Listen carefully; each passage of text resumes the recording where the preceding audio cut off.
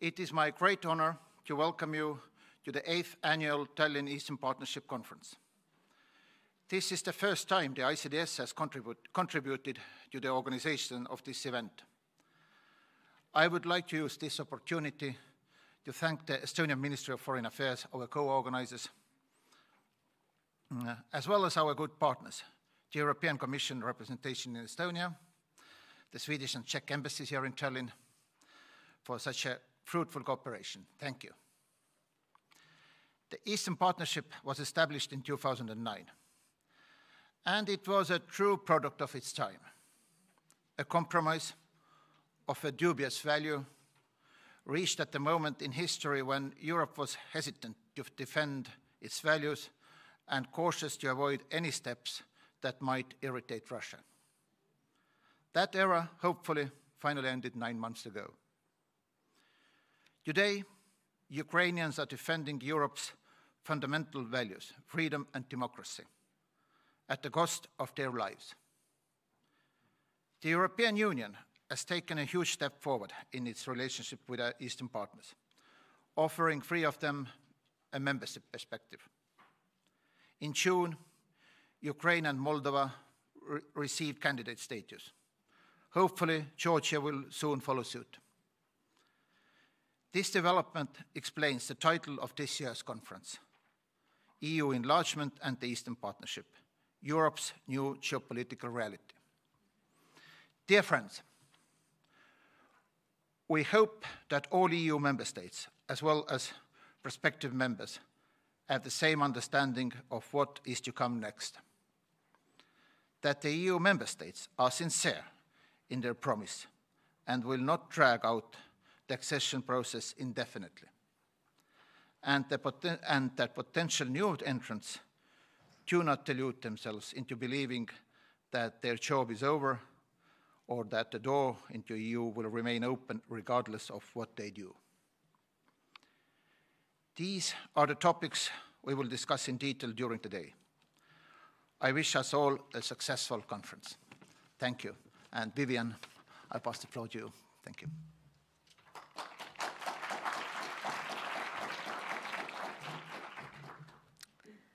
Good morning. Thank you very much. Thanks a lot to the ICDS for organizing this event. I think it really brings an added value to the discussions here in Tallinn, but also in general in Europe about where we are with these new geopolitical realities in, uh, in Europe.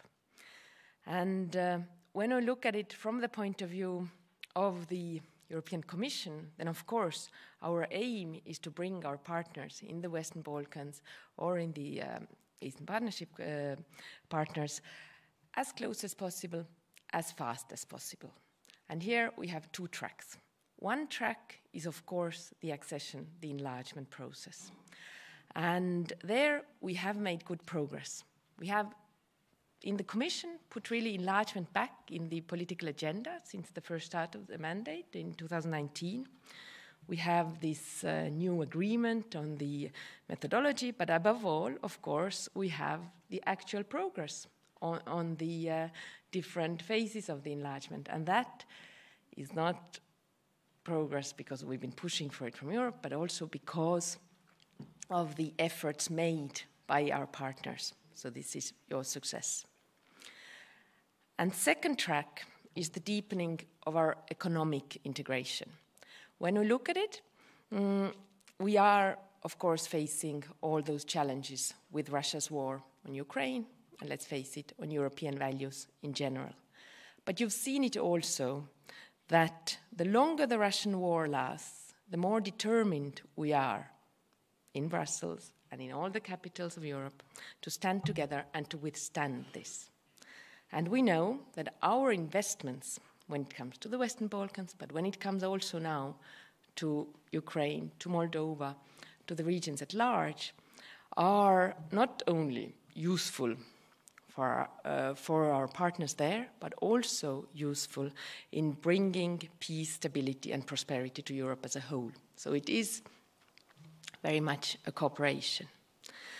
So when we look, and I think the day will all be about looking at our common future together, then um, It's not, I think, too much to say, especially now with the Christmas time approaching. We are friends, we are working together, but we are also a European family in this um, common um, history and common uh, cultural sphere. And there, when times are getting tough and difficult, a family stands together. So this is what we'll be uh, aiming for in the future as well. Thank you very much, and it's my honor to now invite the Swedish ambassador Ingrid Tersman here, please.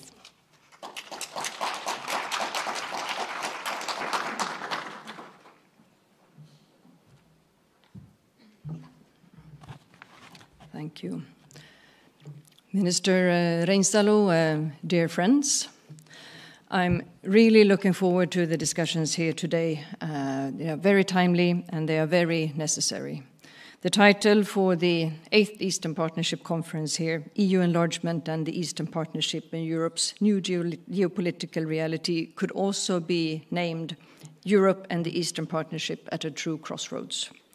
Today's discussion aim to be forward-looking and hopefully to begin to forge a path to the next EU enlargement and accession and what kind of partnership Europe needs and wants, if one at all. It is perhaps tempting to declare the Eastern Partnership dead, null, and void in the realities that we face today. I think, however, that it's good to also look back and recall that the partnership has faced many challenges during its now 13 years of life and weathered each one. I trust that we who are here today, and I recognize many friends from, from the years past, remember each challenge. The partnership, however, contains a lot. We have built and created a lot over the years. It contains an EU structure, it contains long term processes, it contains substantial financial mechanisms for EU rapprochement, it contains expectations and work with a broad range of civil society organizations. But not least, it also contains legal commitments on both sides. There have been times in the past when the Eastern Partnership has been questioned and to its relevance and also to its future.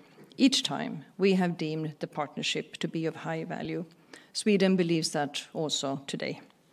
When we assume the EU presidency in January, we will face unprecedented challenges, just like the Czech presidency today and the French before that. It is clear that Ukraine and the Russian war against Ukraine will be our number one priority, and this may well come to define our presidency. Our key priority will be to ensure the EU's steadfast support in all dimensions to Ukraine to ensure that Ukraine wins the war and Russia loses. Sweden will continue our national support, militarily, political, and humanitarian, in the future. A second foreign policy priority for our presidency will be the continued pressure on Russia and to keep up EU unity also here. Further sanctions and legal accountability for crimes committed will also be key. Thank you, Minister Reinsalu and Estonia, for the lead on the accountability issue. The EU and NATO cannot afford to let the pressure on Russia weaken or Russian perpetrators avoid legal accountability. And a third priority for our presidency will be the Eastern Partnership how to track a path forward with the EU accession for Ukraine and Moldova and with a European perspective for Georgia. As a founding parent of the Eastern Partnership, we still believe that it provides value, and we welcome the fact that discussions and consultations among EU member states and partner countries mostly share that view. The associated trio's advancement in reforms and EU rapprochement must be seen as the great success for partner countries that it is, and also for the EU policies in and with our neighbouring region. I am convinced that without the Eastern Partnership, these successes would not have been possible. I hope that today's seminar, with its seminal and challenging, daring, even questions, it will help us all and also our presidency on the road ahead. This is not the time to throw away tools that we have that work. They can seldom be reinvented, but they can be revamped and adjusted. I would like to thank the Ministry for, for Foreign Affairs, uh, the ICDS, of course, and the Czech Embassy for the great cooperation in this seminar. Thank you.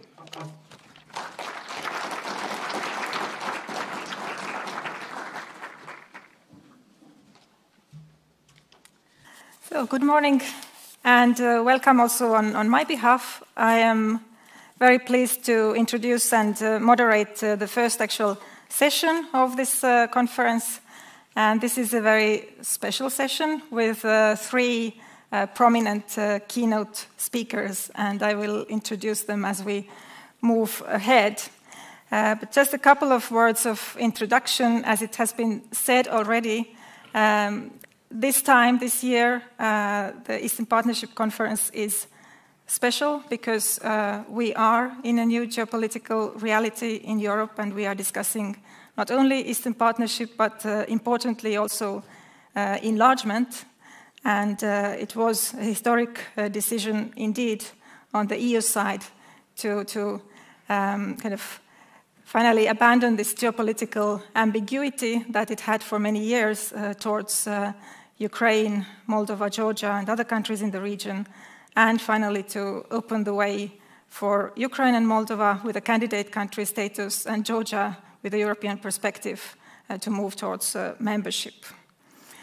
And for this uh, first session, I think it is very fitting that we have uh, um, speakers from three countries uh, Estonia, Ukraine, and uh, Georgia. It's three countries that in the past decades have made great efforts and also sacrifices to pursue a European orientation uh, in order to preserve their sovereignty, being situated next to a major power that is aggressive and has not abandoned its imperialistic attitude to its um, neighbors. And um, looking at the three countries, the speed and, and path of their uh, journey towards uh, Europe has been, of course, somewhat different. Estonia, having been a member in the EU now for many years, has always been a very strong supporter of bringing Ukraine, Georgia, and other eastern neighboring countries uh, closer to the EU and uh, is fully embracing now this new uh, reality that we have in the relationship between EU and, on, the, on the other side, Ukraine, Moldova, and Georgia. So um, I'm very happy to give the floor now to the first uh, keynote speaker, it's uh, Foreign Minister of Estonia, Mr. Urmas Reinsalu, please.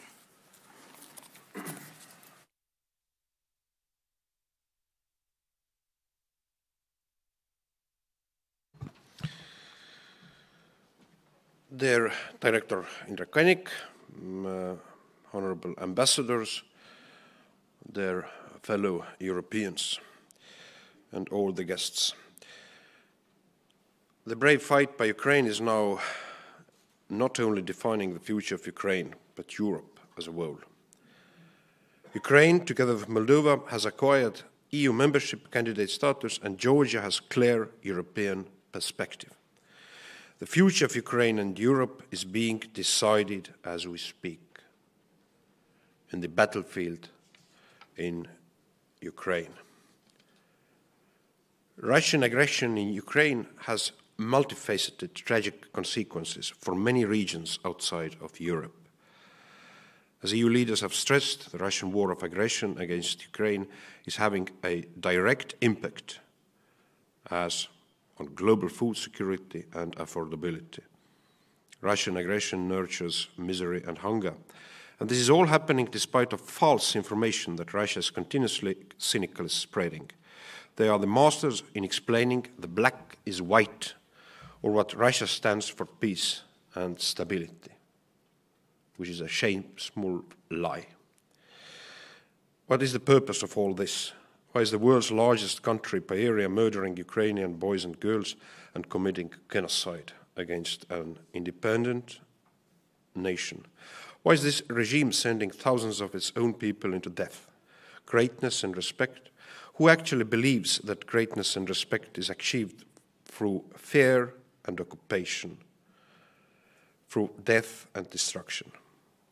There is no greatness for Russia waiting at the end of this road. It is a dead end. Light always follows darkness. Every storm brings the sun in the end, and now too. There is a reason to be, in a way, optimistic, not least thanks to the, to the brave, courageous fight of the Ukrainians. And in the past months, Ukrainian forces have taken back thousands of square kilometers of their own land. and the international community stands firmly by Ukraine's side. But we are not there yet, and we have a lot to do. We must all do more. We must continue to support Ukraine. It's a crucial, I know it can be sometimes complicated. Every state and region has its own unique experiences, interests, and available resources. It might be all, uh, not always easy to explain to domestic audiences why we must immediately increase all range of conventional weaponry military support to Ukraine when wood and electricity prices continue to rise. Honestly, this is exactly why we have to keep sending weapons, generators, buses, etc., to Ukraine. The more solidarity we can project, the quicker we put an end to the Russian aggression. Until Russia keeps murdering Ukrainians, we must continue to raise the cost of the war for Russia. Yes, it is going to cost ourselves as well. Putin knows that and seeks to use this against us in order to divide us. But we will not fall for that because we know what is in stake. It is our future, our freedom, and our duty as humans. When Ukraine will lose this war, literally, it will be very difficult for us, our people, look to the mirror. So Ukraine has to win. It is a question of our humanity and our responsibility of human beings. Dear friends, let me state that uh, today we will discuss where we stand in the enlargement process. In order to push things forward, certain reforms have to be implemented, not to please the European Commission or any individual member state, but primarily to move forward as societies to grow internally, to increase resilience, standard of living, and to strengthen cohesion. Enlargement and reforms are two sides of the same coin. The faster, more thorough the reforms, the faster and the more smoothly the membership will become reality. Also, very important, the more effective the reforms, the stronger European Union we will end up with. It is clear that the rule of law, well-functioning impartial judicial system and effective fight against corruption make a sine qua non for accession, even for opening accession negotiations and making significant progress there. Estonia has been working a lot on passing our reform know-how and EU accession experience to candidate countries, and we will keep doing this until they become EU members. Their success is really a key priority us. And we feel your hope, and we feel also the pain if their practical deliverance might be over the hills in many cases. And we remember our past in that context very well.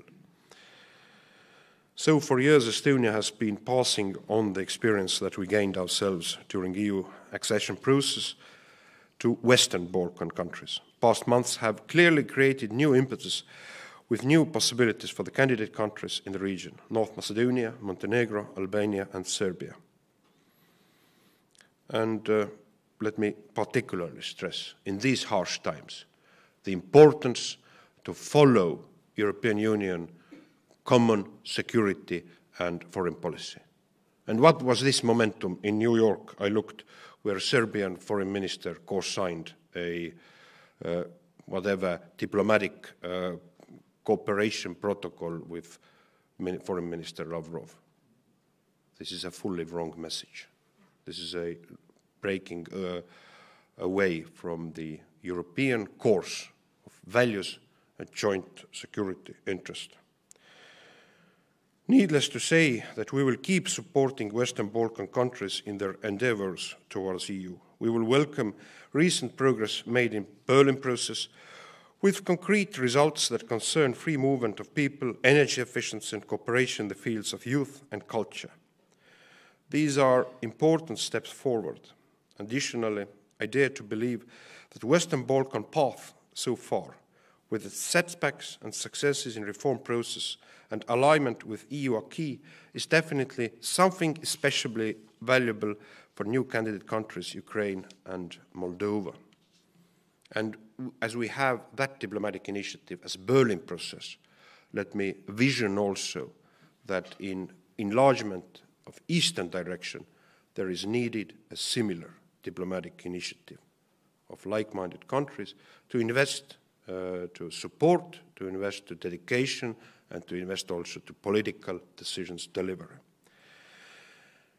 Friends, Estonia firmly believes that the judgment about the death of Eastern Partnership is fully uh, wrong Vice versa, we need an instrument to strengthen the ties more than ever. We are discussing also here today how to fine tune the Eastern Partnership so that it can live up to the challenges in a changing geopolitical situation. Ukraine and Moldova have acquired EU membership candidate status, and Georgia has a clear European perspective. Armenia and Azerbaijan have indicated that they are continuously ready and interested in intensified cooperation based on Eastern Partnership framework.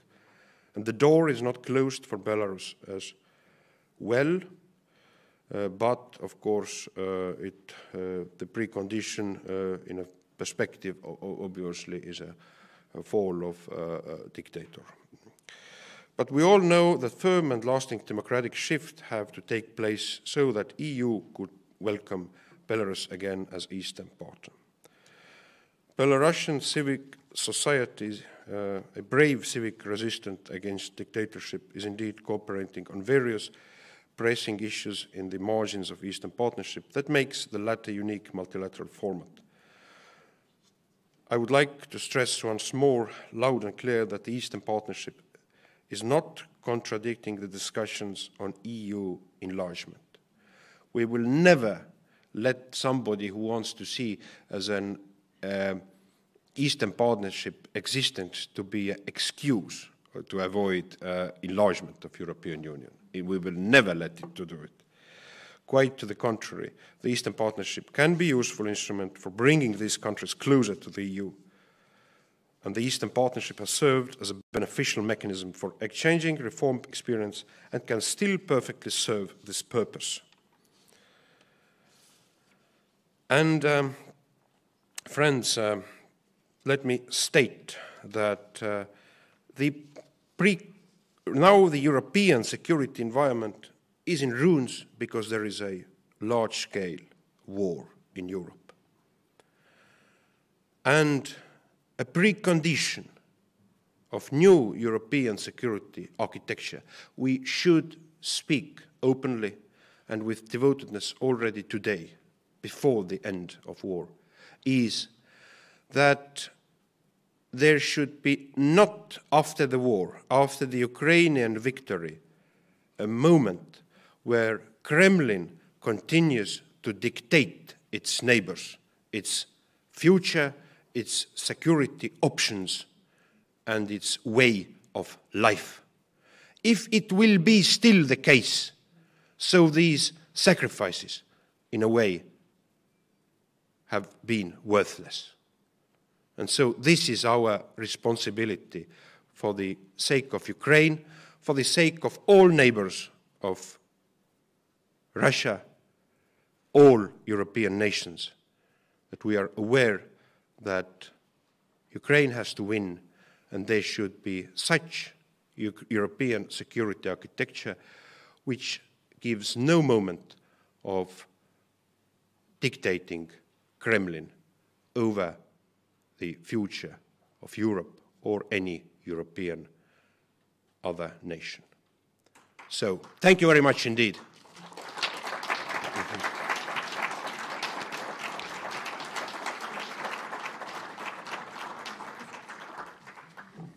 Thank you very much, uh, Minister, for these uh, strong messages. And we have time now for a couple of uh, questions.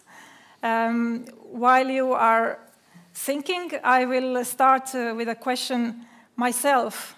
And Minister Reinsalu, you stressed in your speech how important it is now for like-minded countries in the EU to work hard to make sure that uh, the enlargement uh, process for Ukraine and Moldova moves ahead, uh, that it does not get uh, stalled. So, can you say a bit more about how to do this and also what is your answer uh, to those uh, member states uh, that uh, stress that before any further enlargement of the EU, there have to be reforms inside the EU and there has to be deepening of uh, integration in order for the EU to be able to welcome new members. This will also be one uh, difficult issue in the discussions in, in, the years ahead. So, how to make sure the enlargement process uh, moves ahead and we manage to keep the EU committed? Of course, uh, Estonia is a strong proponent to the objective criteria and objective deliverable, uh, delivery of uh, candidate aspirant countries. There is no uh, any uh, caveat in that sense. But still, we have to admit at the very end, it is a political decision. And there might be um, a grand set of excuses uh, why uh, enlargement uh, would not be possible or put uh, vast preconditions which could not be the case and which could be used as to postpone uh, the political decisions. So we in Estonia are practical. We are like Americans, how they say, you can walk and chew the gun in the same time. So we can uh, invest on uh, any kind of reform processes of uh, internal decision making of EU and at the same time uh, work on enlargement. And uh, well, um, Ukrainian friends were very smart when they said that okay, the, there is a issue of uh, mm, consensus, uh, unanimity issue. That Ukraine can, Ukraine can say that, okay, this is not the case in foreign or security policy in future. Uh, that we, we, we, can work out this also in negotiations uh, of accession. And uh, what is important is indeed we already had about mm, before last European foreign ministers meeting dinner of uh, several countries, Nordic countries, uh, Central Eastern European countries, and we, we, discussed also options how to support Eastern enlargement uh, uh, and also uh, about opportunities to create similar mechanism as Berlin process has been a role model. Thank you, and I think I saw a hand up over there. My colleague Stephen Blockmans, who is a senior fellow of the Estonian Foreign Policy Institute at ICDS, uh, please, and the mic is coming.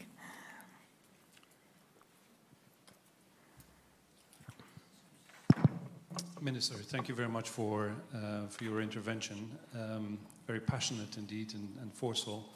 Just the kind of message I think uh, we were all expecting from you and which Ukraine certainly needs to hear.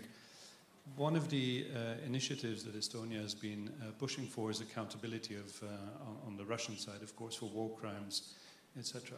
In, in, this respect, I would want to ask you whether you consider the sustained attacks on energy infrastructures, on medical uh, facilities, as attaining uh, a, a genocidal scale. There has been, of course, at the beginning of the war, um, a lot of discussion about the declared genocidal intent of Russia, and I wonder whether you see, despite the change in narratives on the Russian side, the practice still being sustained in this respect. That's one side of the question. The flip side of that is, of course, we've seen the much criticized Amnesty International uh, report on alleged war crimes uh, on the hands of Ukrainian armed forces, is whether in the EU enlargement process, where we have the example of the Western Balkans and the introduction of uh, a conditionality uh, which requires uh, cooperation with the International Criminal Tribunal for Yugoslavia in The Hague, whether a similar type of structure ought to be created in order to accompany um, the transitional justice, the search for transitional justice in Ukraine itself. Thank you. Thank you. Well, the intent of Putin and his accomplices has been uh, rather clear. Uh, it is a full denial of uh, existence of Ukrainian uh, nation as such. That, what they are speaking about the denazification is basically de-Ukrainization. And if we look this list of uh, genocidal intent uh, mm, crimes which uh, have taken place in the occupied areas, uh, forced deportations, uh, uh, ethnical cleansing, uh, mm, banning of and, and, destruction of Ukra books written in Ukrainian, banning the Ukrainian language in schools, and this is a vast list.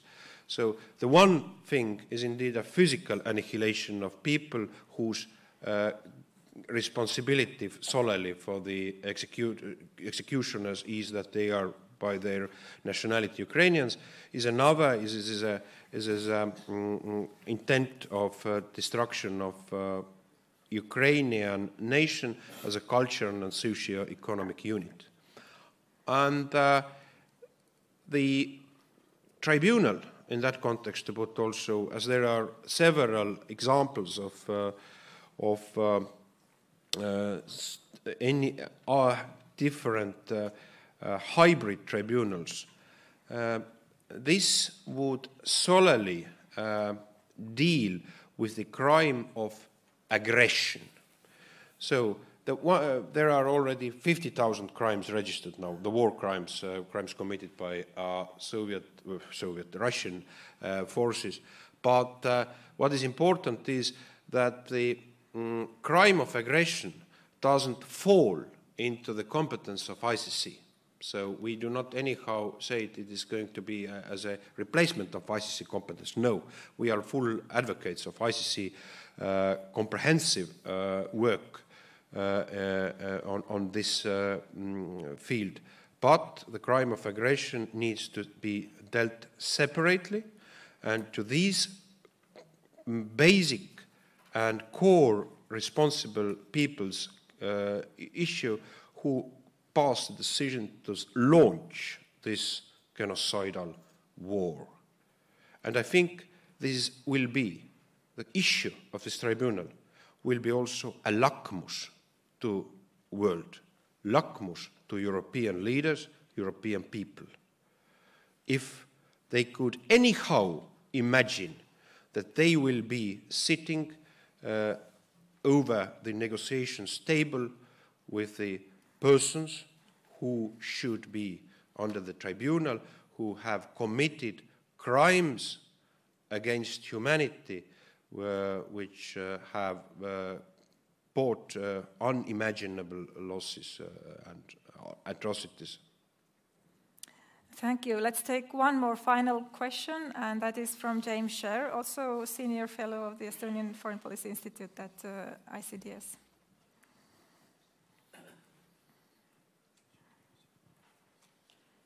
Uh, thank you um, again, Minister, for an especially clear and forceful speech. One especially sinister and new aspect of this assault on Ukraine's uh, critical infrastructure and its basic means of survival has been the entry of Iran. Um, its drones have very powerful resonance for anyone uh, here who is British, uh, who remembers the buzz bombs of the Second World War, and now there is disturbing indication that ballistic missiles will be added to this equation. And what is doubly sinister is that Ukraine has never attacked Iran. Ukraine has never shown hostility to Iran, and yet it has, uh, is now playing a critical role in this conflict. My question is obvious. In these circumstances, uh, is it not appropriate, indeed urgent, for the EU to state that there can be no continuation of business as usual with Iran uh, in view of these events. Yes, I fully agree with your uh, uh, position in that sense. We have to say that the price is going to be overwhelmingly heavy to all these authoritarians who would think that they could make uh, business uh, out of this war, uh, doing uh, the business with the aggressor, or even to try to, in a politically motivated basis, to harm the West in that context uh, uh, to invest to the aggressor state uh, interests. So there is no case that uh, uh, I called also in the last European Union foreign ministers meeting that we should put a clear set of preemptive sanctions already to the air, comprehensive sanctions, that uh, they would know what this uh, uh, intent will bring. I'm, I'm, I'm deeply sorry that we couldn't make that uh, Western community couldn't make that before this stage of war start, uh, also this preemptive sanctions list uh, against, um, against Russia, if the war could, could start. But, so that is a momentum, and we have learned also from the near past in that context, in a way, mistakes. That this is, Putin has stated clearly it is all in uh, to him, to the, his strategic intent, and uh, our, it means that symmetrically our determination uh, uh, should be stronger. And uh, what is the strong um, pledge I make to all my colleagues who do have a long-range uh, weapon system, particularly long-range uh, missiles, give it to Ukrainians. They need also to balance the situation where basically it is annihilated, their civic infrastructure. They need also somehow how to deter uh, the beast. Thank you. Thank you so much, Minister, once again uh, for this uh, political determination and moral clarity. We will need uh, more of it. And now it is time to move uh, to the next uh, speaker who will join us by video link. it is Deputy Prime Minister of Ukraine, Olha Stefanishyna, who has been in this position since June 2020 and has been working for many years in the, the Ukrainian government in various positions uh, related to international and European law. And uh, um, so uh, now, indeed, it's her primary task to work on Ukraine's integration uh, to the EU and NATO.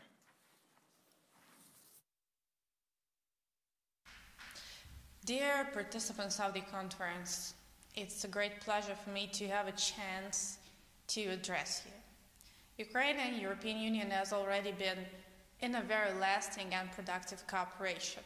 This experience since 2009 of our collaboration has been developed in the framework of the Eastern Partnership.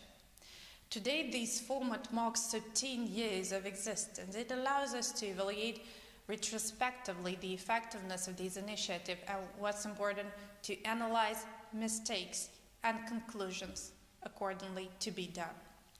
Eastern Partnership has been created under the influence of a number of factors. One, on one end, it was the request from the countries of the region to deeper integration with the EU, deeper the cooperation, and on the other hand, there was the unreadiness of the European Union to expand on emergent security threats in the region. This framework led to launch of an initiative that opened up opportunities for intensified cooperation, but left the region in a moment of strategic uncertainty and as a result, it allowed Russia to gradually increase its influence in neighboring countries. One of the countries is currently used by Russia as its own military training ground for armed aggression against Ukraine. This is one more important thing. The package principles, the group principles of the initiative, makes the Eastern Partnership too ambitious for some countries and not ambitious enough for over the time for the others, and useless for the third ones. As a result, this made the format almost uninteresting for all its participants at the same time, although it has always remained important for the EU. This is the EU format. Along with that, Eastern Partnership has created a number of opportunities and has its own success stories. As part of this initiative, Ukraine has carried out a number of progressive reforms which granted us a visa-free regime, made citizens of Ukraine and EU closer to each other, being part of Eastern Partnership, we finished the negotiations and concluded the association agreement, which became the main reference point for further cooperation. Over eight years, Ukraine has implemented more than 60% of the legal approximation obligations under the agreement. This is a huge base of implemented EU acquis into the national legislation. In many sectors of economy, Ukraine has already acted close to EU member states. This has, for example, allowed us to synchronize with the European electricity market already being within a full-scale war. But this, this, the leadership, which has been inspired by Ukraine itself and affected uh, various transformations and outcomes of the Eastern Partnership generally. So the bilateral agenda should be the driver of any geopolitical format. The development of a resilient democracy in Ukraine, which uh, authoritarian Russia considered as a threat to the regime, as a threat to the country itself, and the policy of strategic ambiguity and uncertainty of the Euro Atlantic community regarding the region became a trigger, a yes button, a green button for Kremlin to launch a full-scale war against Ukraine, having in mind that there's no consequences to be bad for that as we are not needed anywhere. This is the major narrative which has been cultivated for decades by Russian Federation. An absolutely failed policy is collapsing thanks to the professional actions of the armed forces of Ukraine, as well as due to the support of our partners. Granting the status of a candidate country for Ukraine has been a historically important step, both for Ukraine but also for EU. This step has sent a very clear signal. Ukraine has been and will remain part of Europe. And militaristic policy of establishing spheres of influence in Europe will only end in defeat. However, the decision on candidate status was not just gifted to Ukraine. This has this is a logical result of the transformation we carried out together with the EU, suing ourselves with the family of European nations. This has been our choice. This has not been enshrined to us by any formats or any ideology.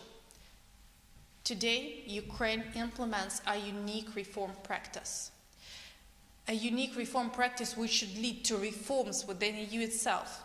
In the conditions of the strict military re restrictions, we are ready to implement the recommendations of the European Commission aimed at the most ambitious areas of our country, including judi judiciary. We made already good progress in these directions and we do not see any obstacles to not starting the accession negotiations in 2023. At the same time, bureaucracy of package principles, of formats, of areas should not be allowed to become the inhibiting factors. And here where we have to make sure that the lessons of the past are learned. We are moving, we are moving forward to become part of European Union and nothing can stop us, even the shelling or any other threats from our neighbors. Russian Federation also makes it vital for Euro-Atlantic community to review its official strategies regarding relations with the Russian Federation herself. Support for the EU's neighbors, in particular through the enlargement policy, should be among the priorities of such strategy. This is a step towards ending the era of strategic uncertainty in Europe. And the European Union determination and commitment to respond to the challenges will increasingly strengthen and be needed to block potential shape of the international agenda in the turn of protecting and supporting and cherishing the values we all believe. Such a brand new and all-in-one approach is a necessary investment in peace and prosperity in Europe. Ukraine have been, is, and will always be over the table of this future prosperous Europe, regardless the format, but stronger we are together. Slava Ukraini!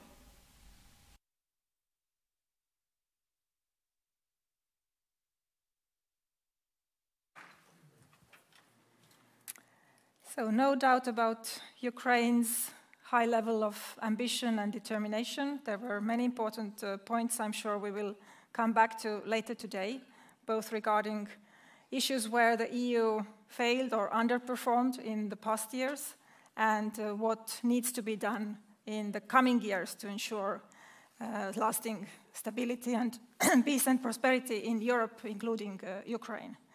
But now we move on to the third uh, speaker of this uh, session, uh, Mr. Teimuraz Janjalia, who is Deputy Foreign Minister of Georgia since June 2021 and previously has held various key positions in the Georgian Foreign Ministry. Please, the floor is yours.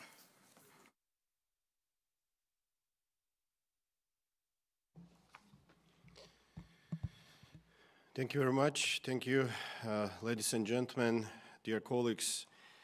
At the outset, uh, I'd like to thank the International Center for Defense and uh, Security and the Estonian Ministry of Foreign Affairs for organizing this event. The suggested topic of the conference is very timely and uh, really targets the questions, uh, issues that we are all keen to find answers and solutions. In this rapidly changing uh, geopolitical reality with seriously shaken security architecture of Europe, we need to make inevitable policy adjustments to our cooperation formats. New decisions should be based on the clear understanding of the strategic reason for the Eastern European region. The EU should maximize its efforts to export to export its sustainable peace and therein in order to safeguard long-lasting stability and unhindered peaceful development of the entire Europe. Historic decision of the European Council back in June opened a new chapter not only in our relations with the European Union, but also revitalized youth enlargement policy to prove again that it truly is a geostrategic investment in peace, stability, security, and economic growth in the whole Europe.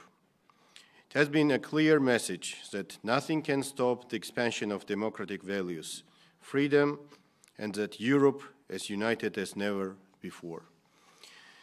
Years after the Russia-Georgia August 2008 war and annexation of Crimea in 2014, ongoing Russian aggression in Ukraine has been a real wake-up call for Europe that made it clear that security in Eastern European partner countries is intertwined with the security of the European Union.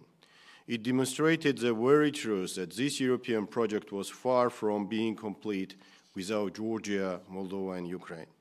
In her State of the Union address, President Ursula von der Leyen explicitly confirmed this. Recognizing European perspective for Georgia is an unprecedented milestone, which opens new opportunities and sets new standard in our relations. It puts Georgia where it naturally belongs to, culturally, socially, and politically. Georgia always affiliated itself with Europe and has fought its share of fight to defend the very values and principles that the European civilization stands for. I think Georgia has much to offer to the EU, a unique culture to enrich further European diversity, a steady drive towards democracy, and a strong foothold for the EU in a geopolitically turbulent region. A crucial link on the EU's global connectivity map, thanks for its geostrategic location as a Black Sea littoral state and a game changer when it comes to diversification of transport routes and energy supply to Europe. A reliable and committed security partner standing by the EU side in its peace efforts around the globe. So, the European perspective comes with a huge responsibility to ensure highest political, economic, and legal convergence with the European Union. But our resolve and motivation to go down this path is as strong as ever before. These developments clearly influence the future configuration and purpose of the Eastern Partnership as well. The Eastern Partnership has definitely played a positive role in ensuring Eastern partners' political association and economic integration with the European Union. According to the will and readiness of the partners and in the frames of the political mandate given to this policy initiative 13 years ago.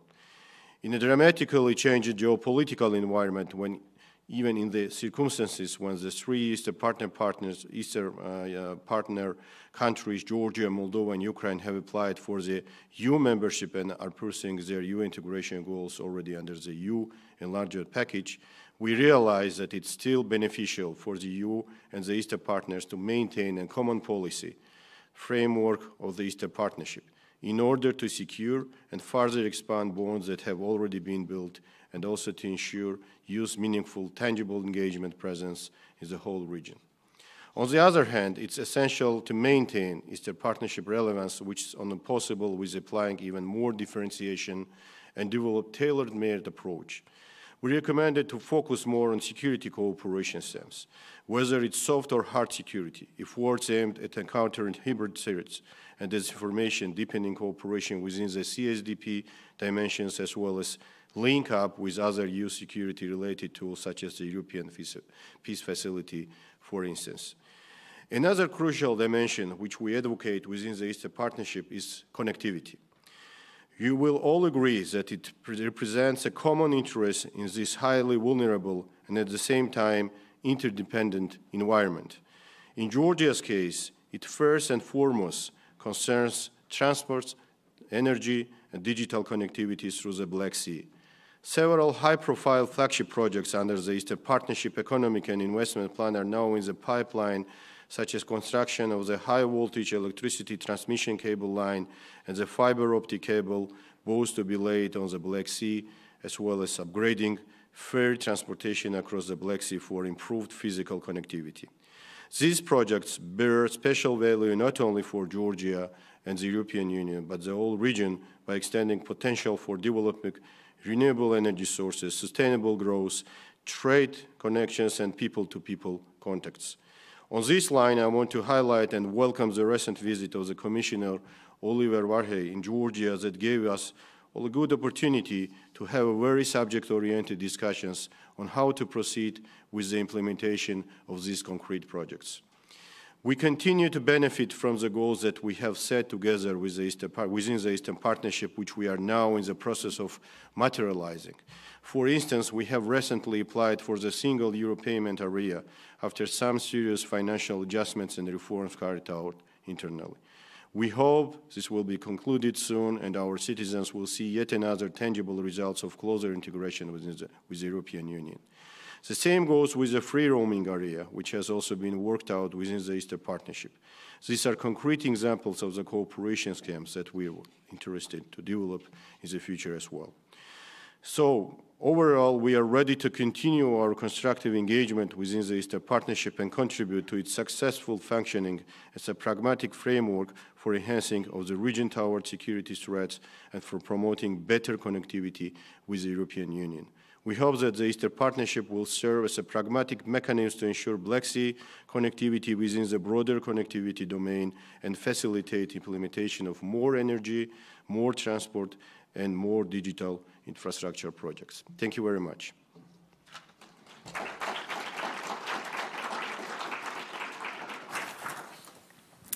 Thank you uh, very much, uh, Mr. Janjalia. Now we have uh, a few minutes for one or two questions. Um, thank you for um, your very concrete uh, points on what uh, Georgia, in the current uh, situation, expects from the Eastern Partnership uh, policy. You highlighted uh, cooperation on security matters in particular, also connectivity and uh, energy. so um, these are issues that you wish to further pursue in the framework of the Eastern Partnership.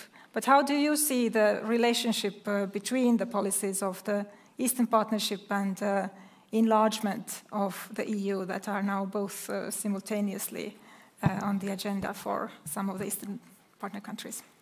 Thank you very much for this question, and uh, it is raised uh, from from the early uh, March and uh, beginning of this year when we have applied for the membership.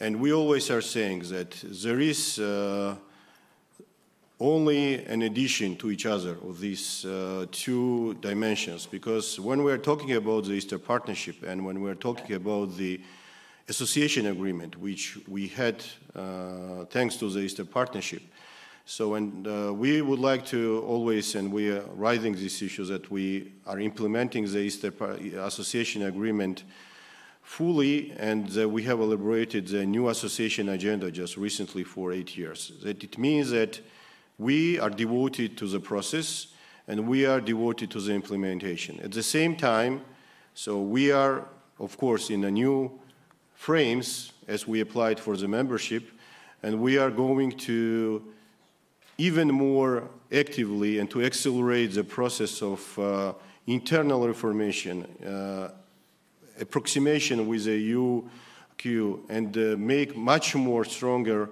our devotion towards uh, our main goal, which is the European Union membership. So, of course, there is a Eastern Partnership, and there is a uh, another direction where the three associated partners applied for the membership, but I think that it adds to each other and uh, it uh, supports both these initiatives. Uh, one initiative supports another uh, goal to, to, to become a member of the European Union.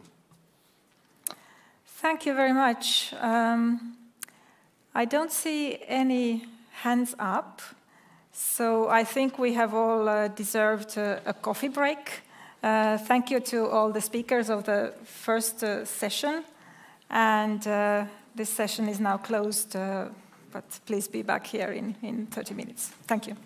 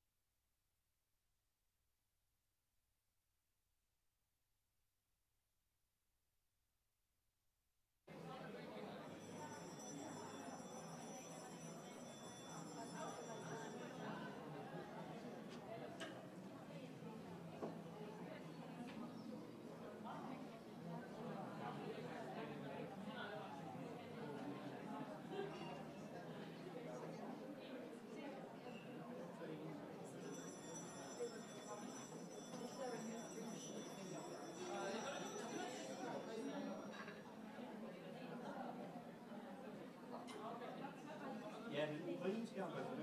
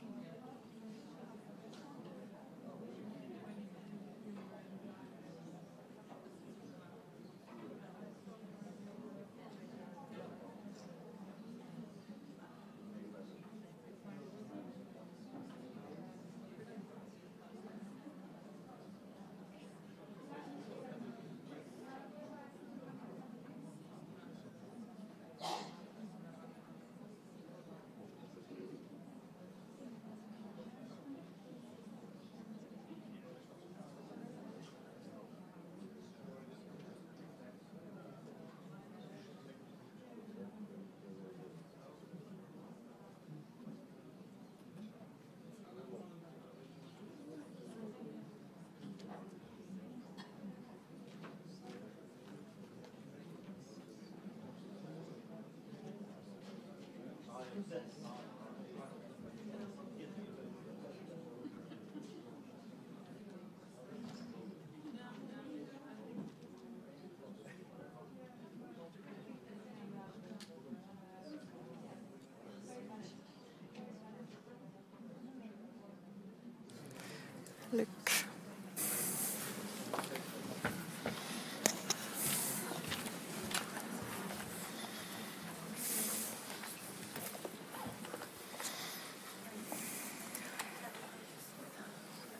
Distinguished guests, uh, colleagues, uh, friends, uh, it's uh, really a pleasure to um, uh, start now our uh, panel discussion on EU enlargement, how to make it happen.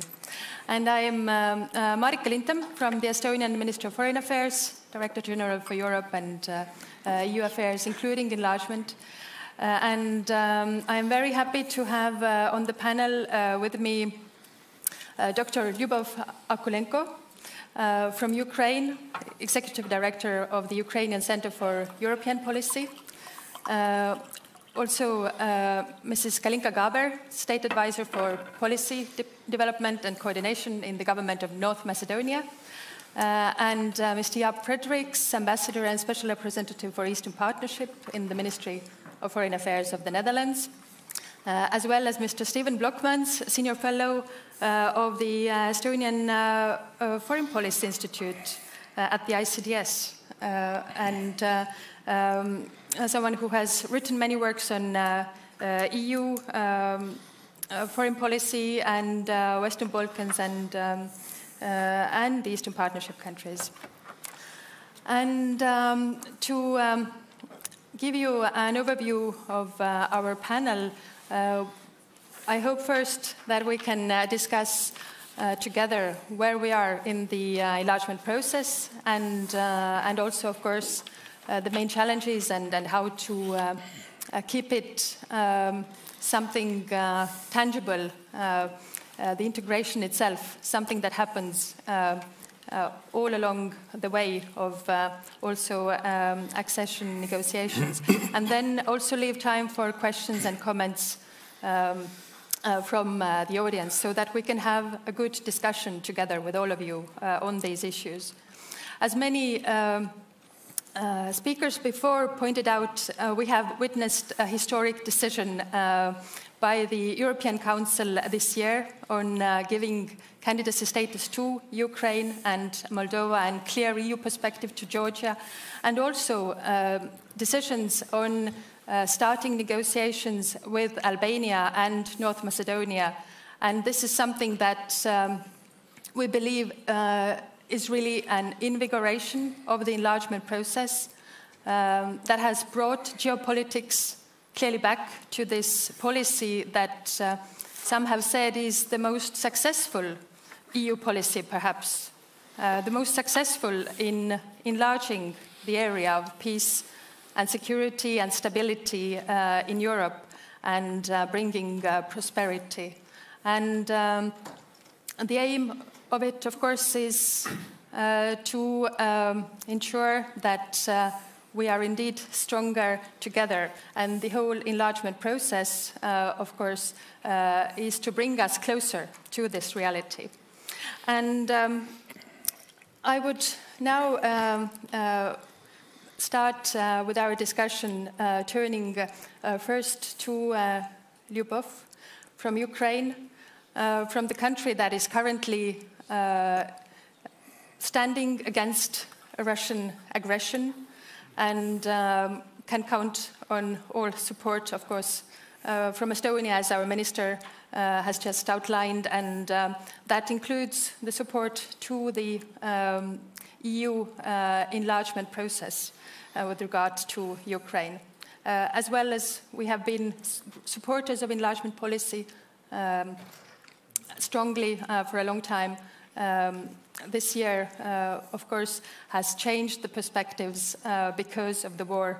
And um, it has brought about this new reality of enlarging the circle of candidate countries also to uh, Ukraine, which we are very, very happy about. And um, Lyubov, it would be very interesting to hear from your perspective. How do you see the, um, the current enlargement process where we are? And what is the outlook or the expectations for the years to come. And um, uh, all of this, of course, from the perspective of uh, Ukraine. Please. Thank you very much. Uh, dear guests, I'm grateful a lot to the organizers that they provide me an opportunity to speak in front of you.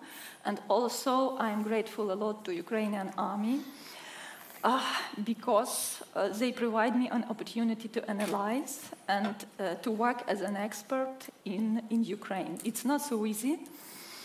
Uh, because when you have electricity for three hours during the day, so it's like a big challenge. From the expert in uh, politics, I am becoming an expert in electricity and other stuff, because you need to think about how to survive.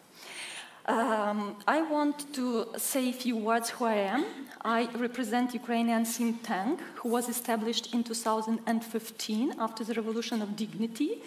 And we decided to push all our expertise and energy into the advocacy of association agreement in Ukraine. So we did a lot of work in the parliament and with our government to help them uh, to implement all this uh, key. You know, very often you need to have a constant stimulation. You need to, fi- to find this stimulation. It was not so easy because legislation is complicated and we did not have any EU perspective. So this task was very challenging to us. And my speech today will be connected a lot to, to my experience with association agreement. I think that now it is obvious that it is a historical momentum that Ukraine should use now to become a real member of EU and not to stuck uh, in the candidacy status for ages. To avoid this situation, I think that uh, set of steps should be done both from EU side and from Ukrainian side. So I would like to start with challenges. Uh, when we start analyze challenges from EU's side, uh, we decided that the most important it will be to analyze uh, mistakes that were made by EU in the region of Western Balkans. And from the Ukrainian perspective, I think that EU should avoid several set of mistakes. The first mistake that EU should avoid in cooperation with Ukraine is the policy of stabilitocracy. Um, this policy uh, that EU used in the Western Balkans when they made a priority for stabilization instead of stimulation of vital reforms in the region of Western Balkans. I'm pretty sure that EU enlargement policy is a very effective instrument that can help such countries as Ukraine, Northern Macedonia and other countries to implement deep economical, political and social reforms. And uh, EU should use this instrument and to avoid this mistake with Ukraine, because Ukraine is a big country with uh, lots of group of interests, and of course, Ukraine, if there is an opportunity not to implement the reform, if there are challenges, I think that Ukraine can repeat such an experience, and I do not want this. The second recommendation is contradictory bilateral issues that happened in the region of Western Balkans. The story of Northern Macedonia is famous, is familiar, I think, that to, to all of you, that some, cra not crazy, but absurd disputes between Northern Macedonia and Bulgaria and Greece blocked the negotiation process for ages. And I suppose that Ukraine can have such challenge with Bulgaria, uh, sorry, not Bulgaria, but Hungary, since we have Hungarian minority in Zakarpattia. And I 100 have a prediction that we can have disputes on uh, educational issues and language issues. And I think that EU should help us to avoid such, such a story. Now we are living in challenges times, so EU need to think about some progressive decisions. I think that here you should start to think about the introduction of the system of penalties for those EU countries who are trying to intentionally block the integration process for candidacy countries. I think it is the time to think about this now.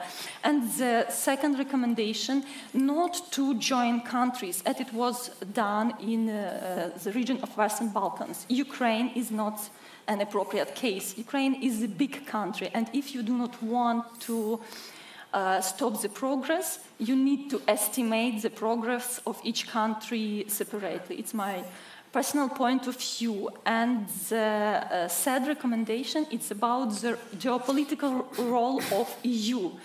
In June 2022, EU showed to us that it is, has political power and it is a leader in the region uh, with countries that are on enlargement track. I mean, EU was eager to provide for Ukraine and for Moldova candidacy status, but now EU should also continue this line. We should not have a situation when among countries or among candidacy countries, we have some countries that on one hand are looking at Moscow and the on the other hand, they are looking on EU. I am speaking about Serbia.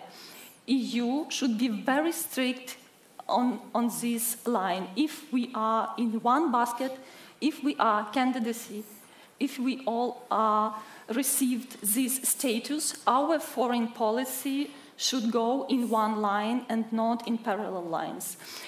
So here are, it's, it's my expert point of view on challenges that EU need to deliver now, not to copy mistakes of Western Balkans with Ukraine.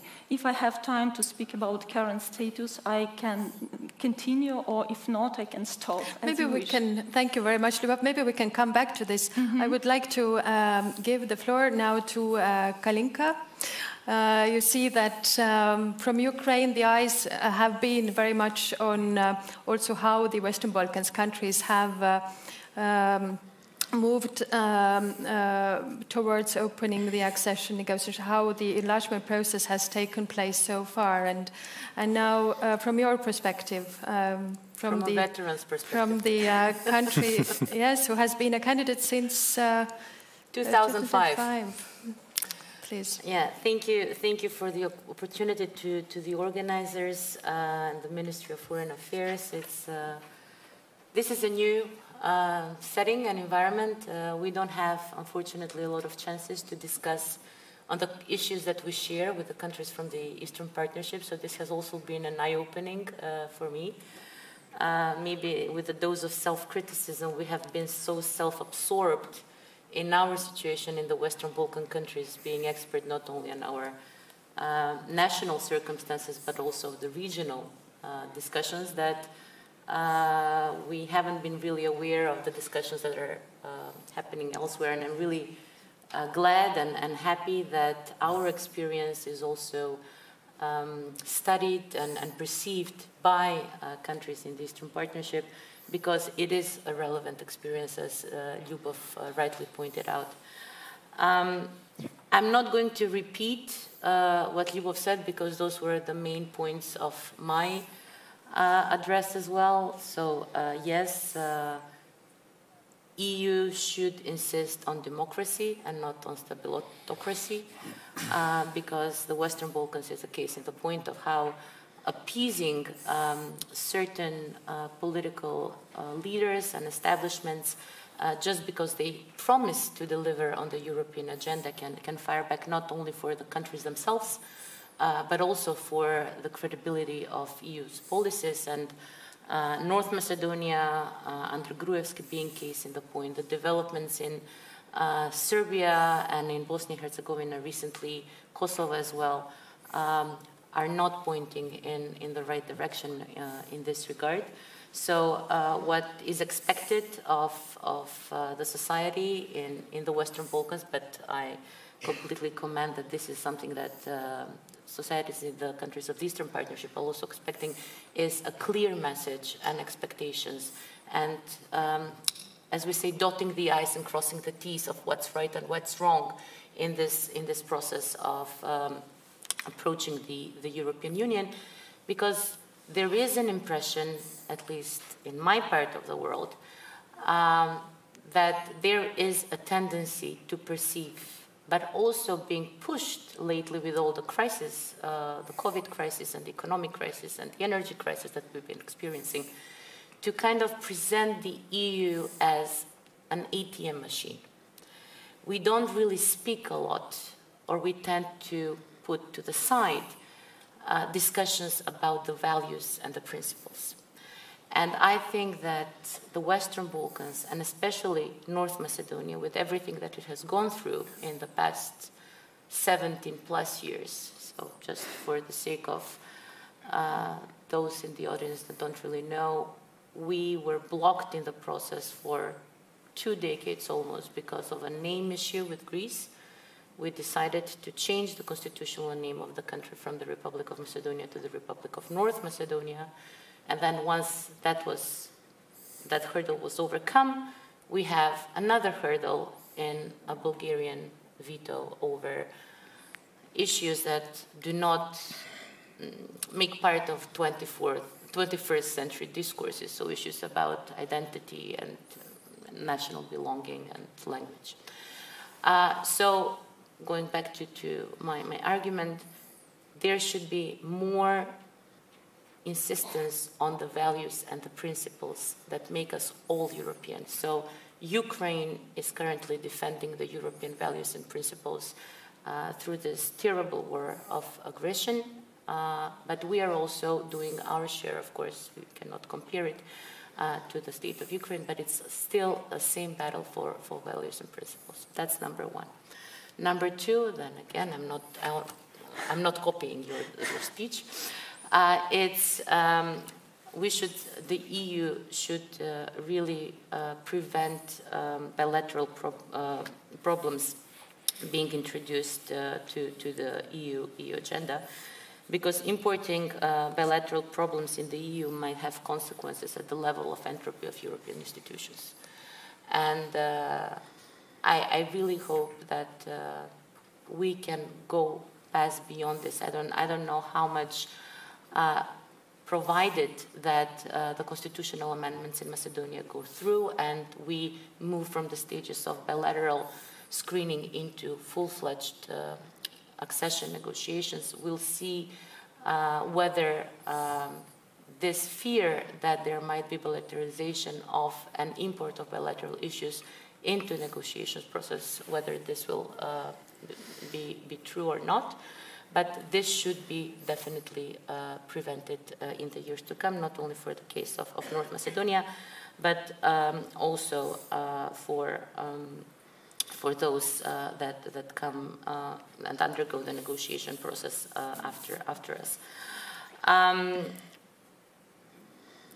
the EU negotiations and, and, and enlargement policy uh, as a whole um, is a transformative process. It's lengthy, it's complex, uh, and while in my first part of, of, of, discussion I was putting the, the maybe the focus on, on what the EU should do, we should uh, the EU should also uh, require a lot from the countries. So because it is uh, the journey of transforming the society is not the destination per se. Uh, luckily, uh, there are countries, uh, candidate countries or negotiating countries now that understand that. There are other countries, unfortunately, that are kind of bypassing or trying to play around uh, with their commitment to to transformation of their society. But irrespective of everything, um, maybe just a, a, closing remark on, on, the, on the state of affairs after the June 2020 uh, EU Council decisions. Um, the EU has re- put down really clear criteria uh, on accession on new member states. What we lack from our perspective, maybe with regards to the enlargement policy, is this double talk and this confusion um, on how prepared the EU itself it has uh, uh, on accepting new member states. So while there are criteria on the accession for candidate countries, there are no criteria on the ability of the EU to accept new member states. So while this might not be a problem for North Macedonia, for example, because we're only 1.8 million, we're not a big market, the market in 15 years of implementation of the stabilization and uh, no, in 20 years of implementation of the stabilization and association agreement has already been to a large degree integrated with the EU. Over 80% of our experts go to the EU. Countries like the Ukraine are a big bite. So we need clear demonstration and, and clear messages uh, from uh, the EU and member states on whether uh, this criteria on the EU's ability to accept uh, new member states uh, will be, because there is a lot of uh, discussions on the EU level that, um, in the current context of the institutional structure and the budgetary act, architecture, the EU is not in condition to fulfill the expectations of enlargement, which backfires to the public sentiment back home in declining credibility in the EU. One final note, note before um, this whole problems with uh, Bulgaria started, well, first with the French veto in 2019, uh, requesting a new methodology and invigorated process of um, accession talks, and then the Bulgarian veto over the, the identity issues. Um, public support for the EU in the country was around 80%. Now it's below 50. The EU does not have uh, the maneuvering room to lose EU enthusiasts and EU Euro, uh, and um, Europhiles like uh, the citizens of North Macedonia, and I really wouldn't like to see it go that way. Thank you. Thank you uh, very much, Kalinka, for pointing out uh, perhaps some of them uh, again, but, but, uh, but uh, some clearly added challenges that um, you have faced on the current road towards EU accession. And um, well, we will come back to, to it in course of the discussion. Um, I would now like to turn to Jaap and um, the perspective from the Netherlands, one of the founding countries of the EU, on uh, now this current state of um, uh, enlargement process with the, the new big decisions from this year, and how do you see the outlook? Thank you. Um, in June uh, this year, the European Council granted uh, a perspective of membership to three Eastern Partnership countries. Three months after um, and, and, and, the request for membership was, um, was, was formulated by these countries. I believe that seldom before has the EU shown so much unity, so much understanding for the geopolitical context and the response it had to give in that regard. The European Commission formulated opinions about uh, the state in which each of these countries was in the context of the geopolitical um, environment and made a to do list for these countries to move to a next stage.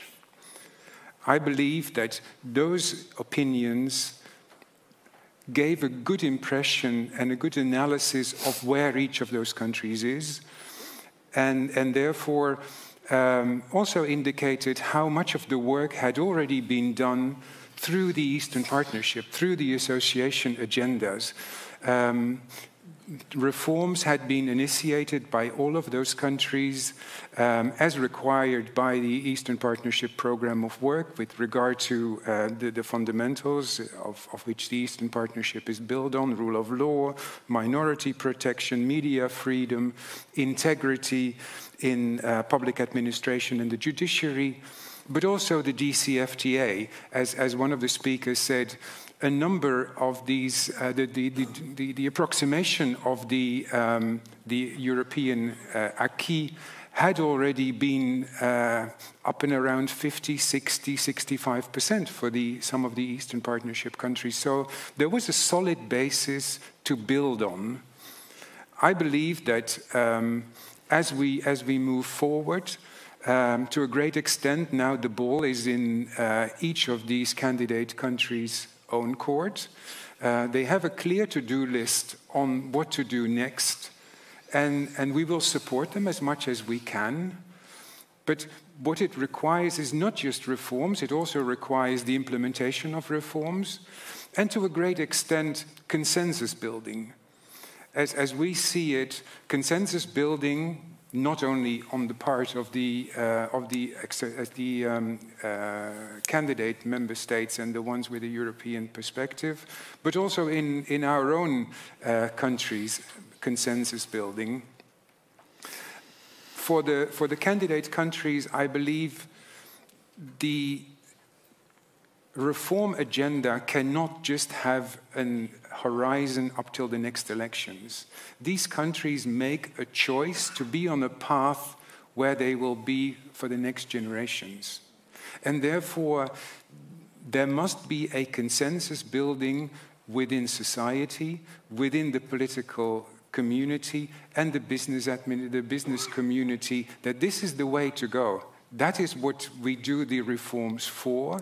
That's what they do the reforms for. And what we would like to see to move to a next stage is sustained and tangible results, that there is a track record of, of reforms and of results. Because those reforms we need to convince our own parliaments that we can continue with the process of reform. Um, it, is, it is consensus building on both sides. Uh, believe me, we have always been amongst the strictest ones when it comes to EU enlargement.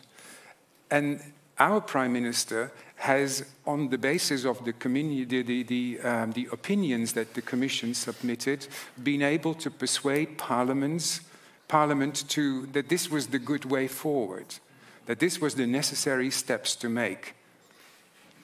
But we do need continued progress on reforms to take Parliament and Dutch society along in this.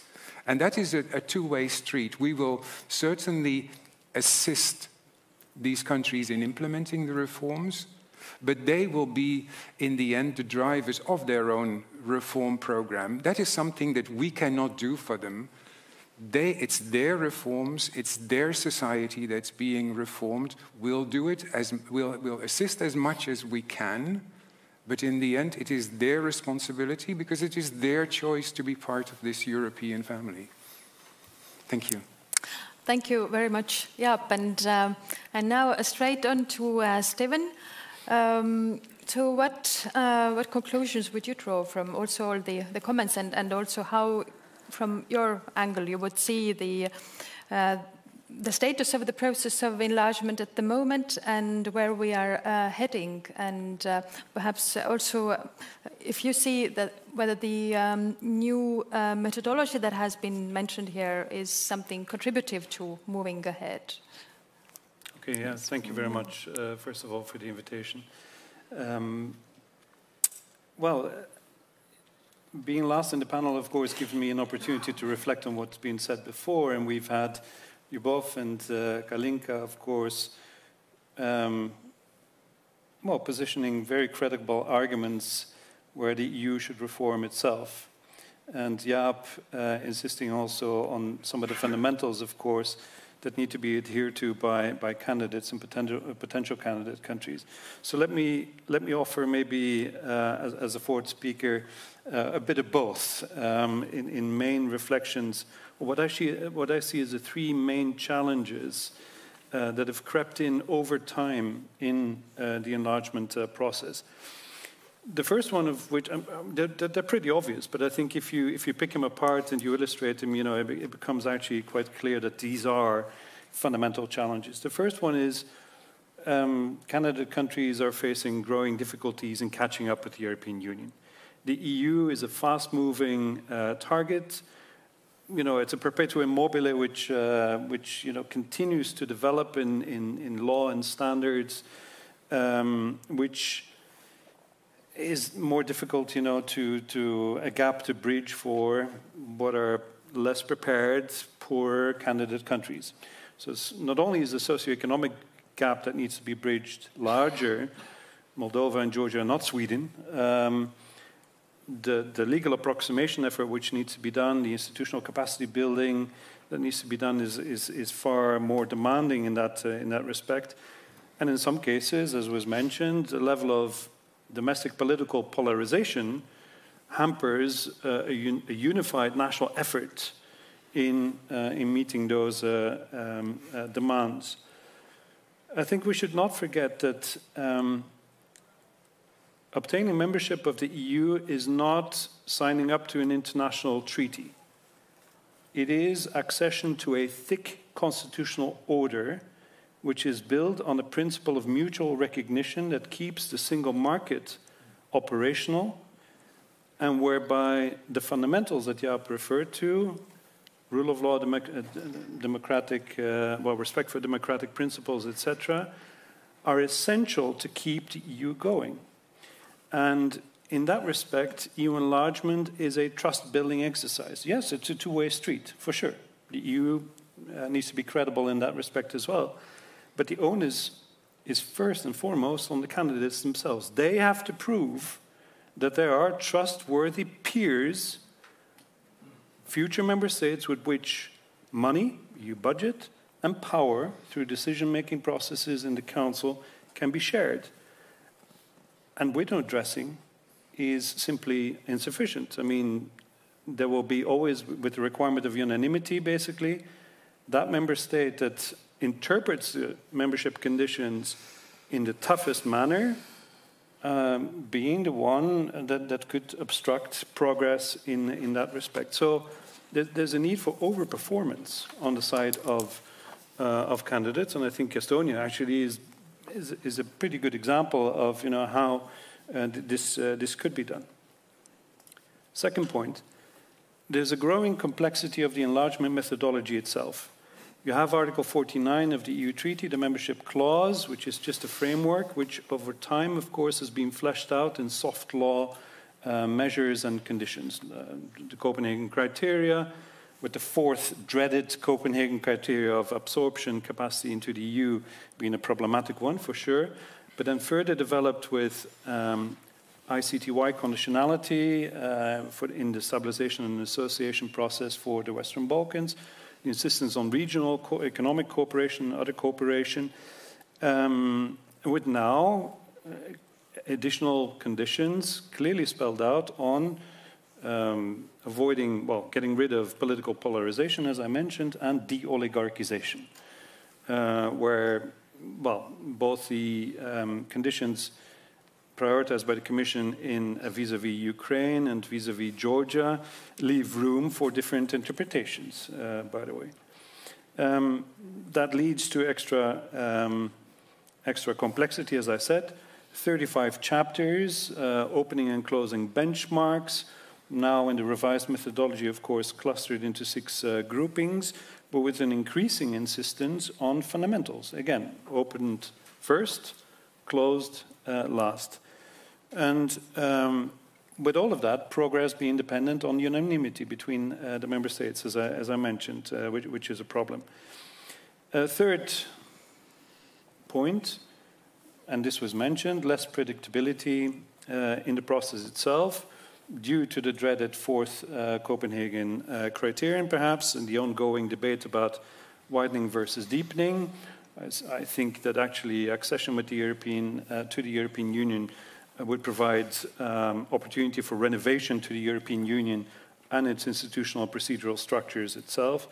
Um, so it's a bit of a, a, a mis, uh, well, a difficult conundrum, in fact, this, this juxtaposition between uh, widening and deepening. But then, as was mentioned, the nationalization of um, the enlargement process for, frankly, parochial um, reasons internal to member state domestic uh, politics.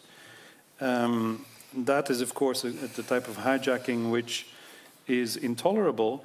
But let me remind you that it has always been there in the enlargement process. It's nothing new. France blocked the accession of the UK twice. Um, and we've seen, of course, uh, I'm, I'm, not justifying this, uh, maybe there's an increase that, uh, that is uh, being witnessed and, and, clearly an argument you know, to, uh, to, to um, rid the entire enlargement process from a couple of veto moments, uh, not on the most crucial um, steps, of course, in that process, um, but for the intermediate steps. final point would here be that, um, well, I mean, enlargement is a political process. And it's not a mathematical uh, equation, um, you know, with, with, a set of conditions automatically being uh, being translated in uh, in further progress uh, or gains uh, for candidate countries. Um, it is a trust-building uh, exercise, and um, it will remain political, largely political, for the years to come. Thank you. Um, yes, yes, I can. Uh, from my part, I only agree that enlargement is perhaps the most, um, um, well, clearly the, the, the, policy where geopolitics meets, meets chapters, clusters, criteria, uh, and um, um, which needs to be driven, taken these two sides into account uh, at the same time. And, uh, and of course, a very much two-way process. Um, there has to be uh, the commitment um, to the criteria, to the reforms from one hand side, from the candidate countries, and also, of course, the um, uh, the uh, movement, uh, constant movement towards the goal of accession uh, as well, so that um, uh, the momentum is not lost on the way. From the Estonian experience that um, Steven referred to as well, um, for us, it uh, was so important to have this uh, guiding uh, light of uh, EU uh, membership um, in order to help go through um, rather massive reforms uh, sometimes, but, and sometimes, well, doing them um, more than 100%, doing more than 100% of acquis. Um, transposition and, uh, and really going the extra mile. Uh, but of course, this guiding light was always there. Uh, and um, um, was not lost from the sight. Um, so, what can we do um, now in the uh, the remaining, uh, remaining discussion time, uh, I would like to ask for your opinions as well. What can we do so that um, uh, this light is always there, uh, so that there is constant movement actually towards integration, because it is not just, uh, uh, well, let's say one huge leap, but very many smaller steps on a, on a long way um, of really um, becoming a member of uh, the European Union. So um, perhaps we can uh, have the same around, uh, starting with uh, Lyubov again, and, uh, and uh, Kalinka and uh, Jaap and Steven. Uh, Marika, if you do not reject, I would like to react to some of the of issues course. that uh, Steven mentioned, if you do not reject. Sure. Uh, the first issue that you told that enlargement process is not a simple mathematic, but it's a political process, and you made an example of Great Britain. Here, I do not agree uh, because of two reasons. First reason, Great Britain is a rich country, and we are in absolutely dif different economical conditions. Second, Great Britain did not have this complicated new enlargement methodology. So I think that now this game is very difficult. And if we all want Ukraine and Western Balkans to succeed, we need to help. Maybe with mathematical approach, I do not know. And second issue, uh, you are absolutely right that for Ukraine and other countries in the region, it is not so easy to uh, manage But it's possible to manage the legal approximation pro uh, process since, again, the country is not so rich as, as Western countries, West, uh, Western European countries. But I want to admit that there is one issue that differ Ukraine from other countries with candidacy status. We have strong uh, European integration institutional structure. Uh, and also we have pool of Ukrainian experts that uh, know EU acquis very well. Uh, by the way, this year, it, uh, every year we are delivering the monitoring report on association agreements that includes lots of sectors, more than 35. This year, I worry that it will be very difficult to find experts in Ukraine because a lot of them, to be honest, moved to EU.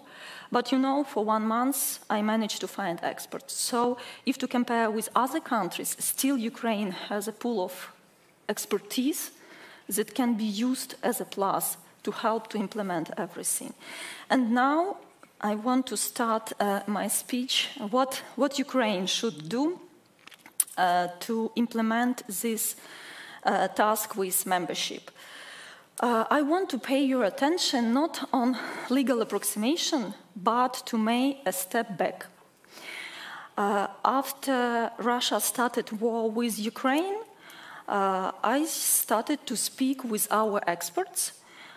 Um, can we, for example, imagine that in one or two months Ukraine can join EU internal market? And I was upset since at that moment I understood that completely I have a conversation with 15, with 15 best Ukrainian experts in association agreement, and almost uh, they all replied to me that in particular each sectors of association agreement, there are huge level of damages. And now, for me, it is a little bit funny to speak about legal approximation because if you have huge damages in the sector and you are trying to speak about legal approximation, it is not fair. And this is the thing that we need to think about when we are speaking about methodology. This is particular issue that currently differs us very much from Western Balkans. Now, in case of Ukraine, we need to think how to help us to deliver special recovery plan, plan for the sectors in the framework of association agreement. I just want you to make examples of several sectors, what problems we are, because we only start this analysis. We start to analyze trade of goods, and trade of services because it is not a normal situation when we are constantly begging money from you. We need to earn money with the help of association agreement. And what we have now, a trade of goods, technical regulation, it is the trade of, of industrial goods. Before war, uh, we, uh, we had an intention to sign with EU the so-called industrial visa-free regime or agreement on conformity assessment. And what we have now? situation is a little bit complicated. Each industry has standards, and institutions are collecting these standards for machinery, for chemical industry, for gas. In, in most of EU countries, these standards are collected in one city, in one institution. In Ukraine, we had another story. In Ukraine, we have a decentralized system when standards are collected in different cities and 60% of standards of Ukrainian industries are collected in Kharkiv, 20% in Kiev, and all other percent of standards in Lviv and in Ivano-Frankivsk. Ivano-Frankivsk is collecting standards on gas. On gas. So this metrology uh, infrastructure suffers very much because most of the standards historically we collected in Kharkiv. So here we will need your help how to recover this infrastructure. Another example with agricultural sector.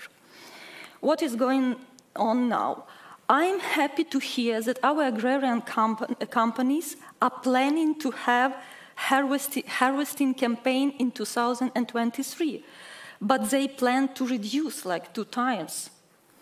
EU farmers are trying to seed those plants that they did not seed before. For example, like buckwheat, it's hrechka. It is very famous in Ukraine, but it was never popular in EU.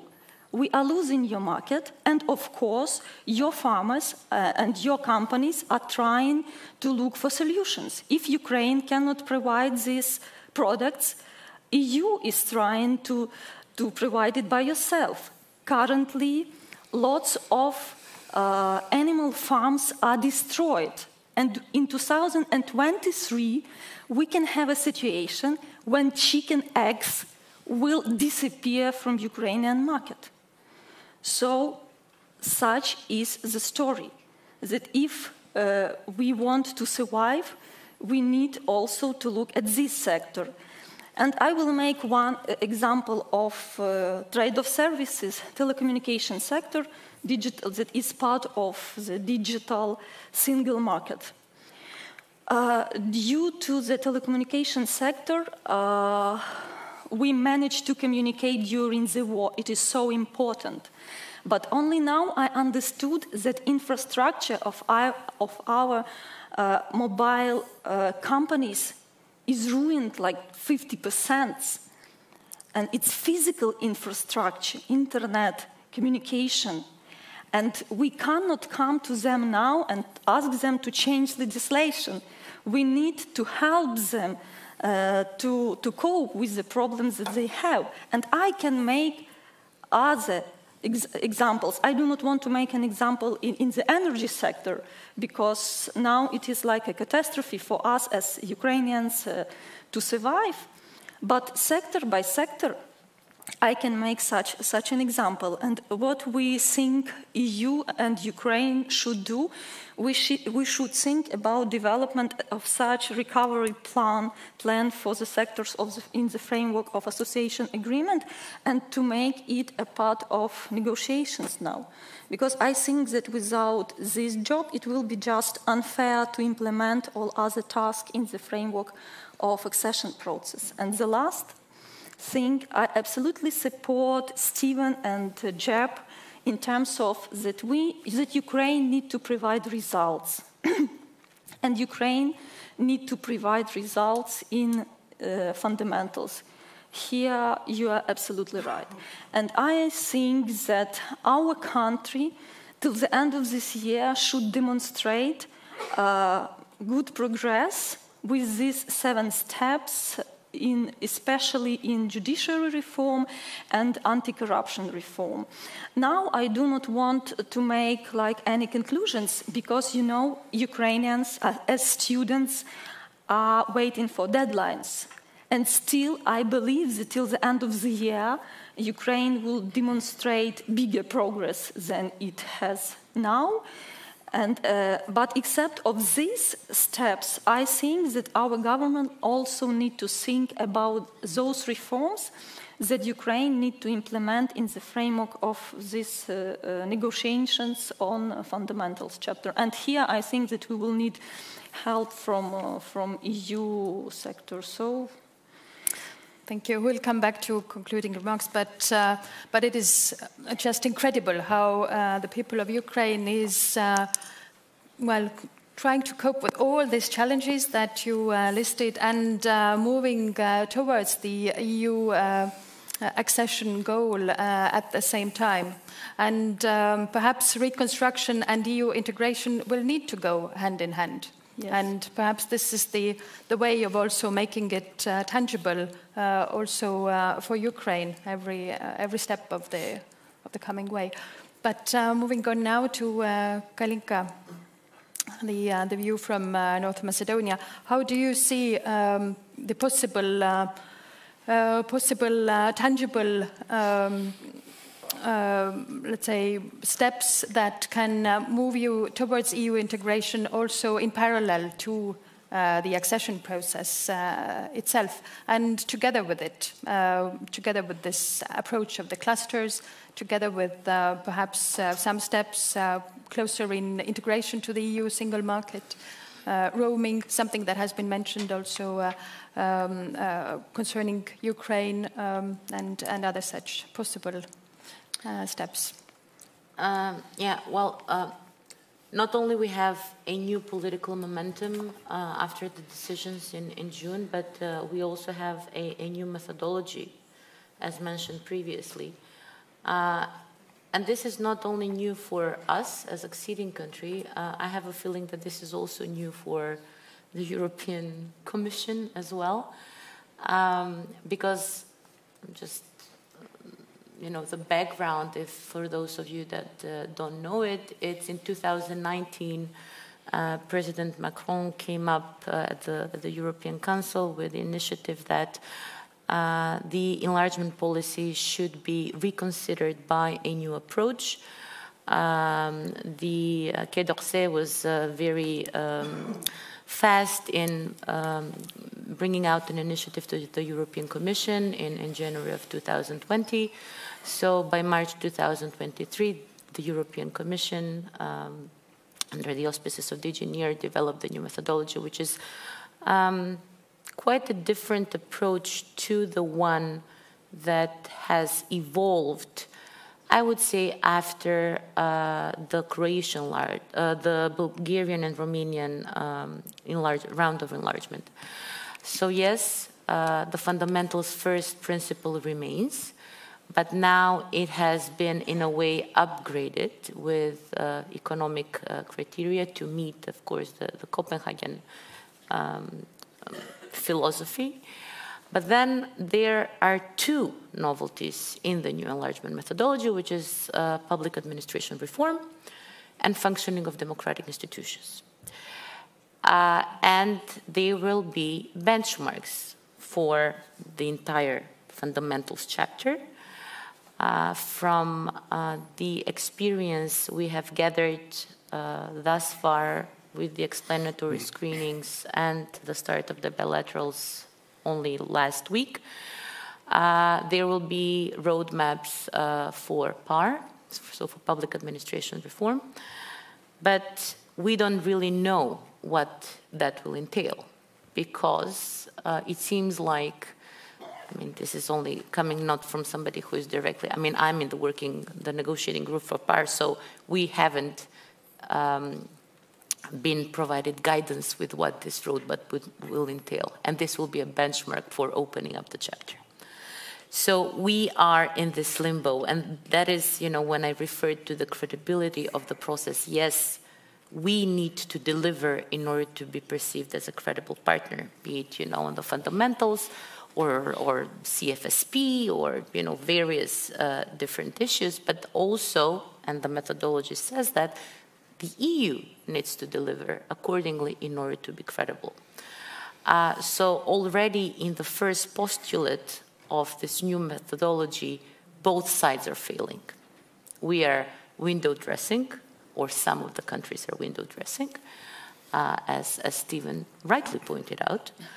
Uh, but also there is on the other side, not delivering, not only on the promises made, and this is what scares me the most with the Ukraine. Now there is the political momentum, this new geopolitical situation, where a lot of promises are being thrown around.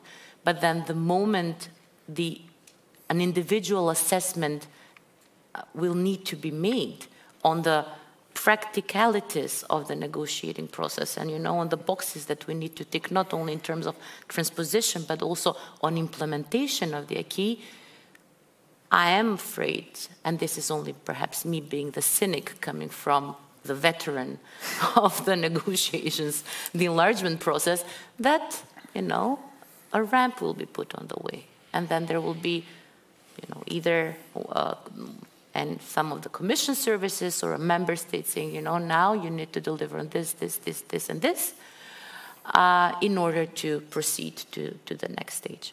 And, and then maybe a brief footnote with regards to France and the UK. They did have an issue, but it was an issue over acquis related issues. Identity is not an acquis related issue. So, I mean, I just want to just be, be, be clear on that. I mean, it, it, it's a burden that I carry. You must understand that. Uh, I wanted to point, to point that out. So that's one on, on the credibility. The second postulate on the new methodology is stronger political steer, which I, I fully support, and we as, as North Macedonia fully support. There is a necessity to engage more closely.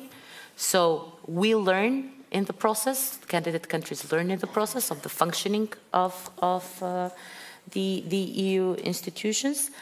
Um, the dynamism is also positive, but as I pointed out, that this clusterization, um, we'll need to see how it will be translated in reality.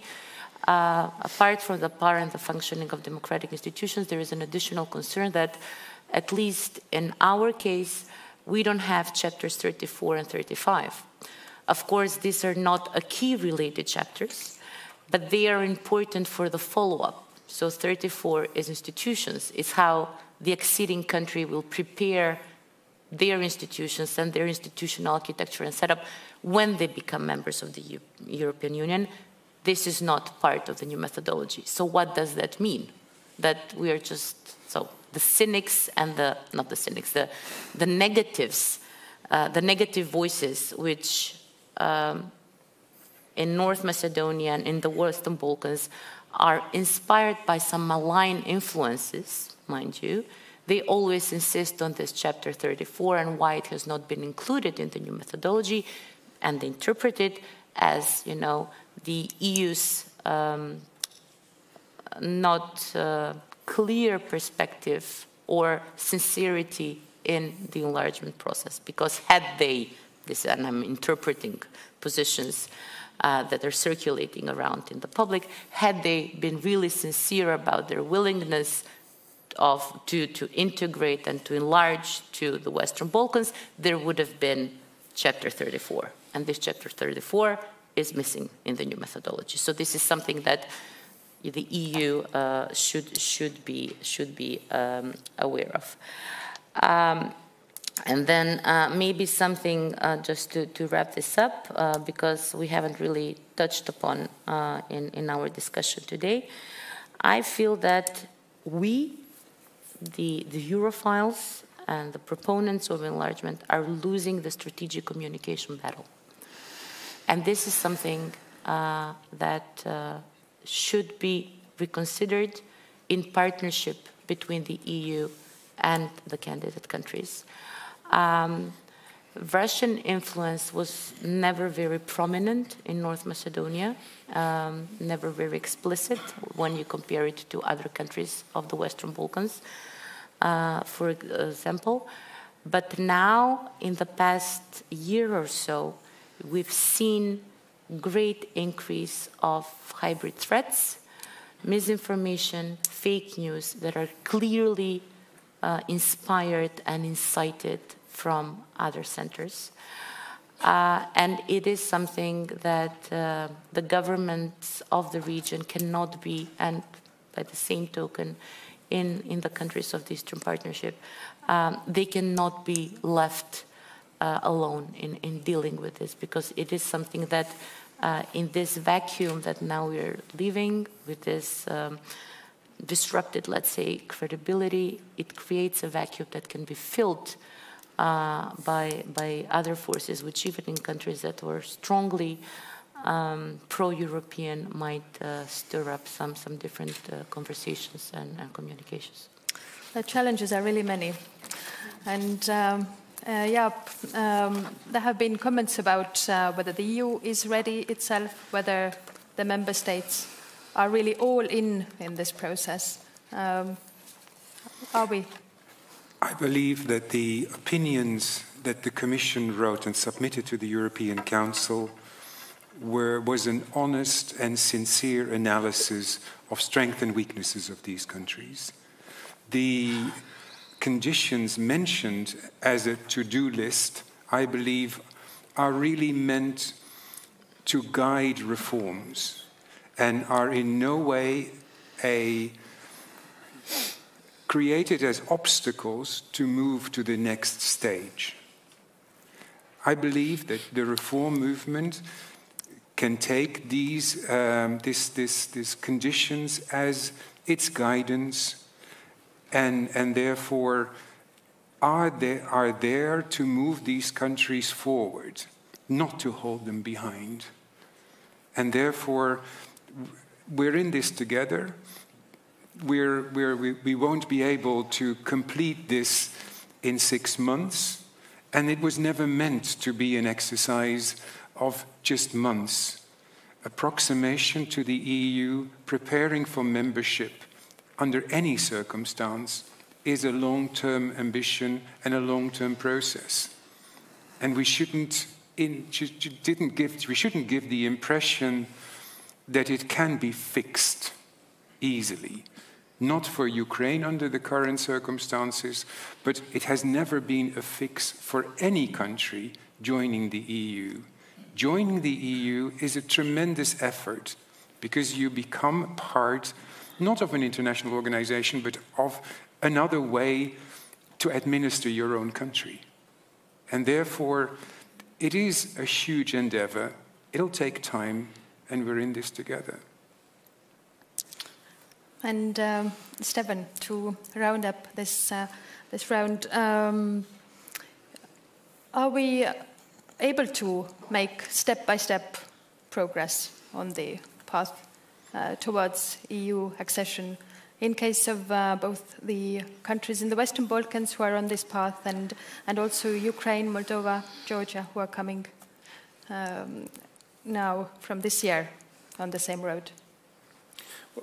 Yes, um, is the short answer. Um, and in a way, the European Council, in its June conclusions, um, has endorsed that, uh, that view when it said that uh, there should be, picking up basically on the revised methodology from February 2020, that there should be um, an increased emphasis on gradual integration of these countries um, which requires new thinking of which pathways, you know, can be construed as to bring political, socioeconomic benefits um, to candidate countries online, and not having to wait all the way to the moment of actual membership.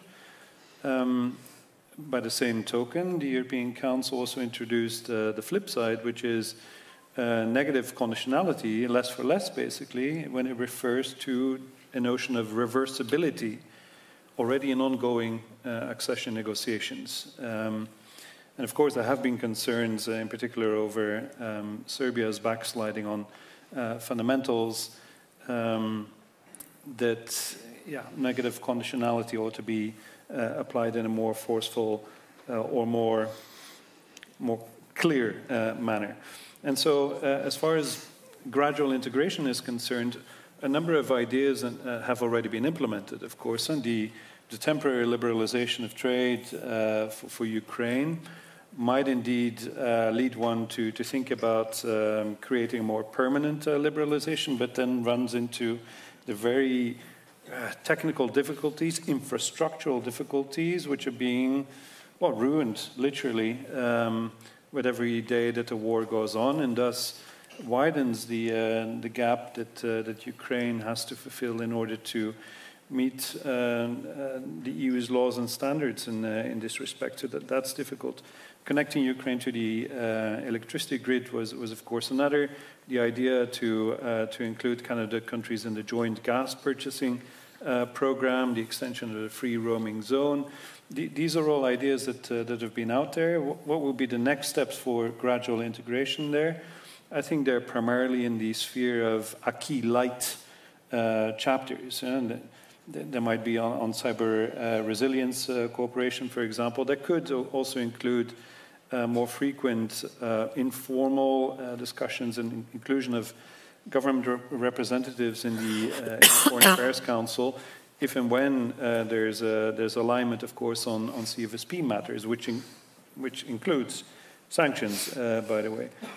Um, on, the, on the less for less um, conditionality side, the reversibility, well, there's clearly a need for more decisive measures um, with proportional sanctioning of, uh, of any serious and prolonged stagnation or backsliding in particular on the fundamental uh, requirements of the accession process, where negotiations could be put on hold, uh, they could be suspended, um, um, new closed chapters could be reopened, um, funds could be withheld, of course, um, uh, for support if, if they go into the wrong pockets. Um, so they could be adjusted downwards uh, in, in, more general terms. But I think, referring to your invitation to talk a little bit about the step by step approach, we've, for the past year now, uh, advocated this idea of more clearly signposting distinct stages that ought to be grafted onto the clustered approach of uh, the revised uh, methodology.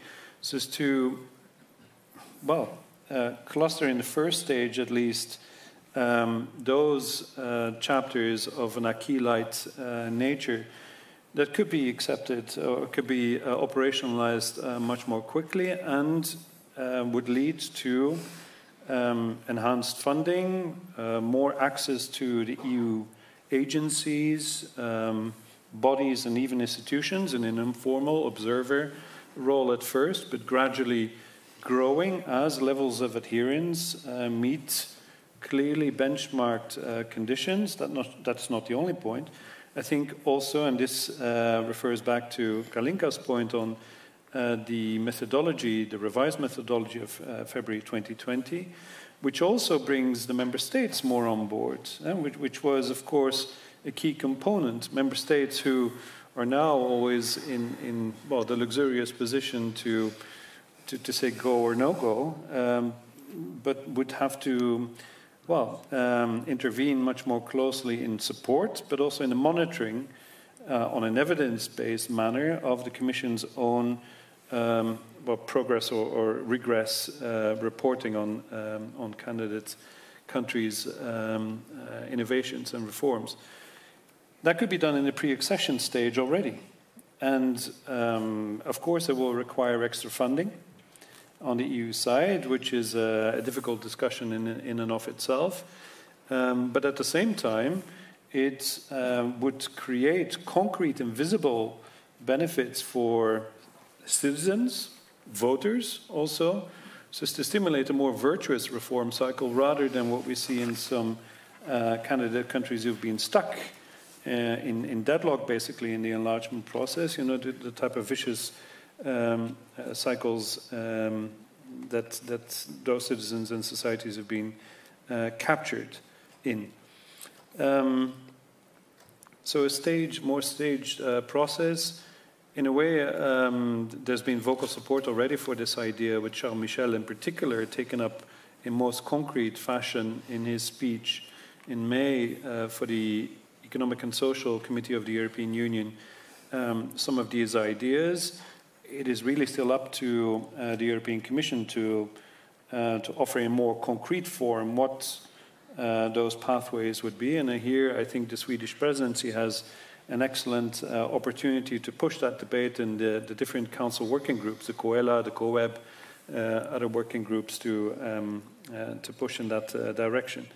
So the methodology, in a way, can be further fit for purpose. Um, and that includes in, in Ukraine's uh, very specific uh, case, of course, uh, the um, well, the confluence of, of reconstruction and, um, and, and further accession, which is um, which is yeah, a, a daunting exercise, um, not just for Ukraine but also for for the EU to, to wrap its head around. But certainly there, there's lots of land to be tilled.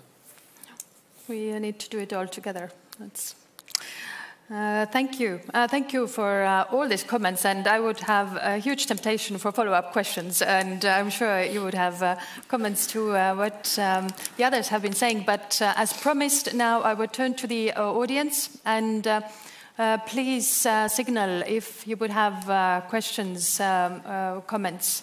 Yes, and please state also your name and, and, the organization you are coming from. Thank you. Nils Jensons from the Latvian Foreign Ministry. Uh, my question will go to Steven and perhaps to Jaap if, um, if, if, possible. Um, Steven, from, from what you laid out this idea of a more staged process, focusing first on the acquis light areas. Is there any obstacle for conducting, you know, such process, organizing such process within the accession negotiations? In other words, you know, opening the accession negotiations and then organizing them perhaps in an adjusted way, you know, with, with respect to the reconstruction needs for Ukraine, etc.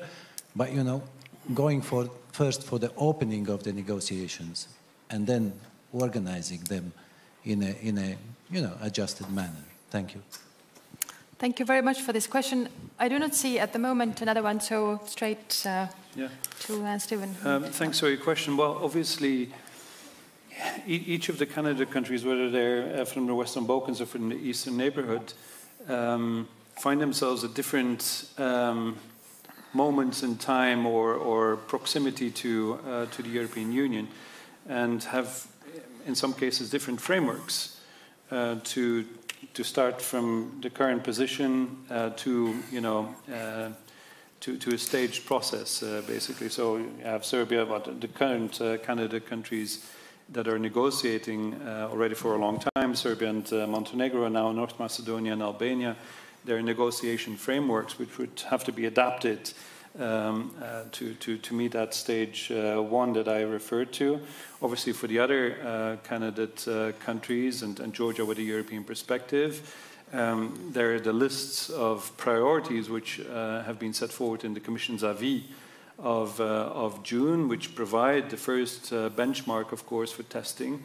Uh, before uh, a General Affairs Council uh, could, could debate their readiness, their preparedness uh, to take up uh, negotiations and thus be awarded with a candidate country status. So th th there, there are several positions, vantage points from which each of these individual candidates, potential candidates, will have to move in order to get to, uh, to a first stage. But I think that even in the ongoing negotiation, it, it ought to be possible to, to identify within the clusters a set of uh, sectors uh, which could be operationalized more quickly.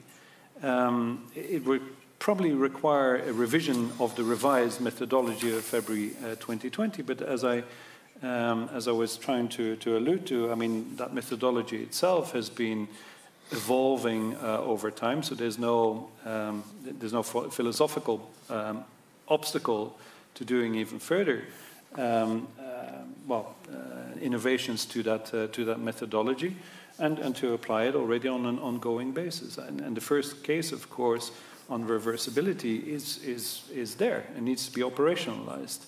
Uh, as far as gradual integration is concerned, there exist already all kinds of formats of a regional uh, nature, um, you know, the, the energy community, the transport community, of a, of a bilateral nature, as, as uh, the examples that, uh, that we've uh, shown. Uh, it requires a bit of innovative thinking, primarily by the European Commission, to, to restructure the clustered approach from February 2020 and to graft onto it these different stages. Thank you, Steven. If I, if I may add just something, yes, because yes, this, is, this is from practical yes. experience. We are undergoing now, as you know, the bilateral screening. So on every meeting with the EC services. Um, during the explanatory, they asked us and Albania to report during the bilateral screening process which EU policies, EU markets, EU bodies, institutions we would like, according to what the new methodology provides, to like a phase in, step in, in order to share experience and, and provide for this um, staged, let's say, uh, process in, in du even during the, the accession process itself. So we don't need not need to wait until full membership to accede to certain uh, policies and, and agencies. We can report it now and then with their assistance work towards achieving this together. Thank you. Yeah.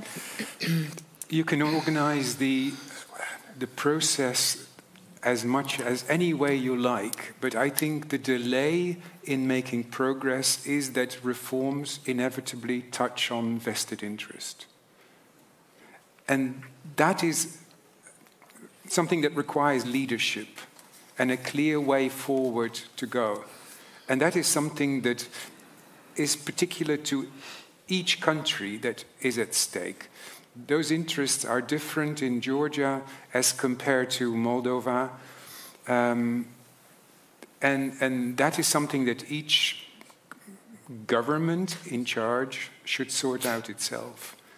We can, we can guide them, we can assist them, we can help them with the reorganization of the judiciary, the integrity of the public administration, with press freedom and everything. But those will be elements that will come back in any assessment of that country. So whichever way you organize it, you'll always come, it'll always come down to what progress has there been achieved with this particular part of the fundamentals. So you know, we should really not try to think that the system of organizing the negotiations is the problem. The issue is in the reforms itself and progress that can be made there. The reforms are absolutely fundamental, but uh, just to follow up, um, uh, at some point when uh, some reforms have been done, um, there has been uh, um, some part of acquis uh, taken into um, the candidate country system. Um, do you see that there can be also uh, then, well, joining some EU programs, some EU policies, um, as a stage uh, on the way um, towards. Yeah, I think so. I mean, that, that has been the case. They can join Erasmus, they can join Horizon. So that, that, is, that is part of being a candidate country or a country with, with perspective of membership. That is already the case. And um, I would uh, now look for the next question. Yes, please. And uh, yes. Thank you very much uh, for an extremely thought-provoking uh, panel. Uh, and uh, my name is Petar Markovic. I'm the ambassador of Montenegro to the EU. Um, and Montenegro is a front runner in the accession process. So for us, the, the promise of what the revised methodology calls accelerated integration, uh, fuzzy term, which is better translated as um, staged integration or phasing into EU membership is extremely important. Uh, but I would also, which is just a comment, advise against revising the recently revised accession methodology because we, we saw that it, it, it. was an excuse for those less, um, those more reluctant member states to stall the process for two, three years until it was fleshed out. Um, and all the necessary elements for a phased integration are already there. It, we don't only have the mention of reversibility of the process, but also uh, uh, of accelerated integration, which is actually the possibility to uh, to become member of EU programs and frameworks ahead of full membership. Well, I just wanted to to add that point of caution to the debate. Thank you. Excellent to have your comment from Montenegro, which indeed is, uh, is well advanced already in, in the negotiations. Thank you. Uh, there was a question uh, or comment from uh, uh, Karin. Yes. Hello. I'm Karin Mandi from the Estonian Ministry of Foreign Affairs. Uh, referring a little bit to what Ambassador Frederick, Fredericks was saying earlier, I would have a question, or I would like to hear your comments from either side on the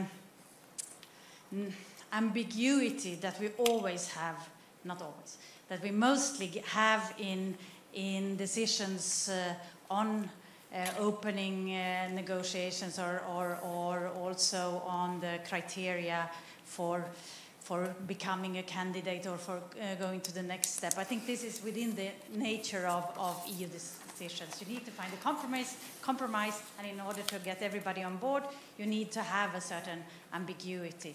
But this also seems to be the, this certain ambiguity on how these, for instance, the seven steps for Ukraine or, or, or uh, the number of issues for Northern Macedonia, uh, how these are interpreted by, first of all, the country itself and uh, by the EU member states. This seems to be creating some kind of uncertainty for the candidates or, or potential candidates themselves and, and become somehow a matter of trust towards the EU.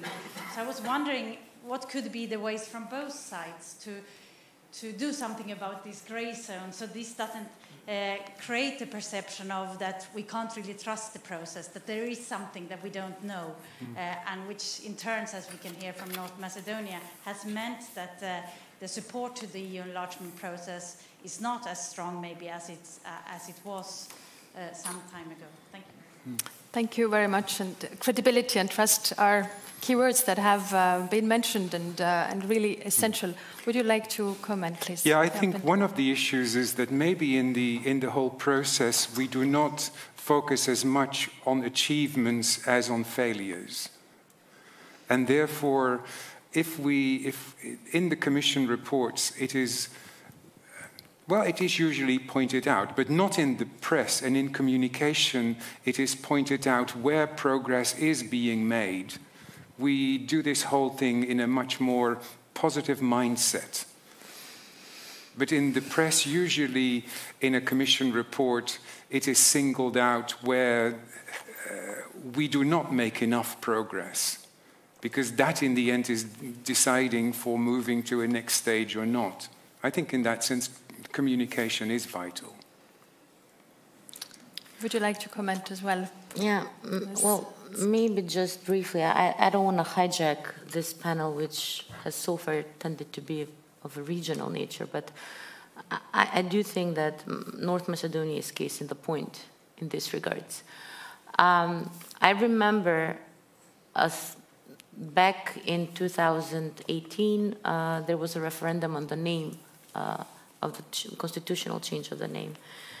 And we had everybody come to, to Skopje.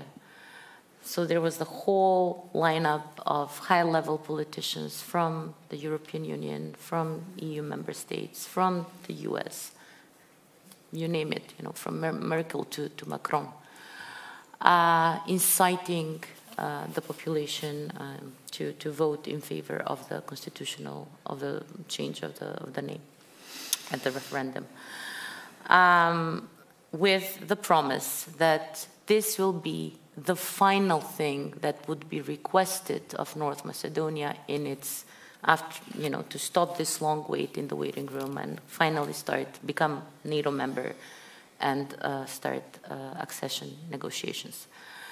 Uh, the name was changed. Uh, NATO membership was delivered accession did not start. And then the first thing uh, President Vucic said after the first Bulgarian veto, he said, he said, why should I strike a deal with Kosovo? Look what they did to North Macedonia. They gave everything that they could have given. They gave, you know, uh, their name, their dignity. Now they're asking for their identity. They will deliver on that, but then the European Union will not will deliver. Of course, I do not agree with Vucic on the, the way he handles uh, this, this bilateral issues, but you should be aware when discussing ambiguity, because that was uh, the, the, the, the, word that you, that you raised. There is no ambiguity on what is expected of candidate countries to deliver there is a certain, very clear set of criteria of what is expected from us. Some deliver, other window dress, some sugarcoat, but that is a whole different process. The problem is that there is a whole discussion in our region on the ambiguity on the part of the European Union when we deliver. And that is what happens, why the, the credibility uh, stumbled uh, so much. And then this is not, uh, it's only Albania that has a very high um, support, public support for, for uh, the EU. But then Bosnia, Serbia, North Macedonia, and Kosovo, of course, is very on the positive side. Uh, but all the others, uh, the, the, the numbers have been falling sharply over the past years because of this you know, different messages that, that we get. And then, by the same token, there is no enthusiasm and strength in the society to deliver on the necessary reforms. So, this is a double ending sort of a way which will be detrimental for both the countries of the region and the European Union and for the countries of the Eastern Partnership tomorrow if we don't devise a strategy in partnership and in open discussion of yes this is expected of you and we will deliver once once you once you deliver Communication remains crucial. Well, time is mercilessly uh, running, and uh, we have now uh, time for only short concluding uh, remarks uh, before uh, we have to break for lunch.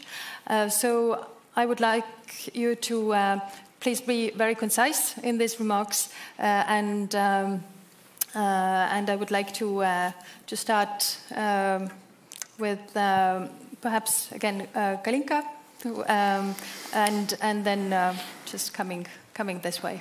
Just briefly, I think I, I abused your time. Um, what I I will uh, solicit and and um, champion is that we finally make this a partnership process, very open and honest and merit based, uh, where, as I said previously, uh, the I's are dotted and the T's are crossed so when there is an advancement on the on the reform agenda, this is recognized with you know accelerated integration, staged integration, phasing in.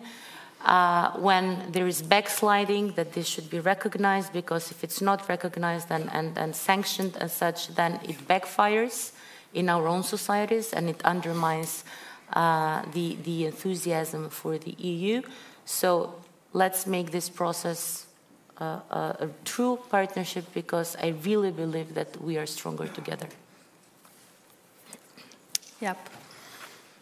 I would just say do not doubt the sincerity of the EU and the member states in this process. It's difficult, it's lengthy, it touches on, on, on important issues and vested interest, but we are in this sincerely with the intention of getting these countries on board. Here, here. Um, Lyubov? Uh, thank you. I would like to finish with two issues. Uh, first one, I just I would like just to repeat the words that were expressed by the experts. Ukraine should deliver uh, practical results in fundamental sectors, sector, especially with, with uh, judicial reform and uh, anti-corruption reform and use it at, as a real chance to become a EU membership and to inspire Western Balkans that it is not a fairy tale, I mean membership perspective, that it is a real politics. And the last issue, it is, it is not connected uh, to the EU enlargement, but it is connected to to EU resilience. Several months ago, I had a meeting with an expert in telecommunication services, and she shared with me such a story that Luba, in case we adopt all the EU legislation in the sector of telecommunication services, we will not manage to be such resilience as we are now. So I think it is a momentum also for the EU to think about the acquis. It is regulated so much. She just made an example that if to because she is a sectoral expert, that if to go in line with all the procedures, you will need weeks and months to restore infrastructure, while Ukraine is doing this in one day, in two days. So I think that also EU need to think not about the revision of enlargement policy, but EU also need to think about resilience. And EU acquis should also be changed, uh, taking into consideration this factor. It's my personal point of view. Thank you. Yeah, I, I, endorse that point. It's a, it's a very good one.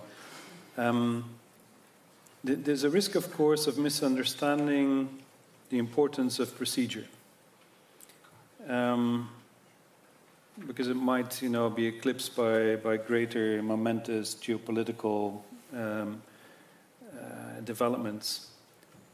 But if the procedure is not changed, the EU will not be able to meet its geopolitical interests, I think. And this is why I think a revision of the revised methodology is necessary. It has introduced some changes. Uh, this is to your point, uh, Ambassador. It has introduced some changes, the clustered approach, which ideally would lead, you know, uh, as far as the Commission is concerned, to an opening and closing of those negotiations per cluster in a year's time. I would have to see that, which would bring the member states on board in support and in monitoring on the side of the European Commission. We'll see about that. Um, which would um, lead to a more evidence based um, monitoring as well, rather than merely political. We'll have to see about that. But which does not break the many veto opportunities that individual member states have in the process. And this is the Achilles heel. And this is why I think the revised methodology needs to be further revised. It's easy for Montenegro, which is currently a member, a front runner, to say that. It is a country of 620,000 people. There are geopolitical interests at stake in a country that is 70 times bigger uh, than that. Um, there are countries in the Western Balkans, Bosnia Herzegovina, Kosovo, which are trapped basically for other reasons, constitutional in nature, relating all the way back to UN Security Council resolution um, of the Dayton Agreement as far as Bosnia are concerned, which will not be helped and which will remain trapped in their deadlock if gradual integration is not mobilized sincerely and if the veto, individual veto powers for, uh, for on the EU side are not diminished in, uh, in number. So I think there is absolutely a clear geopolitical interest to, uh, to change um, the, uh, the methodology. And um, there, I think, you know, the, the staged process uh, which, we've, uh, which we've advocated for could be introduced on the go by the European Commission. Um, you know, the Commission could tweak basically its clustered approach and, uh, and structure those conditions much more visibly so as to create milestones on the way, um, which effectively rob both, uh, well, the, the, member states in particular, from any excuses in granting the type of socioeconomic and political benefits that are needed in order to close the gap more quickly. I see uh, already many follow-up discussions taking place during the, the lunch break. I, I thank you all so much for uh, this, uh, uh, what I have been uh, witnessing as, as a rich discussion full of different, different points. And, and each, the story of each of our countries is so unique. And the story of our uh, EU accession is unique. And um, of course, the challenges are often also um, common and uh, something that we can um, more broadly uh, broadly see. But uh, uh but uh, I very much um, value the fact that we have been. Uh, having this EU enlargement panel today in the circumstances of the new paradigm of having an enlarged circle of candidate countries together with Ukraine representative uh, on the uh, panel, and of course, uh, Western Balkans also present in the panel. thank you, um, because also the uh, movement of all Western Balkans countries uh, towards the EU, I hope, has been really uh, given a new push with this new historic step that we have taken together this year. And thank you, Jaap, for providing the founding member state perspective, uh, and, uh, and Steven for uh, all the comments on. Um, uh, on different aspects of the enlargement process, and not uh, the least the uh, the idea of the staged enlargement possibilities. So, thank you all very much for this discussion, and thank you also to the audience for the patience and for your taking part of the discussion. And uh, I was also tasked to say that lunch is uh, being served uh, downstairs. So there will be a buffet lunch uh, downstairs. I hope you will all find your way uh, to this. But I hope an applause to uh, the speakers on the panel is also. the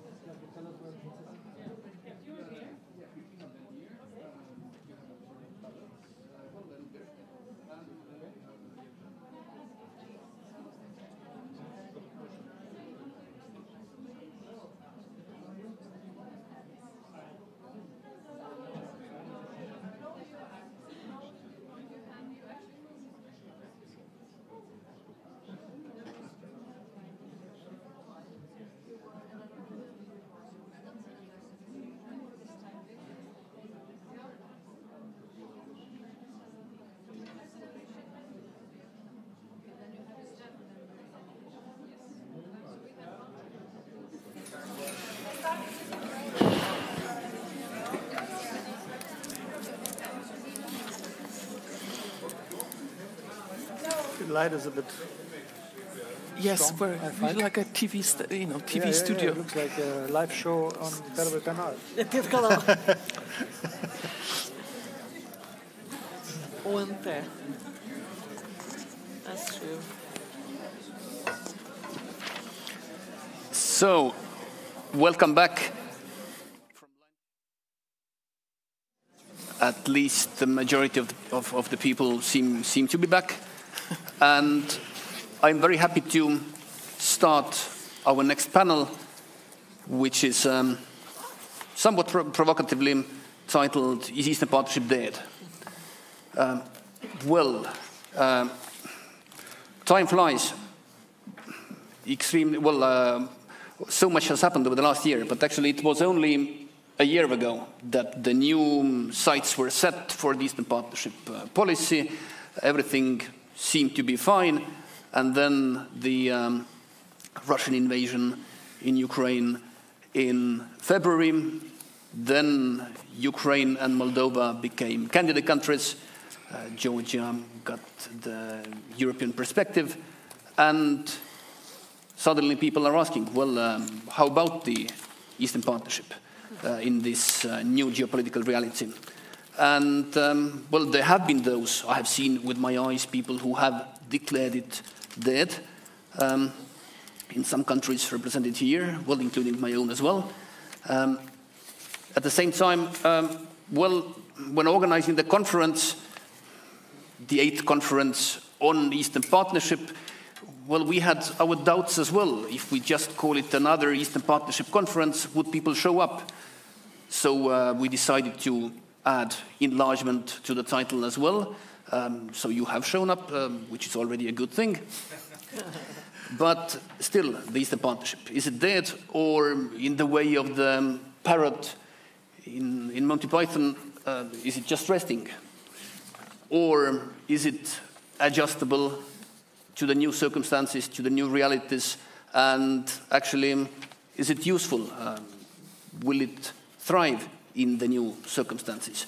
And do we need to change it? If yes, then how? Addressing this question, we have a prominent panel. Um, I think it's, um, it's a perfect mix. We have Brussels, we have um, a member state, we have um, a, an Eastern Partnership country, and we have um, a view perhaps more neutral from the academia. So um, let's get started. First of all, introducing uh, the people. Professor Kataryna Wolczuk is uh, a professor of politics at the Center for Russian, European, and Eurasian Studies at the University of Birmingham, and an associate fellow at Chatham House with the Russia and Eurasia program. She has published ex uh, extensively on Eastern Europe, uh, EU's Eastern policy, Russia, European integration, and as I've noticed, especially the topic Ukraine and Europe, Europe and Ukraine has been close to your heart for, for many, many years. And, um, well, what is close to my heart, uh, I'm happy to see that you have been teaching at my own alma mater, the College of Europe in Natolin, uh, as well. Uh, then Dirk Schuebel, uh, the European Union's, or as you actually like to correct people, the European External Action Services um, Special Envoy for Eastern Partnership since October, so uh, freshly in this office. And prior to this um, appointment, uh, Dirk was EU's head of delegation to Belarus. Also, um, he's been EU ambassador in the Republic of Moldova and has also worked in the EU delegation to Ukraine. But um, more generally, uh, Dirk has been dealing with the Eastern Partnership countries and Russia for many, many years and has uh, long experience in the region. Uh, Christina Johannesson is the Swedish Eastern Partnership ambassador, also rather new to the job. And before that, um, you were in Minsk as well as uh, Swedish ambassador. And uh, you have also been posted to Moscow, St. Petersburg, uh, Brussels, uh, well, one of the uh, COEST alumni uh, in our midst. Um, and happy to welcome you in Tallinn a bit as from a time capsule, as your last visit to Tallinn took place in 1989. So, uh, as we always um, say, well, we, hope it's changed a bit. and finally, Eugen Caras, I hope I, I got it right, um, is the director of, of the European Integration Department of the Ministry of Foreign Affairs in, in the Republic of Moldova. And uh, he served as Moldova's ambassador to the European Union and to the United States of America, which is, um, well, a really distinguished career. I was trying to um, enumerate Estonian diplomats who have done uh, both jobs, and uh, I, uh, well, I had to stop the count at one, so uh, it is uh, rare indeed. Um, but well, getting to Eastern Partnership and its uh, perspectives. Dirk, you have just started. The position has been just created at the very moment when we are asking those questions. So this means that your employer must have, you know, some certainty about the, the future of the policy. So how do you see it? Uh, how do you see your mission at this position, and how do you see the future of Eastern Partnership? I should hope so, dear Gert. Uh, first of all, thank you very much, and thank you very much for inviting me to this uh, very interesting uh, conference. Uh, for me, it's not since 89 that I have been the last time in Tallinn, but it's also, I think, a good 20 years or something like this that I've been here. So very happy to be back in, in beautiful, beautiful Tallinn. Indeed, I've been dealing uh, with this part of the world for all too long, I should almost say. Um, but I have uh, had the pleasure to be at the origins of the Eastern Partnership already, so I could follow basically developments even from the European neighborhood policy uh, starting uh, more than 20 years ago. Um, and I would uh, there, first of all, say that uh, the Eastern Partnership has helped uh, all countries uh, in, in many ways, all six Eastern Partnership countries in, uh, in many ways. And I would dare say that the frontrunners, if we may still call them like this, Ukraine, uh, Moldova, and Georgia, would not be where they are now and would probably not have gotten this, uh, this uh, accession perspective and two candidate country statuses if, if it hadn't been for the Eastern Partnership. I think we have helped them through the Eastern Partnership to get prepared for, for that very, very moment. But of course, uh, uh, we want to talk a little bit about the future uh, of the Eastern Partnership. And I, first of all, I, I think we, we, we, all know that uh, we can make many plans right now, many new um, strategies, develop strategies and, and, tactics, tactical plans, what we should do with the Eastern Partnership. But in the end, everything will depend on the outcome of the war in Ukraine. Uh, this is, uh, I think, what we what we all do know. So um, uh, it is under this premises that we discuss. Uh, uh, obviously, we should do our utmost, and the Eastern Partnership should also do uh, its utmost, whatever is possible, to help Ukraine, as we have heard from the previous speakers, to to to gain this this heroic battle that they are that they are leading. Um, so there has been uh, overall, I think, despite of the war, there has been a positive dynamic uh, between the EU and uh, and and, uh, and all countries, perhaps except for Belarus. I come to that in a minute. Uh, following the historic decisions that we have seen in uh, in June by the European Council, indeed we have now three countries with an accession perspective, and two of them candidate countries. Uh, we are also uh, we also have become very active as European Union, and we had the pleasure just to hear that from our counterparts. We got active uh, in the Southern Caucasus, uh, in particular with regard to the conflict uh, between Armenia and Azerbaijan on Nagorno-Karabakh. And um, uh, our increased activity, which I interpret also as a part of the geo more geopolitical positioning of the European Union, uh, has been very much appreciated by both sides, by both Armenia and by Azerbaijan. Uh, as you know, we have uh, prepared a mission, EUMCAP there, uh, which uh, is seen very positively, and of course the active role of President Michel, my boss, the High Representative, and also our EU Special Representative, who is Estonian, Toivo Klaar, has been, has been widely raised. So um, um, I think that is also part of, uh, of a more active uh, role, which I would also define under the Eastern Partnership in a way. Um, um Belarus, uh, we continue our support, of course, for, for the Belarusian people, and for us, uh, Belarus remains a part of the Eastern Partnership, um, but of course, at this moment, not with the leadership, with the government, uh, or with those who believe to be the government, but with the uh, civil society, with the democratic forces that will, of course, continue. Uh, so what do, uh, what do we in Europe think about the Eastern Partnership? Um, if we may believe the recent uh, official meetings that we have held, namely first the so-called Co-Est Capitals uh, meeting, meaning a, a, meeting of the working group, but of the responsibles in our European capitals for the, uh, for the area. Uh, that there was such meeting in September, and we had also a senior officials meeting per, per video conference, which was my first uh, um, activity basically in, in, my new job um, in, in, in, October. And there we, we didn't hear any criticism uh, basically from any of the member states, nor from the uh, from the um, Eastern Partnership countries who were who were uh, speaking. so we do believe that there is a strong mandate that we should continue with the Eastern Partnership, but obviously it cannot go on with business as usual. That I think we all we all know. So um, it is. Uh, we believe that is in particular also in these difficult times, it's good to have some anchor. Uh, uh, that could uh, that can help everyone, and we believe that the Eastern Partnership can be such a, such an anchor. Uh, it was already mentioned by the minister this morning, um, uh, the Estonian foreign minister, that, uh, uh that the Eastern Partnership should in no way uh, influence uh, on the enlargement process of those who want to jo join the European Union. so obviously, on the contrary, the Eastern Partnership has, has to be more developed into a tool which is helping those countries on their way to, the, to the European Union, on their way to start negotiations. Um, so that I think is, is will be the new crucial task for the Eastern Partnership in the future for these three. And for the others, we should develop a very tailor-made approach um, and maybe also uh, uh, um, listen to those uh, countries what they want. Uh, we were just in Armenia, as I said, and in Armenia there was a, a, broad support for the Eastern Partnership because they believe that this is an ideal way to help in the implementation of our ambitious agreement uh, that we have uh, with with with Armenia. And even Azerbaijan said, of course, in certain areas, Azerbaijan is very much willing and ready to continue the, the, the, the Eastern Partnership um, policy with us. Um, and of course, uh, we used also our slogan, uh, recovery, resilience, and reform. And I think these recovery, resilience, and reform have never been so important as today, in particular resilience, of course, as it was also mentioned in, in, in previous panels. Uh, which are the areas that I think we should in particular support?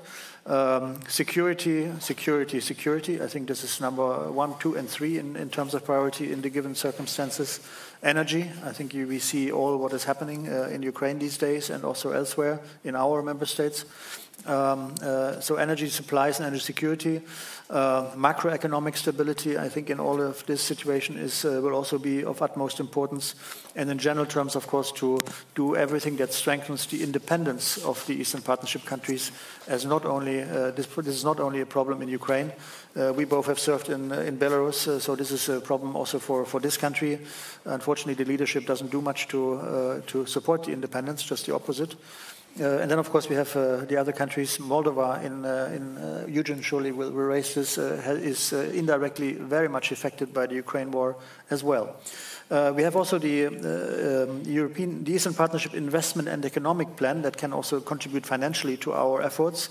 So, maximum 2.3 billion euros will be made available in the next five years, which we hope can be used also exactly for, the, for strengthening the resilience of the of the partner countries.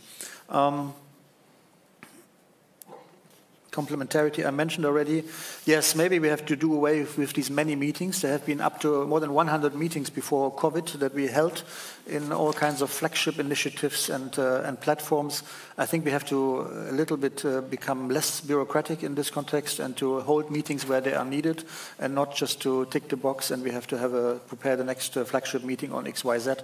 Uh, that we should, uh, we should uh, probably do, do, do away with.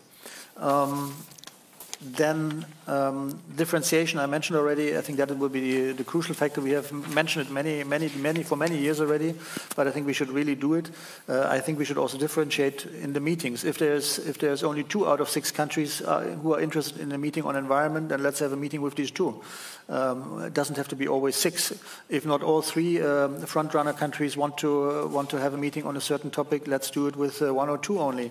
Uh, and the same goes for the for the other countries. I think we should become much more flexible on this. We should also uh, strength, uh, you know, it was very good this morning that we have, had colleagues from Macedonia and I know that, from North Macedonia, and we have also the, the EU ambassador to or the ambassador to, of Montenegro to the EU here. Uh, so I think that's an excellent mix, and I think we should use this also more in the future. Moldova, by the way, is the only country that has uh, is, is integrated already in some of the Southeast European structures, the only Eastern Partnership country.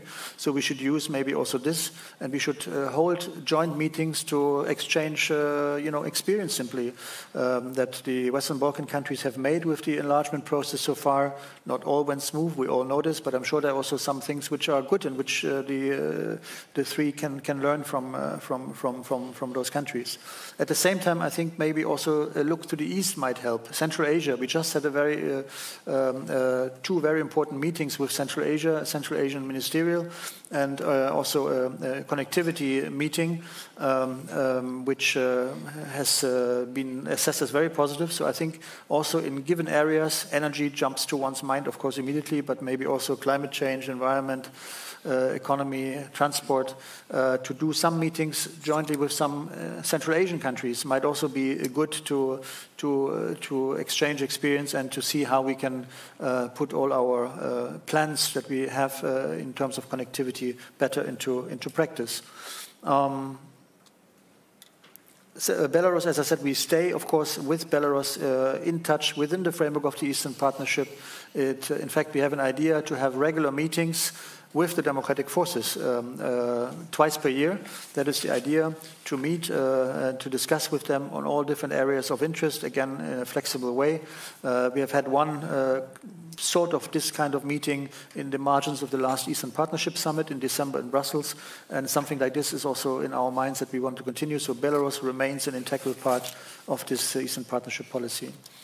Uh, the next steps are we have um, uh, uh, a ministerial meeting um, uh, in, the in, in, the margins of the next Foreign Affairs Council in December. Uh, it will be a breakfast. It's now public, and, and uh, so I can, I can mention it, where we will discuss the future of the Eastern Partnership. Um, um, um so that I think will be a very, very important moment. Um, as I said, uh, I think it is good to make some plans uh, and to and to make plans for a reloaded Eastern Partnership. Um, uh, but obviously, uh, a lot will depend on uh, on what is happening in uh, in Ukraine, and we very much hope that this will even give a bigger impetus to the outcome of the of the war. That we can use the Eastern Partnership in an even better way to bring those countries where they belong to, those who want, namely to the European Union. I'll stop here. Thank you very much. Thank you very much, Dirk. Um, well, moving to closer to us, uh, to Stockholm, Christina, well, Sweden is the next presidency of the European Union. Sweden was um, at the very birth of the Eastern Partnership and has always been very active. How do you see it evolving, the, the policy over the next years? Yes, thank you, uh, Gert, and thank you for inviting me to this uh, very important meeting. You referred to 2009 when it all started. And I remember at the time I was posted to Moscow, and we spent numerous occasions trying to inform the Russian side about this new initiative, but they showed no interest at all. They even uh, at last they just told us that leave us alone we are not interested in this because it's not for us then things, of course, changes, changed, and, uh, uh and their uh, relation to, uh, to the partnership uh, changed. Yes, I think uh, Dirk has already covered a lot of topics. I mean, on the, on the, on the status of, of the partnership and the priorities. I think we have now an, a unique, a unique uh, opportunity when we have a consensus among the EU 27, the 27 member states, that we will preserve the format uh, also, very important that we have the EU institutions on board, and more importantly, we have the partner countries on board, uh, the five partner countries on board as well. Of course, every partner country will uh, always underline that they prioritize their uh, bilateral relations to the EU, but as Dirk already said, also, with more flexibility within the partnership, we can gather smaller groups, we can gather those countries and also those member states being uh, invested in different topics uh, in order to find a, a, a way uh, forward. Uh, so I think the, the provoking title is the Eastern Partnership dead. I think it is not, and also your minister actually this morning said that it is not. So, so that is also very good to to see uh, to see the support. But again, to start with the obvious, uh, I mean, Russia's invasion of Ukraine overthrew uh, the security order, and, and, the world can never go back to what it was before the 24th of February. And also, it put the partnership in a completely different uh, situation. Many of the initiatives and areas and topics which were discussed before February are maybe today not as relevant as they used to be. They may well come back, but today, of course, it's about security, resilience, and a lot of other more, um, uh, sort of say, well, security related uh, uh, issues. Uh, and it's also clear that while we don't have the exact outcome of the war, it is also very difficult to predict the future of the Eastern Partnership. It's also very difficult to predict the role and the political and economical relations that we will have in the region for years uh, to come.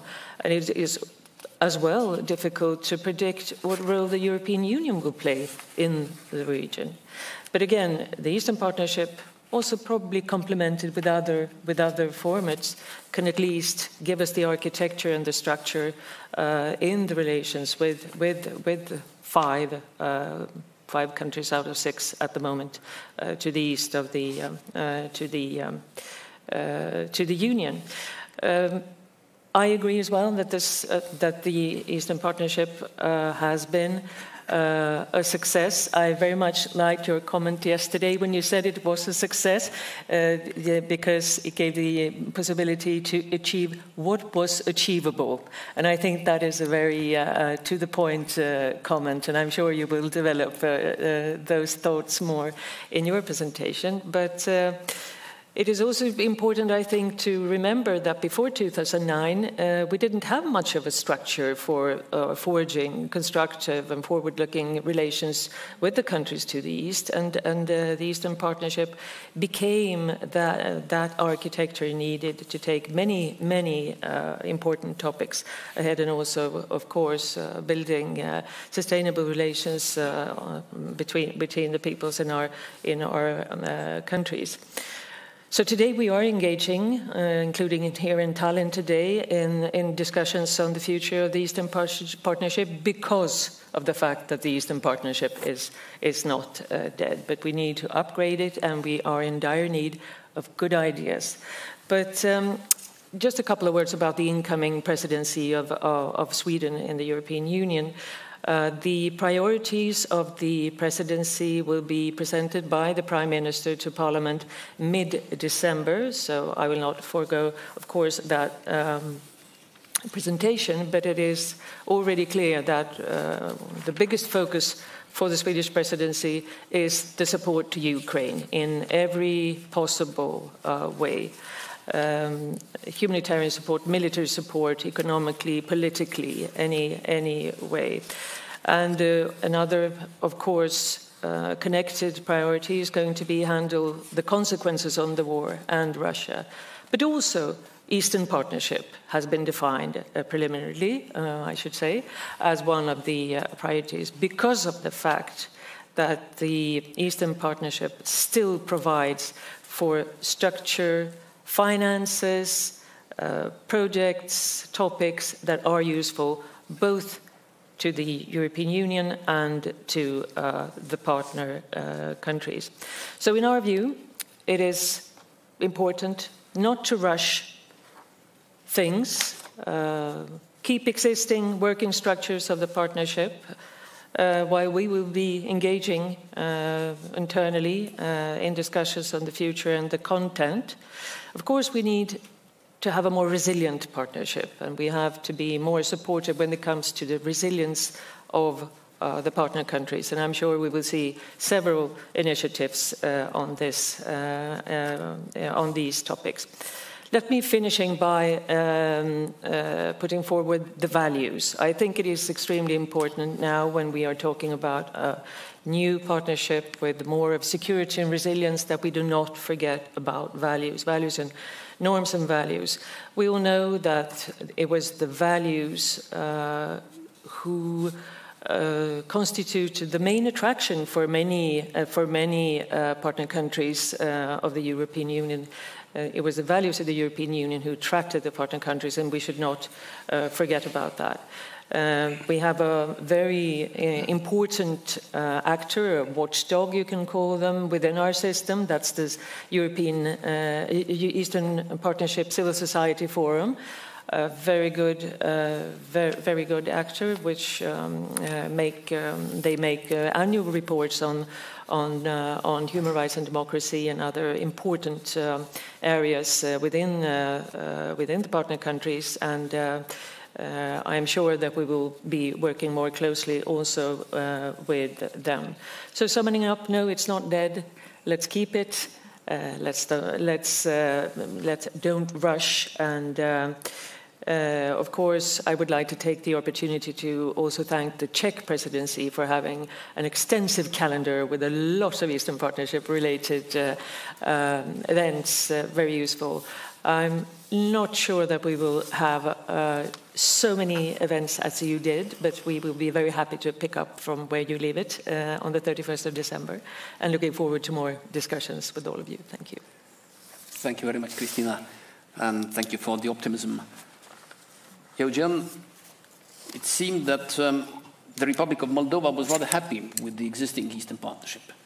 Uh, now that Moldova has become a candidate country, what has this diminished your happiness and increased sort of unhappiness, or are you still happy, or how do you see the, the future of the policy? Yeah, we are happy. Yeah, we are happy. Uh, but uh, but uh, thank you thank you to the organizers for, for making this possible, my participation. And uh, it's really good to be back in Tallinn and to reconnect with, the, with friends of Moldova, with friends of Eastern Partnership. Uh, Dirk, Ingrid uh, were in Chisinau serving uh, but, but many, of course, many Estonian and European uh, diplomats uh, working uh, both in Moldova but also in Brussels, elsewhere, we do feel your support and we are very much appreciative for, for what, what has uh, been happening uh, lately uh, within the Eastern Partnership. And uh, indeed, the, the, the, question is provocative, uh, but uh, we already know the answer, I think, starting from this morning. Everybody, everybody agrees that the Eastern Partnership is alive and, um, and uh, is important. And uh, uh, I would like in my presentation exactly to, to say how we see it um, and to, to, from, from the, the, the umbrella of the Eastern Partnership, including multilateral dimension, and then to zoom in into the bilateral dimension and, tell you how where we stand now with the, the accession um, uh, mm, uh, phase. but uh, so uh, Moldova has been has been supportive and taking advantage indeed of this policy for for these 13 years. this has been an important. Um, um, venue and instrument for us. And I, I, totally agree with Dirk that Moldova and others wouldn't be here if it, it were not for the for the Eastern Partnership. Uh, it, we have to to be uh, to be fair and to recognize that uh, we uh, Eastern Partnership has played a very important role in in our rapprochement with the, with the European Union and um, uh, between each other and, and also paving the way uh, for for our accession prospects. So during exactly during uh, these uh, years, we have uh, signed and uh, are implementing the association agreement. We have a visa-free uh, with the Schengen area um, benefiting all, all the population. And of course, the economy recovery plan is in place. many other platforms that, that we are exploring and we are dealing with. So um, again, we, are, uh, we recognize the benefits, but we also uh, look into how this will evolve because we do understand that uh, the enlargement policy and Eastern uh, European neighborhood policies, these are two different policies. Uh, they are covered by uh, the financial instruments which, uh, which has a time lapse, so to say, till 2027. So I think what, what we are thinking, what Brussels is, is thinking, of course, it's how, how we operate till 27 and what happens afterwards. So uh, this is uh, all valid questions, and, uh, and I think uh, in, in the meantime, we as Moldova remain very much open to all uh, venues all the possibilities that Eastern Partnership uh, is offering uh, to all of us uh, and to, to our, and, and indeed I, I cannot agree more that it should help us to, to walk the way to, to, to accession. In the meantime, again, I think Christina just mentioned uh, some of the platforms that uh, uh, are in the in the Eastern Partnership, and I think uh, we uh, we know that we used to have, and it was in 2021 when we had the, the last summit. So one question mark for us, for, for ourselves, is uh, how, how do we do about summits? So Dirk mentioned about ministerial uh, in, in December. So uh, there are also other, other venues such as uh, Civil Society Forum, uh, but uh, Corleap, Euronest. Uh, so we, we, will, we have time, uh, but, but I think uh, we, we better start also reflecting on, on, on these issues as we, as we go on. Now, um, if you'd allow me uh, to focus a bit uh, on the bilateral track, so to say, on what Moldova is doing on, on its accession. Of course, uh, Gert, coming back to, to your initial question about happiness, of course, we are very happy with this, uh, with this development and the decision of June. Um, and uh, uh, and we are happy, but but we of course we have a great sense of responsibility also, and uh, we do understand that uh, we shouldn't let down our own uh, society, but also our partners. So we should deliver for our own people, but also uh, to, to, to, to make sure that the expectations and the credits and the, uh, the, the, the, strong uh, courage uh, that we have from, from, from EU side uh, inspired to us. So, so I think we, we shouldn't let uh, anyone down. Uh, so we take it very seriously. after the, after the, the Commission opinion, of course, we drafted our own plan of action to target these nine conditions and our calendar is to fulfill uh, um, and to have a, a, good track record on the implementation of these nine uh, conditions by uh, summer next year. Uh, the calculation is that uh, uh, when uh, uh, uh, the Commission draws its report for, mm, for eventually autumn, October next, next year, as we know on, for the enlargement package, so, so that the Commission can take into account this, this report and the, the, our track record, so to say. So um, uh, we have uh, envisaged uh, about uh, 60 actions that would, uh, would allow us to reach these objectives. Um, it's not a ticking the box exercise, it's for real, it's uh, working hard, uh, there is a mechanism in place. There is a National Commission for European Integration. There is a Governmental Commission for European Integration. They meet regularly, institutions report. So reforms are taking place. There is certain speed. Uh, we, we want to make sure that there is no delay.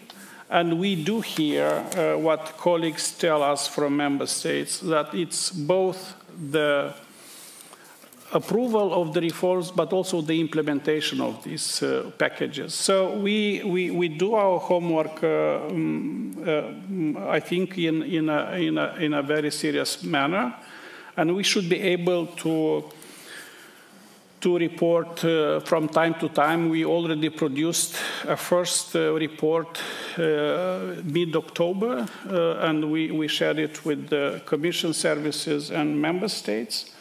So we, our plan is to, to produce such reports as we advance. And as I said, um, uh, it's altogether 60 actions, 35 till the, the end of the, of the year, and we, we have done half of, from this 35. So it's, uh, we, we, we, we, we are progressing uh, pretty well, I think, uh, on, on the implementation of this uh, action plan. Um, in the meantime, of course, we will, uh, we will be implementing uh, the association agreement and the association agenda, we have a new association agenda 2021-2027, which was just uh, in August uh, approved.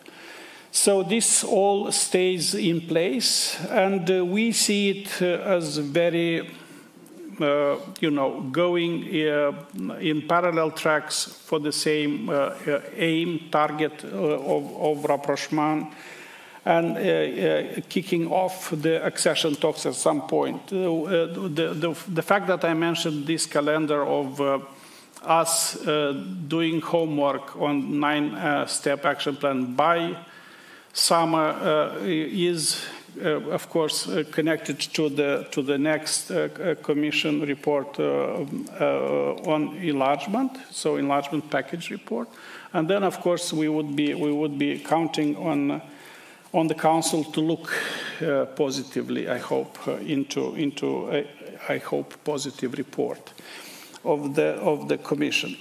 Um, aside, of course, from the association agreement agenda and the nine, uh, nine, uh, nine step action plan, we, we, we follow, of course, uh, all the, the patterns that were in place uh, till, uh, till we got this uh, excellent historic uh, decision by the Council. There is, uh, of course, a boost and an interest for, for understandable reasons. The war in Ukraine affected everyone, but I think Moldova is uh, mostly vulnerable uh, from from uh, from the from the region. Uh, you know the figures on the refugees, uh, on the on the impact on the trade, on the economy, energy. Energy is is is is uh, is I think now the the biggest challenge for for Moldova. We have to to save electricity and gas consumption. This is what we are doing, but also to look, uh, of course, for new for new uh, markets and for new opportunities. Maybe we will talk about it later on during the the Q and A. Um, but for for for, uh, reason, for for understandable reasons, so security and defense is very, very prominent on our bilateral agenda with the EU, and uh, we, we are happy to have this high-level dialogue on, on defense and on security. Plus, we have uh, the, the, the, EPF, uh, European uh, Peace Facility, and uh, which is a, a, another important instrument. We, we, are getting support, and we count on support. So it's it's about the security uh, uh, of, of, uh, of Moldova and of the region because we do see uh, missiles running into our space, airspace. Uh, we do see missile landing in our uh, Russian missile landing on our territory. So this is this is clearly a, a, clearly a concern, a huge concern for our security, and and the defense needs to be to be boosted. So we are talking to all partners, but EU is is a, a, a very important partner to to talk to, including on on security and defense area. Trade-wise, we continue uh, we continue our work on DCFTA, somebody mentioned in, in the first half of the day, Moldova is a clear uh, winner of this, DCFTA. More than two thirds of our exports go to EU market. Uh, Transnistrian region of the Republic of Moldova exports uh, 50 or so percent of trade to EU market. So, uh, and uh, this FTA is, uh, was a, a, game changer for us uh, and is uh, an important uh, part of the association agreement. Of course, we want to, to join new, we, now we are at the phase of joining new programs, single market program, fiscalis, customs, and, and important work is being undertaken for joining SEPA, and I hope this will be a good track record. I mentioned energy, and I, I, uh, I, think we are now better prepared than a year ago. Uh, challenging, still challenging times, but we are part of the ENTSO-E. We, we can receive now electricity from Romania uh, as well as gas from Romania through this interconnector, which was not the case uh, in, uh, in, in a year ago, for instance. So there are, there are and, and I, I, should, I should uh, uh, certainly underline how, how much we appreciate the financial uh, assistance that we are receiving from the EU side for energy, but, but also in general for, for all other, other necessities and needs that we have uh, um, now with the war in uh, Ukraine, but, but, but generally throughout this period of time. Uh, transport, again, very important uh, domain. Uh, just to mention that uh, this Solidarity Lanes project for ensuring grains exports from Ukraine and imports to Ukraine. So we are part of, of this mechanism, and I think it's, it's very important. Um, I will probably stop here, uh, but uh, certainly ready to go into more details uh, as we move to Q&A. Thank you very much. Thank you very much, Eugen, and uh, well, shows also that um, it's, it's often very difficult to draw a line. Where does the Eastern Partnership end and the bilateral starts? When you look from Brussels, probably everything you do with, for example, Moldova is sort of Eastern Partnership, but then, uh, well, yeah, we are discussing the, let's say, the, the more narrow discussion um, in the sense that uh, trying to, to figure out how to arrange the, the multilateral yeah. um, framework. So um, when we have now listened to three diplomats, well, all rather diplomatic, uh, as one could expect, uh, saying that yes, it's, it's alive, it should be a bit um, readjusted. Well, Kataryna, do you agree with that. Um, is that um, will that be enough, basically? And well, sorry, uh, your perspective. I mean, uh, being more neutral uh, because, well, not only because more distant from the discussion, because not only because you come from across the English Channel, but also from um, from a more academic perspective. Uh, thank you very much. I'm very keen to fit in and be very diplomatic, but I'm afraid I'm going to be rather vocal, um, rather vocal, and not least because I'm in the head-scratching phase myself, and it's a sort of crossroads. Uh, having worked on the Eastern Partnership on Ukraine for a very, very long time, now I need to know what I need to do. And in a way, the discussion here actually leaves me sort of a bit sort of uh, ambivalent and confused what is my own homework? Um, so, so this is this, this is in a way the, the sort of uh, psychotherapy session for me. But I think we need to confront certain issues. Um, and you know, is the Eastern Partnership um, dead or um, alive? In a way, the last, last comment. What are we talking about when we talk about the Eastern Partnership? Because um, from a legal point of view, the Eastern Partnership is a soft law instrument. It's the ENP which is basically written in the treaties, and the Eastern Partnership was grafted on and has overshadowed the ENP in a way. But from that point of view, it's a cluster of policies and instruments, both bilateral and multilateral. It is also, especially the common policy when it comes, for example, to the summit and to the multilateral platform.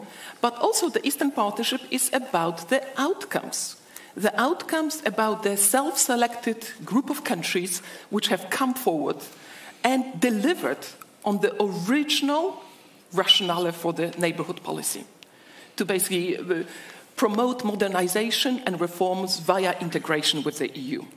So, from that point of view, the, the, Eastern Partnership is a mitigated success story for providing the opportunity um, and, in a way, advancing the countries on this way in different ways, different speeds. So, one of the fundamental, uh, perhaps, success stories of the Eastern Partnership has been its flexibility. I always used to say to my students that we have one Eastern neighborhood, but six countries. So I'm slightly alarmed that we are talking about five countries now because one country has excluded itself, but we should certainly not exclude.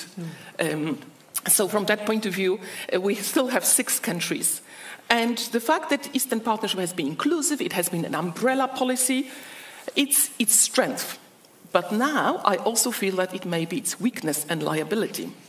Because um, with the membership perspective, can we, we need to have to ask the fundamental questions. And I don't think we can dodge them because, on the one hand, and I'm a, student of Dirk here, and I think in 2006 we discussed the difference between enlargement and neighborhood, and there is a fundamental difference. And to what extent the Eastern Partnership countries, the, the two or three of them, can stay in two policies at the same time.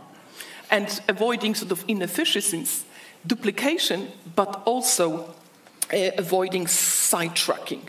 And for me, the Eastern Partnership can deliver on certain issues, but it needs to reformat it, needs to be sort of more task oriented, so for the right reasons and in the right format. And when it comes to enlargement, uh, I think there is a real danger that we'll have this, you know, the um, words which I've seen, um, terms that I've seen in the literature, it's about, um, it's a bit of smoke smokescreen, it's a bit of sort of diluting, it's a trap or a sidelining. The fact is that, uh, in theory, if we look between the two policies, enlargement should have eclipsed because it's really a much more structured process with stronger incentives, monitoring, and conditionality. So, how do we ensure that the five you know, countries and enlargement can coexist? This is not easy because the two policies have existed in literally silos. I was very lucky, very comforting position that until this summer I didn't look at enlargement and the Western Balkans. And there are very few people in Europe who have been keeping track of those two policies. And uh, Steven Blockmans, who is here, is one of those sort of survivor, survivors of having this you know, expertise. So uh, Steven and Michael Emerson are really the two people who can speak to both, uh, on both policies. There are not many people like them, if any. And that's very important, um, that we actually follow up on that enormous symbolism of granting the membership perspective and really sort of the, the uh, geopolitical sort of awakening being uh, really sort of evidence in that momentous decision, but that actually is consequential. There is this sort of follow up. And I'm not quite sure how this follow up can happen in dual tracks of enlargement and the Eastern Partnership. Hence, my plea for greater clarity. Um, basically, where do we avoid sidetracking or perhaps you know, diluting? And the issue here is that what I've realized, and I think I've been working on the Eastern Partnership and Ukraine, I've been very resilient. I thought I was resilient until I started basically reading about the Western Balkan enlargement. And then I realized that I'm actually sort of snowflake because I didn't realize what I'm taking on. So the, the question is for us, given, you know, I come from Poland, you know, I have to beat my chest about backsliding in Poland, etc. But uh, Estonia, Czechia, and Poland were success stories because it worked. But that was a whole generation ago. You know, we are old member states now. We're 18, and the recent generation hasn't been happy at all. So we have enlargement, you know, the membership perspective to the countries which are joining the camp of very unhappy Western Balkan countries. Is uh, Moldova, but especially Ukraine and Georgia, are they going to be added and stuck in that room, or are they going actually to unlock the room? The jury is out, but in the meantime, we actually have to, um, we actually have to uh, work out our way through linking the policy silos that, that we've had. Each of them incredibly complex, but actually we have no longer luxury of being staying apart. The challenge is when it comes to the Eastern Partnership is what we've mentioned. The association agreements have been phenomenal, uh, and I am basically a victim. I'm very, very keen on SPS, I'm very keen on TBT, um, um, on ACA, on the energy acquis. I am out of my depth. You know, how many people in this room can talk about the Green Deal with Ukrainian officials? Uh, I'm basically, uh, because it's, it's a different game. Environmental, you know, waste management. We talk about environmental standards, the way Ukrainians talk about this, and what, let's say, Azerbaijan may be interested in, or Armenia, those are two very, little, very different, I think the English say, kettles of fish.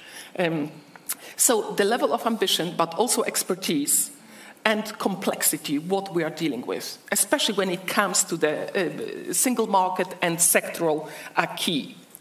The second issue is um, the issue of resources. I think the Eastern Partnership have been phenomenally successful in attracting very able and committed officials in the ES and in the delegation. And yet, we all been firefighting. I mean, we are dealing with the most open access war in history. We have to daily following what's happening there, what's happening in Moldova, uh, you know, Georgia, and between Armenia and Azerbaijan. We are firefighting in terms of actually and building, going on our enthusiasm. And I remember when it comes to enlargement and the Eastern Partnership, one of the directors in DG NEAR told uh, me that for Albania, he um, basically he had two people working on Georgia and 12 on Albania. And this is the difference between the Eastern Partnership and enlargement. And I don't think we can basically avoid, because the level of ambition and complexity is so much higher, that we can deal with the existing resources. So we have to migrate the portfolio, because in Moldova, people told me, officials, whom do we call in Brussels? And they actually said there were calling colleagues in Sweden because they had a, bilateral like assistance program with Sweden. So they were calling. It, it was easier to call someone in Stockholm than in uh, in Brussels. So where are the resources in Brussels to deal with waste management directives or whatever you would like to discuss? Um, so this is my and the. Uh, one uh, third point, the penultimate point, is about this sort of uh, duplication and inefficiency. Uh, we are all firefighting. Uh, do we want to stretch our resources? It's great that perhaps Ukrainians can talk to Armenians, but is it the best use of limited resources inside Ukraine? Uh, I think we need to think about this carefully. And the final and perhaps the biggest point, and I will be happy because I need to uh, keep my sort of remarks um, perhaps not short, but not, not that long, is um, the issue of credibility. I mean, if we avoid uh, tackling the big question of the, what Ukraine's, Moldova, and potentially Georgia sort of um, accession process. What does it mean for the enlargement, the whole enlargement process in terms of methodology, political will, will and absorption capacity? We are fundamentally tackling the issue of um, enlargement and dealing sort of with the unresolved sort of uh, problems which have been accumulated. And I feel that, you know, keeping us in our comfort zone, and I'm certainly very happy within the Eastern Partnership, really sort of sidetracks and camouflages and prevents us from addressing and tackling those big questions on about and blocking sort of the enlargement process and giving new a new lease of life. Um, so, so, those are my concerns. As I said, it's more like a sort of a therapy session, listing the problems rather than offering the solutions. Um, so, the, uh, for me, the Eastern Partnership really, I would like, in ideal life, to, to um, life to rename about Eastern Partnerships a set of relations and making it tailored, agile in terms of being responsive, but ultimately we will have to migrate. Um, at least for uh, Ukraine, Moldova, um, and potentially Georgia, to the enlargement portfolio to make it work. And I will stop here. Thank you. Thank you very much, Kataryna, and uh, thank you for pointing out many of the complexities. Well, let's move to the discussion phase, and to kick it off, if I may start myself with a slightly wonkish question. Well, it's uh, as Dirk mentioned as well. You know, one solution how to make the partnership better would be to have fewer meetings, well, better meetings. Um, this reminds me of my time in Brussels, where there were occasional blasts of um, optimism and, and, discussion about uh, making uh, meetings better. Well, never happened, though, unfortunately. Um, but um, do you think, all of you, um, there is still scope for that? Can creative solutions be found? And uh, perhaps starting from um, from you, um, as a partner country, um, would you be comfortable with uh, some meetings taking place with, let's say, two or three partners, and if Moldova wouldn't be among them? Is it, is it okay? I mean, could, would you ima imagine an area where Moldova doesn't have that keen interest and, and will let, let others meet and uh, you wouldn't bother? Well, uh, uh, we are used to be uh, uh, one family, so it's, um, it's being together. And I think uh, in the, the, the, last period of time, we, we, had, we have had and we still have this trio which is uh, Ukraine, uh, Georgia, and Moldova. And we have this uh, council conclusion where, whereby um, Georgia has European perspective, including Moldova also with Ukraine, and, and um, Moldova and Ukraine having also additionally the, the candidate state, status. So my point is that I think uh, I think we, we would we would be keen on keeping this trio very much in place. Um, we would uh, we would also be keen on keeping the whole uh, partnership in place. Um, uh, again, there are um, uh, there are different uh, speeds, uh, but but what we are saying is that we should be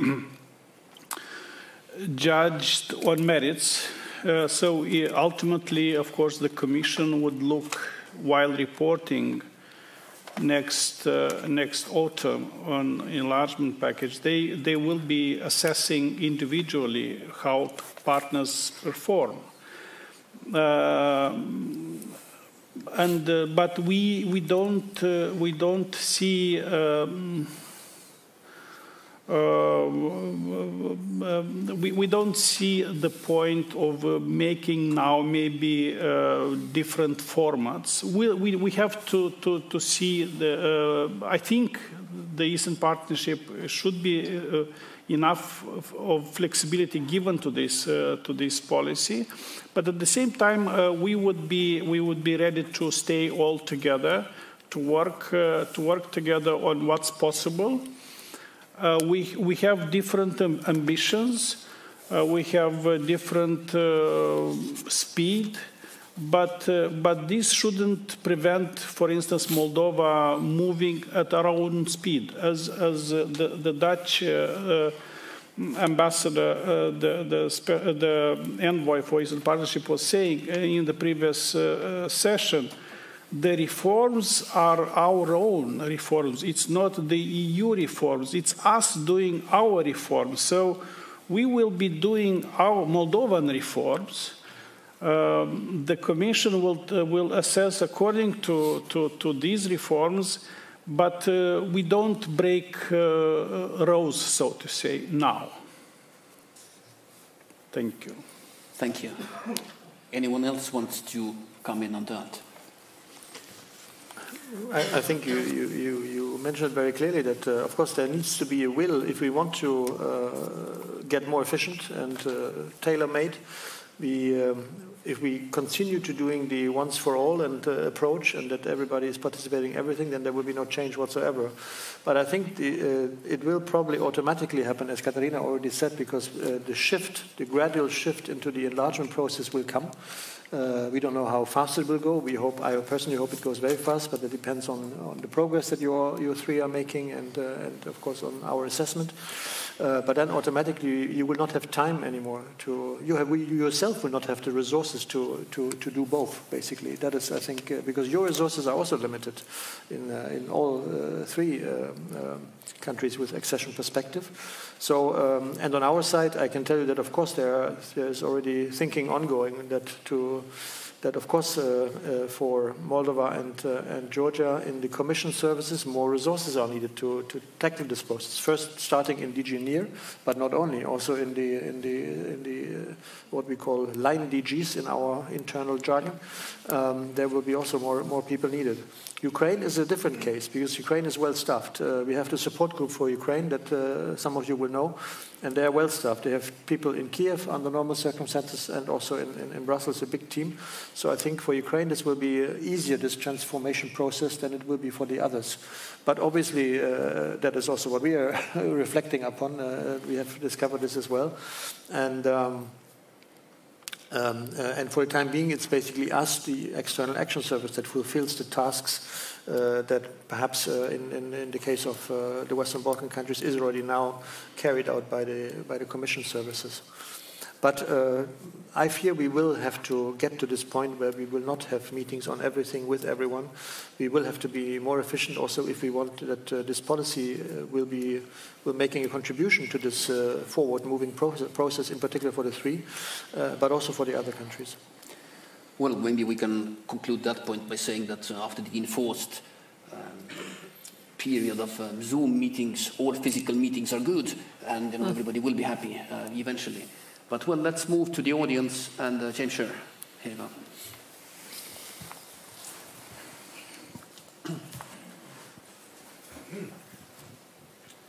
Thank you. When NATO set up Partnership for Peace in the early 1990s, I was spending a lot of time in Poland and other Central European countries, and there was a feeling of frustration and dejection because those countries felt instead of being offered a path to membership, they were being escorted into a waiting room, and the waiting room would become permanent. But the Russians at the time saw PFP as the preparatory school for membership, and they were right. You look at the relationship between enlargement and partnership, it's not the same. The Russians were more concerned more apprehensive about Eastern Partnership in 2009 when it was unveiled than I think they are now. And maybe again, they are right. So, my question to you is what steps do you think the Eastern Partnership has to take to persuade Europe, its own members of the partnership, that it's not a substitute for enlargement, but part of the preparation for enlargement. Can you think of a single concrete measure that needs to be taken to change this perception and atmosphere? Thanks. Thank you. William, the, the fact that um, you're paranoid doesn't mean that you're, you're necessarily wrong. Sorry? The, the, fact that you're paranoid doesn't mean that you're wrong. Uh, speaking about uh, I, neighbors. I, am living with that truth most of my life. but uh, who, will, who will take that question? Well, I think I, I, this is a very good question, and, and of course uh, we have been uh, discussing this for several months. We because we do uh, we do state to the partner countries that you should not be worried. Uh, staying on, uh, staying in the Eastern Partnership will by no means, you know, stall your EU accession.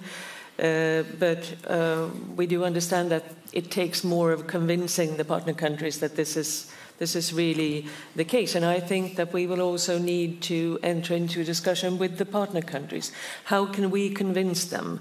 Uh, what our Dutch colleague was also talking about earlier, that we are with the partner countries at least with the trio, uh, so to say, when it comes to enlargement. Um, uh, what is needed in order for them to, to, to feel uh, comfortable? Because we can all be very, very united among the EU 27 that uh, this is not by any, by no means stalling the countries, but if they feel that this is what, what, what, what is at stake, then uh, I, can, I can imagine that they will not be too keen on engaging in different Eastern Partnership events uh, for the years to come. James, I think what I'm now speaking now only under my own control. I hope uh, uh, this is uh, clear. I think we, we might need to think about a certain subordination of the Eastern Partnership into the enlargement process that to make it clear also administratively in one way or another for the three, huh? for the trio, yeah. not for the others, obviously, um, unless things change. Uh, but in a way to make it administratively clear that this process, that these partnership serves the purpose to help the, uh, the, uh, the, the, countries to move forward uh, in certain areas, in certain steps. I think that would uh, maybe be such step uh, to, to, to demonstrate this. Others, other ideas I have not got right now either, to be honest. But it's worthwhile reflecting indeed to make this clear that these hesitations or these doubts will, will, be, will, be, will be pushed away. Thank you. Can I come? Oh, sorry. Um, yes. Can I just come back very quickly on this, um, on enlargement? Uh, paradoxically, I think the jury is out on the uh, new Eastern Partnership to what extent it is actually able to deliver on enlargement doesn't sidetrack, but actually allows um, this. So from, the, from that point of view, um, that the EU means, means business when it comes to enlargement and keeping the Eastern Partnership alive is not sidetracking and providing this smokescreen, especially when it comes because we need to remember that for mem many member states, the June decision was the high time of geopolitical awakening of solidarity, it was not consequential in terms of actually follow up steps. So there is really, we are, uh, to what extent, perhaps for some member states, the Eastern Partnership is to camouflage the lack of commitment to enlarge. Uh, and, and for me, that, that's very important because we need to confront basically the, the, the challenges um, head, head on. And from that point of view, the uh, issue of homework. We tend to always talk about homework for the Western Balkan countries or for the Eastern Partnership countries, the homework for the EU. Where are we, you know, with those reforms of the enlargement uh, methodology, and where are we on issues, for example, which some member states are very keen on? I'm reluctant to use the word deepening, but perhaps streamlining, making the EU um, function better. Where are we in that process? Because some member states are very explicit. It's a sine qua non for any basically prospect for accession. Until and unless we open that discussion, however reluctant and difficult that portfolio may be, we are actually uh, not really engaging with that difficult agenda. Um, so I'm afraid this is my, in a way, homework for the EU plea in terms of preparation and credibility in the end. If I could also uh, um, offer my, my uh, perspective on, on this issue, when, uh, when the Eastern Partnership started and unfolded, we were always told that Eastern Partnership is not an enlargement policy, so it doesn't provide enlargement. But we were never shy to say that we want accession, we want to join the union. So, uh, as the, the, rest of the trio, but uh, did. Uh, so, uh, uh, what happened uh, in June was was really um, a recognition by the member states. upon the, the decision, also upon the, the recommendation and opinion of the Commission that these, these countries aspire and, and have the chance to, to join if they, if they qualify uh, and meet the criteria. So, uh, and then it, it's sort of graduating from the Eastern Partnership to the next level. And, uh, and uh, this is uh, something that, uh, that has happened, and this is experience of Moldova. And I think, but now I think it's, it's, it's clear that unfortunately, it's, it's clear that the EU is taking courageous and bold steps in meeting the aspirations of other countries, no matter who is concerned if there is any concern somewhere, it's EU and partners deciding how they want to build a relationship. Thank you. Thank you. Well, there was um, a really experienced Eastern Partnership hand waving um, in the back of the audience. Marga. Uh, yeah, Marga uh, MFA, Estonian Ministry of Foreign Affairs. Yeah, thank you so much. Uh, has been really a great uh, therapy, at least for those of us that have been dealing with Eastern Partnership for, for more than a, decade. Um, just to reflect on a couple of things uh, that, yeah, that uh, was said uh, at the panel. Well, I think one of the conclusions is that, I mean, we all need time. Eastern Partnership was a uh, was an instrument that was designed for a different geopolitical reality. Now this reality has changed. And, uh, and one of the questions that has been very uh, legitimately raised also here that how can Eastern Partnership be relevant uh, for the enlargement in the context of the enlargement?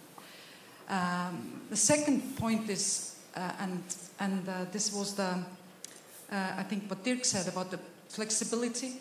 Do we need more flexibility in it? You pointed out having different geographical formats uh, maybe it would be also helpful to start with a starting by, by defining what the Eastern Partnership is. That this is not an objective or a status in itself, but rather an instrument that helps us to accomplish uh, different tasks. And um, uh, when it comes to the flexibility, maybe um, in addition to this geographical uh, aspect. And this is my question now, maybe to Dirk or to, to, uh, to incoming presidency. Do you see also more flexibility in terms of um, bringing those different silos together? We have different instruments. Also, Compass was just very recently taken. Resilience is one of the key words also when it comes to the Eastern Partnership. Do we have any, I don't know, some interaction synergies when it comes to those different needs, if we, we are talking about needs based uh, flexibility. Uh, is this a direction that we can develop this instrument? Thank you. Thank you, Marga. And uh, well, while you think, let's take another question as well, because we are already soon running out of time. So, one of the very few people who can see um, with both eyes, so to say, um, uh, the, the, complex matter. Steven. Thank you very much for a very interesting panel. My question is to, to Dirk, um, but the others should, by all means, feel free to, uh, to jump in as well. If I understand you correctly, the current thinking is really to turn the Eastern Partnership in an on demand type of um, vehicle to structure relations with uh, Eastern neighbors. Um, is that denying the EU itself uh, a strategic goal uh, to, to serve its geopolitical interests. Um, should it be more active in that, uh, take more ownership of structuring and driving the Eastern Partnership uh, in, in the future? And how would that relate to the definition or redefinition of uh, the EU's strategic outlook on Russia? Right, thank you. Well, breaking the silence, uh, Russia. Dirk, you want to go first? Um, yes, Steven, very good question. Um, we have, of course, um, we have this we have this discussion currently ongoing, and as I said also in my uh, introductory words, uh, whatever plan we make now or whatever decision we take, be more flexible, be uh, offer more ownership to the partners, which I think is a must, if you ask me. Um, it can be overhauled in a blink of an eye when we see new developments on the on the front in, uh, in, in Ukraine. I think so. We have to always look with one eye there, which shouldn't prevent us from uh, developing certain certain ideas. Um, I think, uh, uh, I think there's, a, there's indeed a, a, discrepancy between, on the other hand, a more geopolitical role that the EU intends to play, uh, qua uh, President von der Leyen, and, and uh, I think we have also demonstrated on a few occasions that I also mentioned where we have started doing so. We were also forced to do so, of course, due to the Ukraine uh, war, Russian war in Ukraine. On the other hand, giving more ownership to the partners. So there's, a, there's something which we, we have to match, probably, which will not be an easy task. Um, I think the, the, the, there is no final uh, answer I can give you at this, at this stage uh, in which direction we want to go. Uh, I think we have to strike the right balance between these two uh, elements, uh, but all of this will depend on the overall developments. Um, I, I, have no better answer right now. Um, do we, uh, Marge, do we, um, are there any linking elements? Um, it's a very good question because there are not too many right now. I, I see. We have, uh, unfortunately, of course, we have the Commission, we have the External Action Service, and if we're honest to ourselves, of course, each club wants to do uh, uh, the maximum uh, interesting things uh, still. Uh, and um, we're trying to, of course, there's lots of coordination meetings, but um, I think once we have a clear view on, on how fast you can move, the trio can move, uh, then we also um, uh, will have will be forced. The faster this process will move, the more we will be forced also to uh, to to create these links uh, between the institutions, and not only between Commission and uh, EAS, but also with the Parliament and with the other bodies um, of the European of the European Union. Um, and I think the same goes for member states. if you ask me, I think in your in your governments you will have to do, go the same step. Uh, to involve uh, also the line ministries more to uh, to to give a view on what Kataryna mentioned on waste management directive X and so on, mm. Green Deal Y that we. Uh, bureaucratic diplomats might probably not be able to to, to answer. Um, so uh, we are the, unfortunately still at an early stage, but uh, I think we will be forced to go in exactly into this direction. Thank you. I can also just uh, echo what uh, Dirk just said, and and also to reflect on the fact that, I mean, the war in Ukraine is moving the Eastern Partnership in different directions towards other formats, other uh, other structures, and uh, that creates lots of discussions. Uh, and the need for interaction and overlapping uh, and, uh, new focus for, for the Eastern Partnership. But I think we are not just yet there uh, in these discussions. And I think, to be honest, that I mean, the, the, war in Ukraine and the repercussions of this geopolitical disaster is eating so much resources, both in Brussels and in our capitals. So we are not in you know, in a position where we can where we can have a big strategic discussion also on the Eastern Partnership, and I think that is why I echoed maybe a bit of a defensive position that let's not rush. That is, of course, also due to the fact that that that resources uh, are being pulled all the time towards towards Ukraine. But uh, but um, I mean, when we are discussing resilience. Uh, and security issues. Of course, we are, we are from the Eastern Partnership side now entering into the area of, of, of other structures, of other you know, organizations. We also had the EPC, the European Political Community, yet another format uh, coming forward. I think there will be a need for more of coordination and more of exploring where we can have synergies. But um, to be quite, quite honest, and this is maybe me just describing what is happening in Stockholm, we are at least not quite there yet, but I hope we will get there. Well, thank you very much. Well, actually, as the, the number on the counter has turned red, which is not necessarily a good thing, so uh, we should uh, stop here, I feel, without any formal closing words for, for all the participants. I can only say that, uh, well, the therapy session hopefully has been useful. But as Marek also concluded, the, the previous session, many discussions lie ahead of us on that topic as well, not least um, at the ministerial level in December in Brussels, but in other formats as well. And, um, well, uh, building on what somebody said, um, now that we have achieved the achievable, let's move on to achieving uh, what initially seemed inachievable and well, which might actually turn out to be achievable as well. So uh, thank you very much, dear panelists, and um, Slava Ukraini.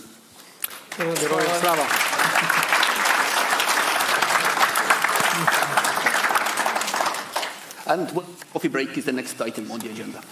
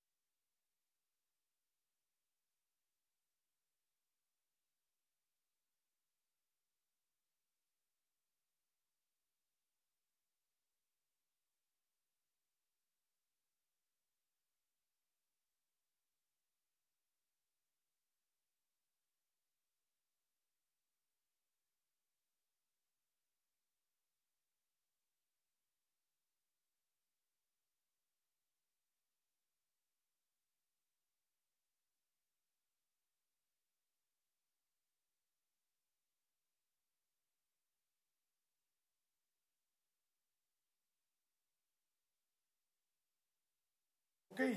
Good uh, afternoon. I see that the microphone is uh, working well. Uh, pleased to be here in Tallinn and moderate this third panel on the Eastern Partnership and Enlargement Conference. I'm aware that I am competing with uh, World Cup game uh, Germany, Japan. Uh, so I'm very pleased that those who uh, turned up uh, are eager to discuss uh, this very interesting uh, topic, how um, reforms contribute to the process of accession. Uh, I would uh, first like to start by introducing the uh, panelists. I will go order from me to the to the left. First, Mr. Givi Mikanadze. Uh, who is the first uh, deputy chair of the uh, faction of uh, the Georgian Dream uh, uh, in uh, Georgian parliament, and also the, the member of the Foreign Affairs uh, Committee. Uh, next uh, is uh, Petar Markovic, Ambassador Petar Markovic, uh, who is the head of the mission of uh, Montenegro uh, to the European Union. And then uh, we have uh, Jan Marian, uh, a former colleague of mine from Brussels, currently working as the special envoy for Eastern Partnership in the Ministry of Foreign Affairs of Czech Republic. And uh, last but not least, we have also a video connection with uh, uh, Mikhailo Zhernakov from Kiev. Mikhailo, please wave if you are uh, connected and can hear us uh, well. Can you hear us, Mikhailo? It seems that there might be an issue with, uh, with the connection, which we will sort out. Mikhailo is the co-founder uh, and the chair of the board of uh, the DEJURE Foundation, which is one of the leading uh, NGOs in Ukraine um, working on the anti-corruption and uh, justice sector uh, reform. Uh, we also know that uh, Mikhailo had recently a, a air alarm in Kiev, uh, but I think that now he's, he's available, at least we, we can see him. Uh, before we, I uh, open up the, the discussion uh, of the panelists, I would like to uh, uh, put forward some uh, milestones or facts which will orient us a little bit in this discussion. Some of them have already been mentioned during the previous panels, but I think it, it would be helpful to recall them to, to facilitate our panel as well. Um, uh, first, uh, what I would like to say is that we have here uh, a representative of uh, uh, Montenegro, um, who is uh, Montenegro, which is a country that uh, is considered to be a front runner in enlargement uh, process, uh, a country that has been uh, candidate country of the European or, uh, Union already since 2010 where the opening negotiations were opened uh, uh, in 2012 uh, and a country that uh, has already opened uh, all the chapters uh, for negotiations and has already provisionally closed uh, two of them. Uh, then we have um, um, two countries represented who were granted in June um, European perspective. Ukraine became the candidate country. Uh, and uh, Georgia uh, got the European perspective and the possibility to become candidate country if some priority issues will be, will be solved. Uh, mostly related to the uh, anti-corruption, justice sector reform, and also fundamental rights. Now, um, when it comes to Georgia and Moldova, uh, we will be reporting on the progress uh, against the Commission's opinion uh, uh, in um, uh, uh, fall, in autumn next year, which will be then part of the broader enlargement package. When I say we, then this means European Commission. but this does not mean that we do not work uh, in between with those countries. Of course, we do. We are very much engaged and, and supporting uh, uh, Ukraine and uh, Moldova and Georgia in um, fulfilling uh, those steps and conditions that need to be need to be done. I should also add that um, uh, by the end of the year we will issue uh, the um, analytical report, uh, which is still part of the Commission opinion uh, process, which basically gives an overview where uh, the, the three countries are in terms of um, capacities to implement the uh, European Union acquis in different uh, chapters. And this will already give a, a, quite good indication the state of uh, or level of preparations taking over the, the acquis. Uh, maybe a last point on, uh, on, on, Georgia and Ukraine uh, is that uh, uh, while uh, preparing uh, for, for next steps on uh, the accession process. we also work in parallel in integrating Ukraine and, and Georgia with the EU internal market and also sectoral cooperation, which both countries have been very, very keen on. In my panel, uh, I would like to focus on three issues. Uh, I would uh, like to discuss um, how the European um, uh, Union membership perspective uh, can create uh, reform momentum and how this can be sustained over time. Uh, secondly, uh, I would like to elaborate, uh, panelists to elaborate on the mm, challenges that are there in delivering against the European Union expectations and priorities. And then, as a third point, uh, how can uh, the European Union, uh, uh both Commission and Member State, uh, support uh, this process? My first question goes, Petar, to you. it would be interesting to know, as you have this experience for quite long, long time now, how the, uh, the membership uh, perspective and, uh, and the candidate country status and also the uh, um, negotiation process motivate uh, mm, Montenegro to reform, uh, and particularly in those areas which uh, the EU has considered important for the enlargement uh, process. And how is it possible uh, uh, for a country to sustain this uh, support of the population over a long period of time? First of all, um, thank you for the invitation. I have to agree with Dirk and some other uh, participants and panelists who, in um, well, joining them in saying that uh, I think that this conference, which focuses on Eastern Partnership, with the now advancement of the trio to, uh, I'm sure, all three candidates very soon, um, means that we can also start making the debate more complex and perhaps turning this into a conference on enlargement. Um, Secondly, uh, as the front runner and the country which has now been uh, um, now celebrating 10 years of accession talks, um, Montenegro does have a lesson to share on, on keeping the momentum of reforms alive. Indeed, uh, when we applied for membership in 2008, uh, we became a candidate in 2010 and we started negotiating in 2012.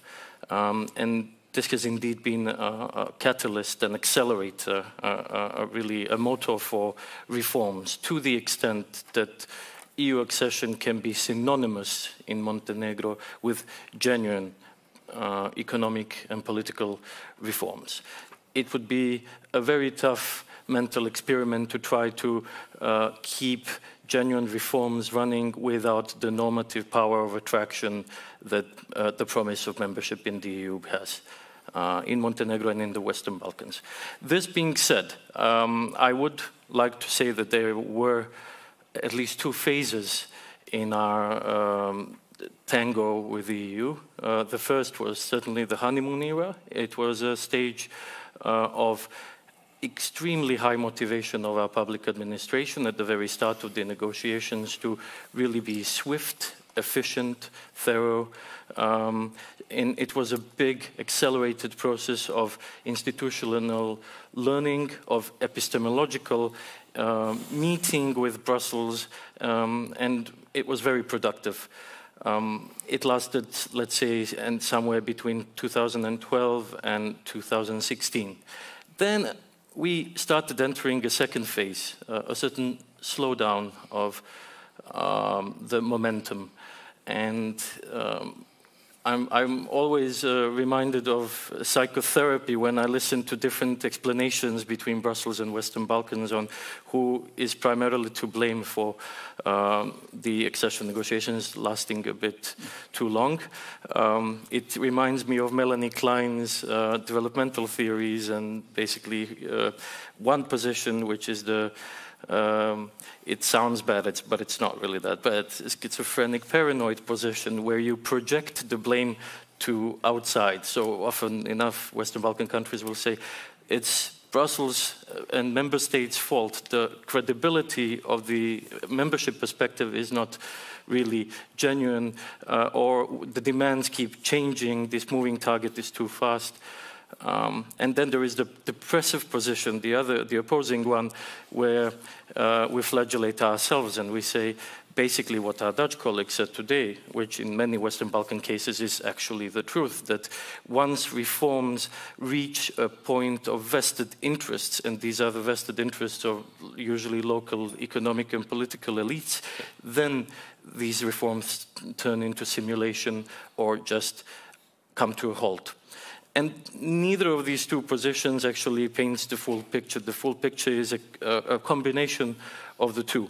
Um, so uh, to go back to the uh, to the story of Montenegro's rapprochement with the EU, uh, after a slowdown happened, it was then formalized in the form of the activation of the balance clause, um, first in, um, informally, balance clause, meaning that no progress will be made in the future of negotiations until uh, progress in fundamentals has been reached. For Montenegro, this informally started already in 2018 and has been there since. So, uh, with the adoption of the revised methodology, it's been codified in a way that Montenegro cannot close any other negotiation chapters until the Commission has uh, produced what we call IBAR, or the Interim Benchmark Assessment Report, uh, in which it states that we have reached enough reforms in the area of chapters 23 and 24.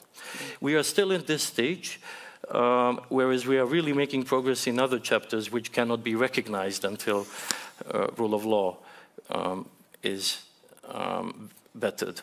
Um, just in this year's report, um, we've made better progress in nine chapters than in last year's report. Um, so uh, we are still waiting for the deadlock in the rule of law to, to be resolved. But to give advice and to then uh, conclude with that to our Eastern partners and to the trio, um, the more you achieve in the first few years of accession negotiations, the better, because at some point, um, inertia uh, frustration, fatigue will kick in, and then it's much more difficult to keep the elan and the motivation of public administration at, um, high.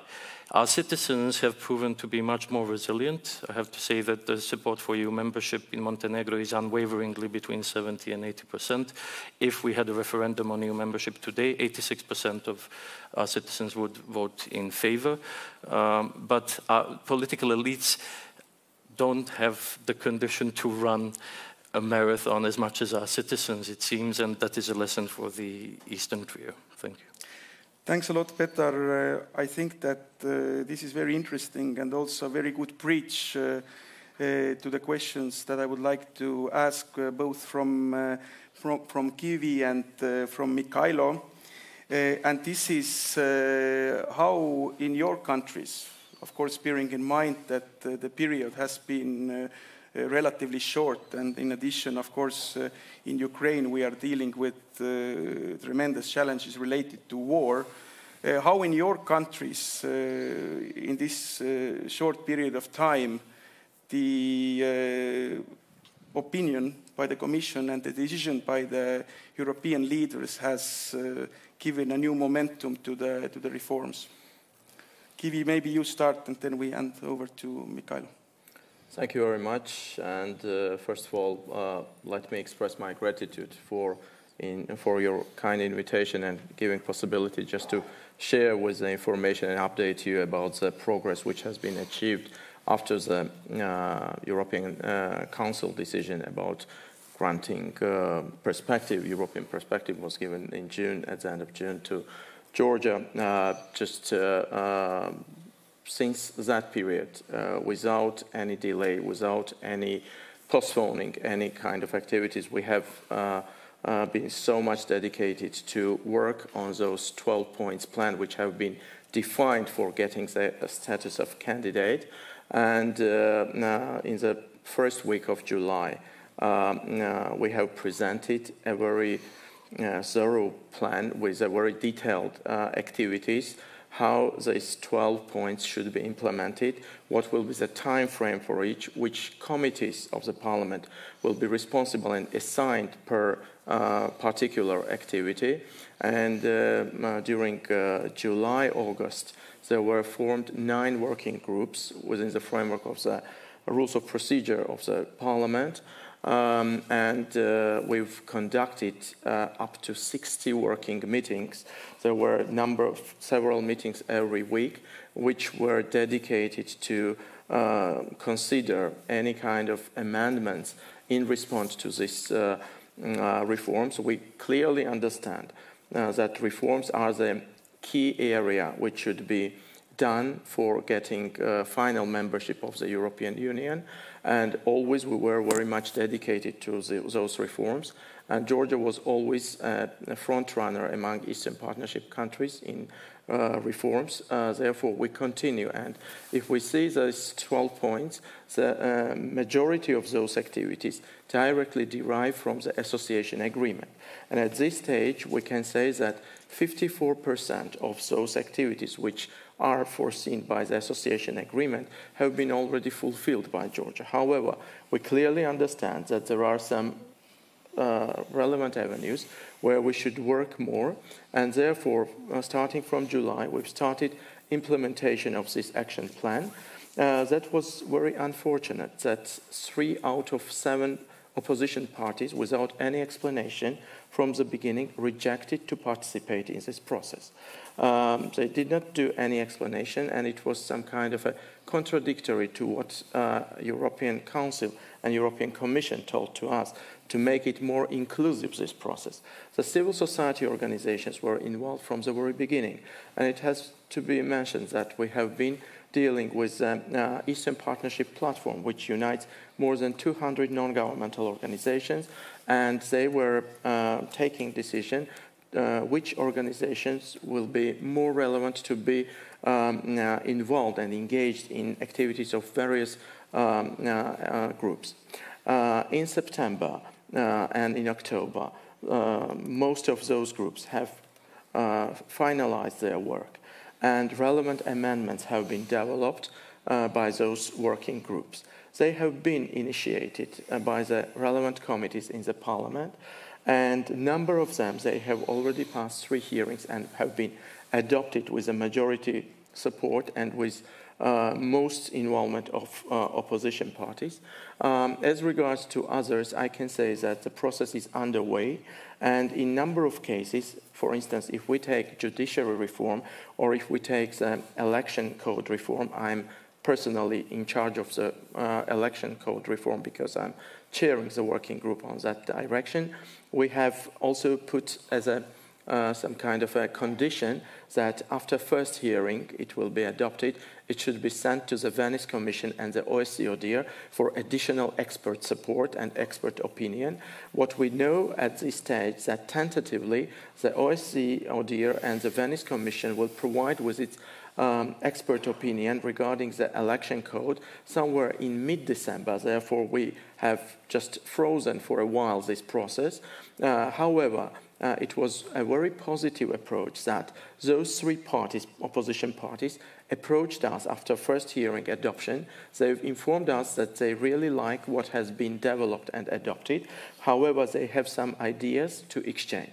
And we've started negotiations with them. And at this point, we've conducted two working meetings with them. And we have found out many touchable elements with them, which will be included in the amended legislation during second hearing. But of course, first of all, we are waiting for the response from the Venice Commission and the OSCE ODIHR. However, if we say in a general, roughly point, out of 10 proposals which were discussed, eight have been agreed, which is, in my personal opinion, is a positive step to have more inclusive process. However, I can say that the inclusive point of everyone has been guaranteed anyway because when the working groups have finalized their work and the relevant legislation have been uh, amended, um, uh, sorry, the draft bills have been uh, presented to the committee hearings, all opposition parties, civil society organizations, uh, any interested persons could have possibility just to attend, put their opinion and questions to the presenters, as well as it has been discussed on a plenary sessions.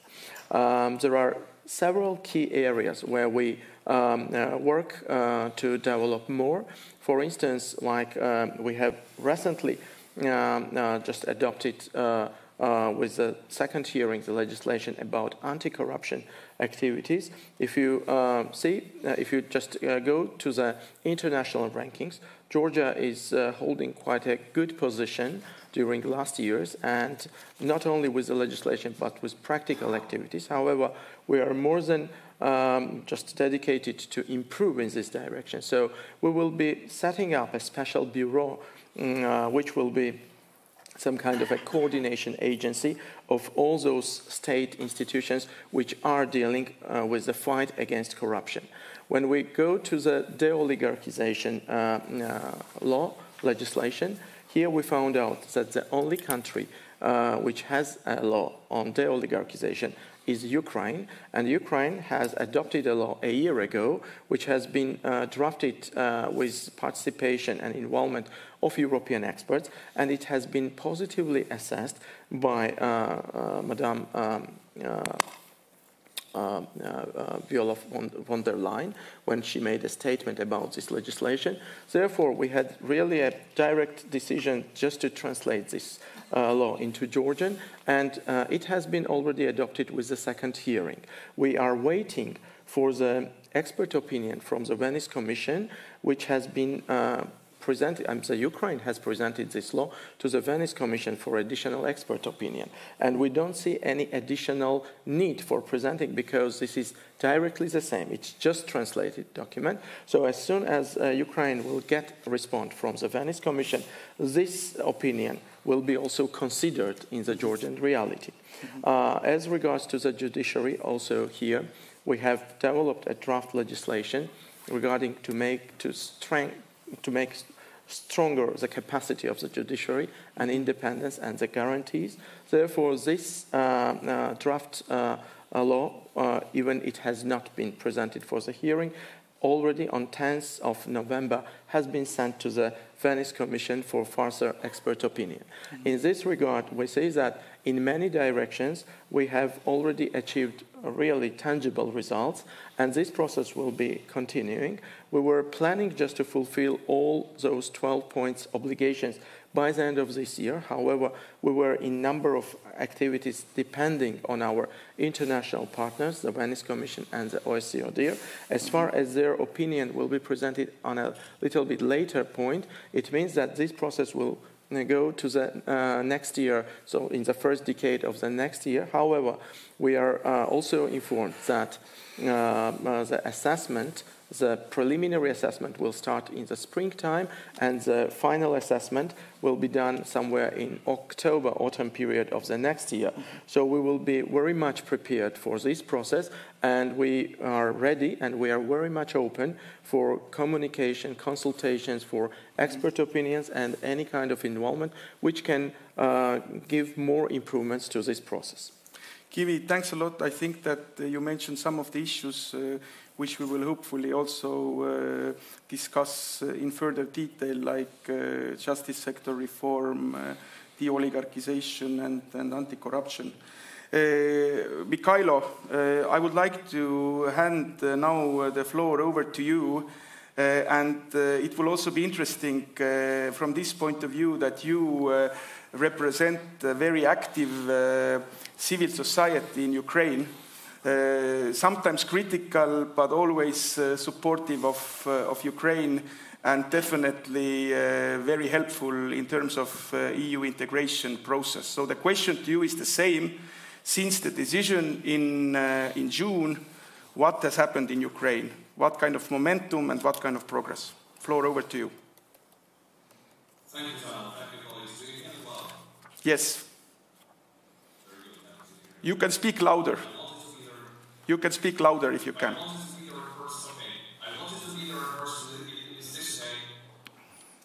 Yes. Yes. Okay. Yeah, thank you. I wanted to be the person, but logistics is quite complicated right now. Uh, luckily now there's internet and uh, you know live insight. Uh, another Russian spy FTT just minutes ago, and uh, uh, other places in Ukraine, uh, we, we, we have this opportunity to you know meet this virtually participate. Uh, Russia has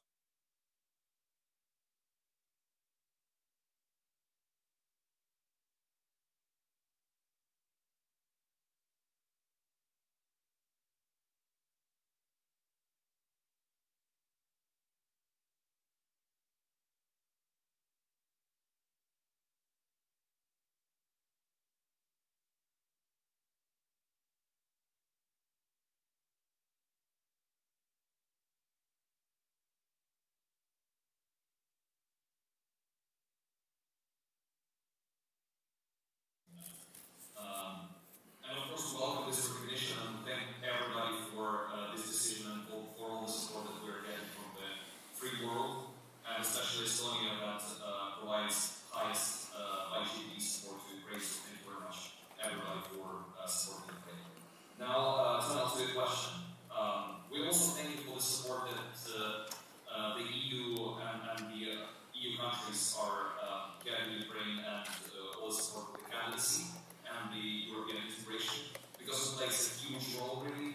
We now, as civil society uh, operators, as those who promote reforms, we got a huge leverage to promote even more reforms. For starters, the rule of law reforms that have already been mentioned several times today, namely judicial reform, is a number one uh, priority when it comes to our acquiring the candidacy status and further uh, the opening of the negotiations. Uh, so out of seven points that we have on this agenda is a number one thing, which we of course applaud. And myself, as, as uh, somebody who's involved deeply in judicial reforms, of course, we very much welcome this decision, and this shows how, how important this really is.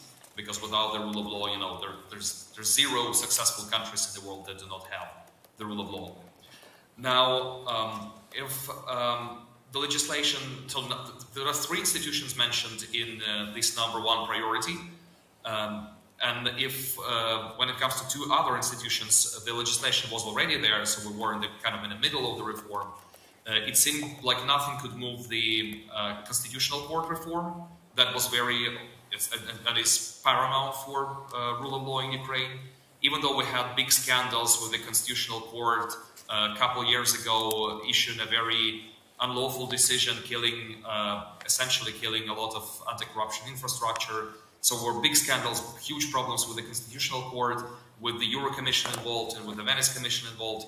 It seemed like nothing could move the uh, Constitutional Court reform. Now, when it got mentioned in these seven points, it got traction, and uh, really now we have, uh, we, we just got the candidacy in June, late June, and two months later we already got the bill on the Constitutional Court reform, and a couple of weeks later was already adopted in the first reading of course, so it shows how, how really important and how significant this uh, process is and how uh, really uh, this, this status and this process helps uh, to promote reforms that were, say, impossible or nearly impossible before. But of course, very quickly uh, doesn't often mean very well. We know that you know Ukraine is very passionate about very quickly doing uh, everything connected to Euro integration. We submitted the you know, the questionnaire in, in, I don't know, very short time, and then all, all the other stages we, we went through quite quickly. But now, uh, when it comes to reforms, really uh, very quickly does not mean very well. And uh, when it comes to the constitutional court reform, for example, there are very important Venice Commission suggestions uh, or recommendations that were not taken into account, such as the involvement of the civil society in the selection process of the judges and other things. Um, now, there's another Venice Commission opinion pending. Uh, hopefully, soon uh, it will be released and, and uh, you know, the reform will uh, continue. Other reforms have also started moving. The uh, anti-oligarchization was mentioned also today, the anti-corruption efforts, legislation on media. So um, things got traction really. Very important sectors, very important spheres. But of course, we uh, have to consider everything uh, very carefully for the second reading because it is now very important, as in any reform, to uh, you know devils very often in the detail, and uh, it's important to not overlook the uh, the, the, very important things uh, in in this kind of um, quest or in this attempt at doing things quickly and moving really forward. And especially at times of war, it's it's particularly complicated because not, you know, we have not many uh, democratic um, instruments available to us that are otherwise that we otherwise use, you know, peaceful assemblies, open committee hearings, uh, things like this are not present uh, because of the martial law. Uh, that is why it is it, it is extremely important to um, stay vigilant on both sides and uh, really design reforms in a way that will benefit and that will move um, Ukraine forward and uh, make it a real uh, democracy with rule of law, and of course that it will later contribute to you know the bigger European family and, and be a real a really uh, strong member of the EU. Thank you. Thank you, Mikhailov. This was uh, very useful uh, input to our discussion. Jan, I now turn over to you. Uh, you are representing the um, uh, Council of the European Union presidency for the next uh, one month at least.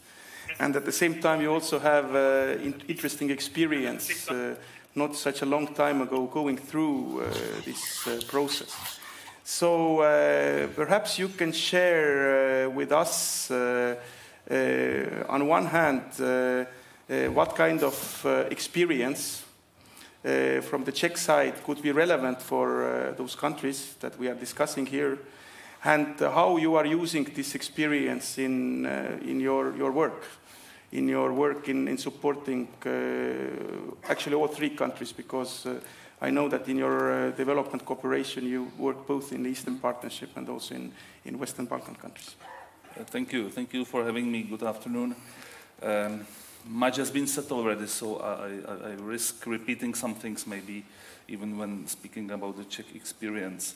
As to the actions of Czechia or the Czech presidency during uh, the presidency in, regarding enlargement, first, full political support to, to the enlargement, to the European perspective for, for Ukraine, Moldova, Georgia, and of course not forgetting about the Western Balkans. That's been our priority for years. Uh, we should have conclusions, council conclusions on enlargement in December, so the presidency support the work and the ambitious conclusions, if possible, with clear membership perspective. And in the meantime, in the meantime, we would like to see as much integration into policies, activities, internal market of the partners as possible. So, so we will be, and I will come back to this, we will ask Commission to be active in this regard so that, and this is, this this is valid not, for, not only for Ukraine, but also for Moldova and others, uh, so that we can have everything but institutions in the meantime, because the process of enlargement will not be fast and easy.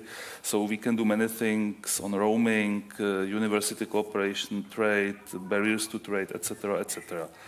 But the first thing that should happen and which would help enlargement, of course, and the situation, is uh, helping Ukraine win the war.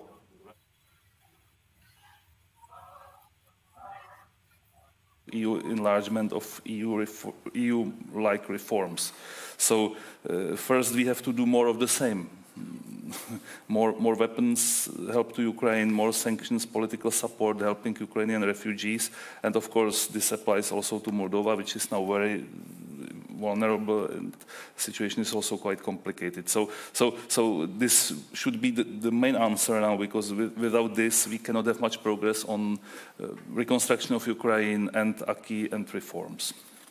On the Czech experience, well, uh, frankly speaking, sometimes I doubt whether we still can share our experience because it, has it, been already some time ago and uh, acquis is a kind of moving target. So, for instance, now to get visa-free, you need to do much more in different spheres than only like passport security, etc. So, so it's a bit, it's, it's a bit tricky. I think definitely you can still learn from our mistakes that are, these are still, still relevant. So I think we are always ready to share uh, and talk about our mistakes done in the process and afterwards and before. Uh, but we do have many bilateral projects still working through Czech NGOs and we have twinning, we have human rights projects, we have transition promotion program of the ministry. We have done a lot during this presidency of the council, so we have organized different events trying to include all Eastern partners, when possible also the civil society from Belarus. So, so we can also share our experience with uh, government coordination on European affairs, of course our experience from the second Czech presidency, etc., etc. But again, I'd like to stress the need to learn from the partners. Mm -hmm. So the Eastern Partnership shouldn't be a, a one-way street, especially now when we see how much we can learn and we should learn from Ukraine. So definitely this is very important. And of course, the role of civil society has to be stressed. The, the role of the civil society as, as watchdogs in the enlargement process in the partner countries. Uh, and uh, we know how strong the Ukrainian civil society is, and this is also very important. And uh, finally, um, we would like to we would like to see Commission uh, and including the support group for Ukraine, of course, we would like to, to have as open and sincere dialogue with the partner countries, with candidates as possible. Uh, we understand that the Commission should have enough resources, meaning also people, but I think the same goes not, for only, all the, for, for, not only for the EU institutions, but also for the member states, because I think we also face the problem of lack of uh, experts and people working on this file. And as I said, we would like to see as much progress on internal market and other areas as possible. I think it's important to, to look into the experience of the support group for Ukraine and maybe use it also, for instance, for Moldova and Georgia. We need to make sure that we have enough pre-accession funds for all of the partner countries, not only for the Western Balkans. Uh, so this will be quite complicated, as I understand. And uh, last but not least, let me subscribe to what we have heard before many times already today. Uh, the Eastern Partnership is not a substitute or obstacle for the EU integration. So we are happy to work with all the Eastern Partnership countries, but we understand that those that are that are that have made the that have made the most progress have, have to move forward as quickly as possible. Thank you. Thanks a lot, um, Jan. Um, uh, I think also very uh, good intervention for uh, uh facilitating the discussion. Uh, I will come back to some of the points that you, you mentioned. Uh, but now I would like to go back, Peter, to you. you already mentioned some of the challenges that the Commission has addressed in the enlargement package. And of course, uh, everybody who is here in the room can read this package. It's a very comprehensive document giving an overall uh, picture uh, where the EU enlargement policy is, but then also uh, going into specific of each country and, and very detailed into reform areas as well. Mm. But uh, from your point of view and working for your country, understanding where the challenges may lie, uh, could you give maybe three areas where you think uh, Montenegro would have to work the hardest in uh, reaching the, the target? Mm -hmm. Sure, thank yeah. you. Um, well, allow me to just quickly uh, and proudly state uh, what we definitely don't have a challenge with and what we are proud of be doing right, and that is standing in defense of EU values in this uh, decisive moment in our history and in solidarity with Ukraine, where the key battle of EU values and the battle which will decide in what kind of Europe we want to live in is being waged. Um, in this sense, Montenegro has, since the beginning of negotiations, held 100% uh, alignment with common foreign and security policy uh, of the EU. Uh, this was our strategic choice. It hasn't always been easy. Uh, allow me to just give you an example.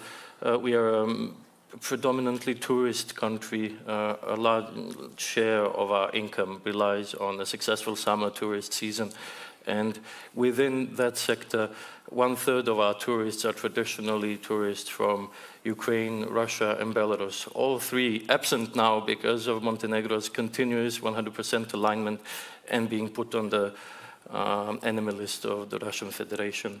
Um, but we are still doing it because we believe it is the right thing to do. Um, and in addition to this, even though we are a relatively small country, we have granted one tenth of our defense budget basically in military aid to uh, Ukraine. Uh, we are the first country outside of the EU to enact the, the temporary protection mechanism, just like the one in EU member states, which now allows Ukrainian refugees to have the same access to the labor market, school, etc., for one year time. And we plan to extend this as long as the situation on the ground in Ukraine will necessitate, uh, and so on and so forth. This is what we really want to right, and all Montenegrin citizens are in favor of this, even though we also have a lively Russian local community of expats uh, in Montenegro, and I'm also proud to say that these two communities, the growing Ukrainian one and the slightly longer standing Russian one, have zero tensions between each other. Um, now, going back to the annual report and what Montenegro could be doing better, um, let's divide these three groups into um, the title of the movie the good, the bad, and the ugly. Um, where we always need assistance, but uh, where we are still on track, is definitely economic governance. So, when you speak about Copenhagen criteria, um, we, for very particular historical reasons, are a country which has had the euro as a currency since the very beginning of the European currency, and so uh, we don't have monetary powers. We relinquish them to the ECB, and it's actually been quite the driver of our economy. Um, in addition to this, in the past two years, Montenegro has uh, gone through a very um, thorough uh, tax uh, and um, salary reform, which saw uh, minimum wage rise from 250 to 450 uh, euros a month, and our average salary from 500 to 700, which makes us jump over certain EU member states in uh, income. And the Commission has repeated in this year's uh, report that our public finances are sustainable. So this reform, brave as it is, worked.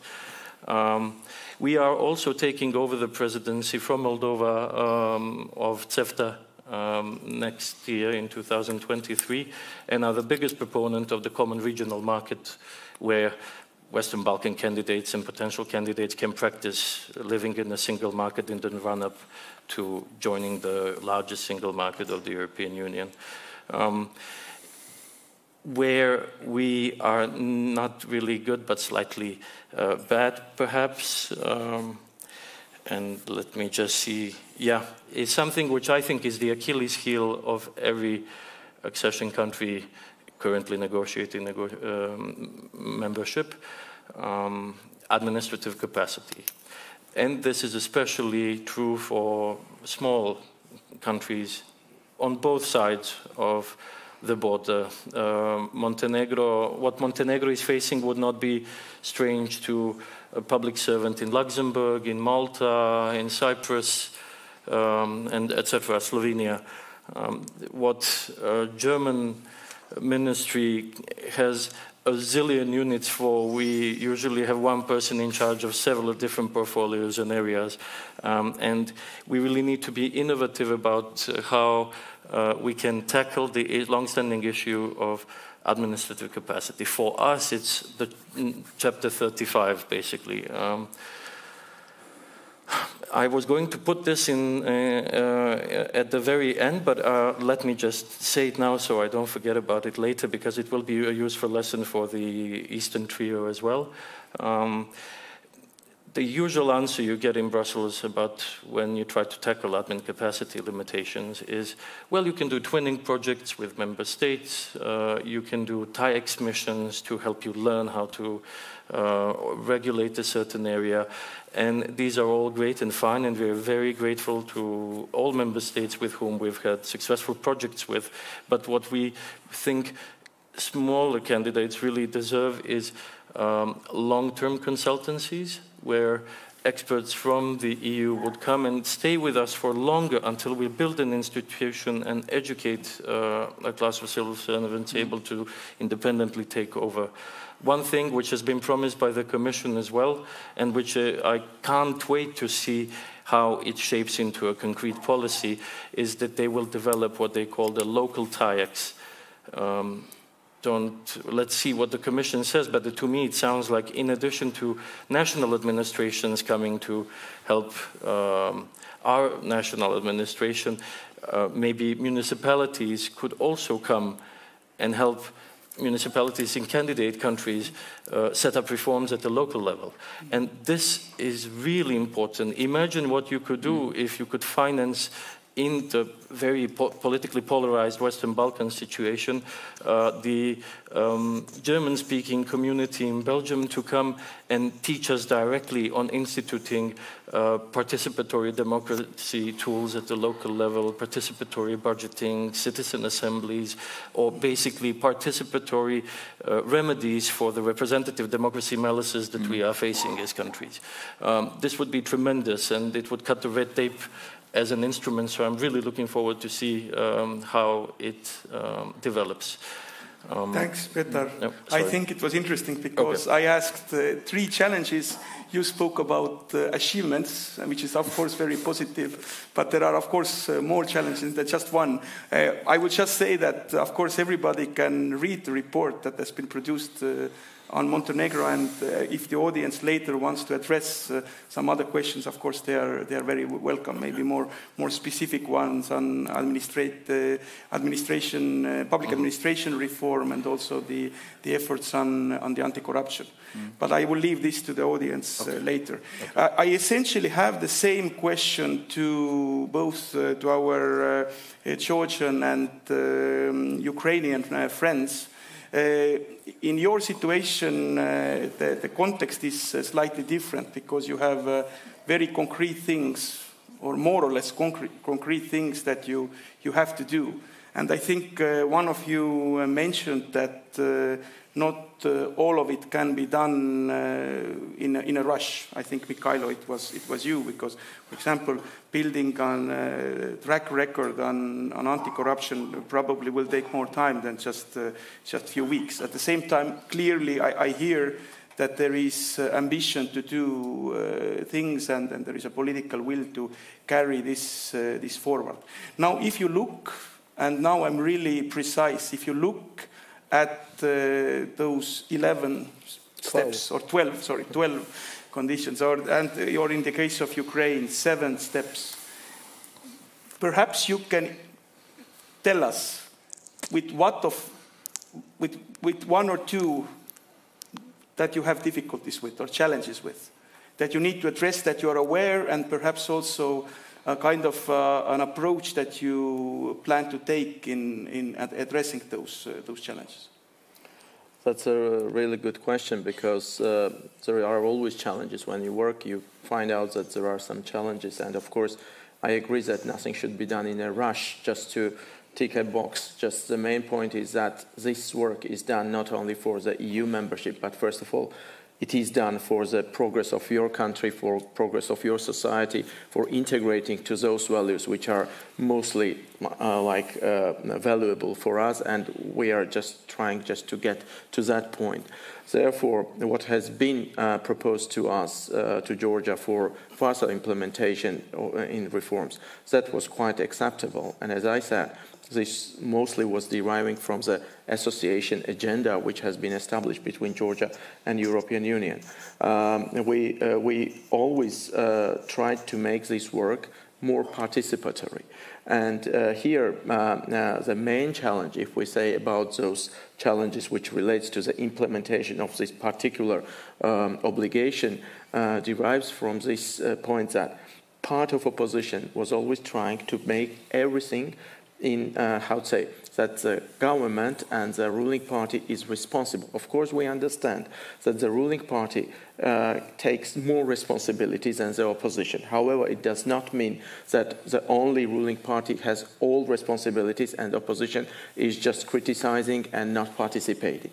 And it is uh, some kind of a practice in Georgia that not, uh, not only negotiations, but also our partners, the European Union, when it make some kind of statements um, uh, to join uh, the process because it is for the progress and the sake of the country. It's not for the sake of the government or particular persons. It is for the importance and future of the country. This always makes a sense. Um, what we are facing that uh, um, uh, in reality is that mostly these type of statements are done in direction of the government. However, we try to keep door open for all types of relationship. And as I said, we have already achieved number of very good uh, results from this because we've started negotiations with three opposition parties on particular issues because really it gives a sense on and a direction on real achievements and real goals. And this is uh, also uh, assessed by the civil society, by other partners, uh, and this process, of course, is underway. Uh, when we say about the challenges, we should not, uh, um, uh, I mean, we should remember that Georgia has uh, lots of uh, challenges in general because, first of all, this is a security challenge because our country uh, is facing a huge threat from the Russian Federation. You are very well aware that more than 20% of Georgian territories are still occupied by uh, Russia, and we have presence, illegal presence of Russian troops on the territory of Georgia. Uh, one of military base is located just 40 kilometers away from the capital, and this is really a huge threat. And they are uh, daily doing so-called borderization process, kidnapping people from the administrative border uh, line uh, villages, and then it is uh, a huge support from the international society, from the European Union, from our strategic partner, United States, that under a pressure, we try to get back our uh, citizens and to uh, take care of them. Uh, uh, living in such a threat and with the security measures, it's very difficult to proceed with all those activities. However, we are doing our best, and here we need more support from the European Union more presence of European Union in Georgia because we are more than committed to have this type of cooperation and uh, we really look forward that uh, the uh, decision which will be based on particular achievements will be taken next year for granting Georgia the status of candidacy uh, because uh, we have shown and we will show even more that we are very much committed and dedicated to achieve those results which will lead us to get um, a, a place in the European family because this is our main goal. And as uh, my colleagues already mentioned, in my country as well, we have more than 80% of population which is supportive to the membership of European Union and the North Atlantic Alliance. And even more, with the previous con uh, con uh, convocation of the parliament, we have amended a constitution and have written in the constitution that the main goal for Georgia is uh, becoming a member of the European Union and the North Atlantic uh, Alliance, which means that we have in the highest uh, level of the uh, legislation written this firm statement which derives from the will of our society's vast majority and this should be appreciated. And this is some kind of a homework for the government for us just to fulfill this and we need more support from every single member of the European Union, as well as we need support and experience sharing from the candidate countries for whom the uh, uh, doors are now open. And we are very happy for you and we welcome this process. However, we need more support to get more closer to Europe, and we depend on your support in that direction.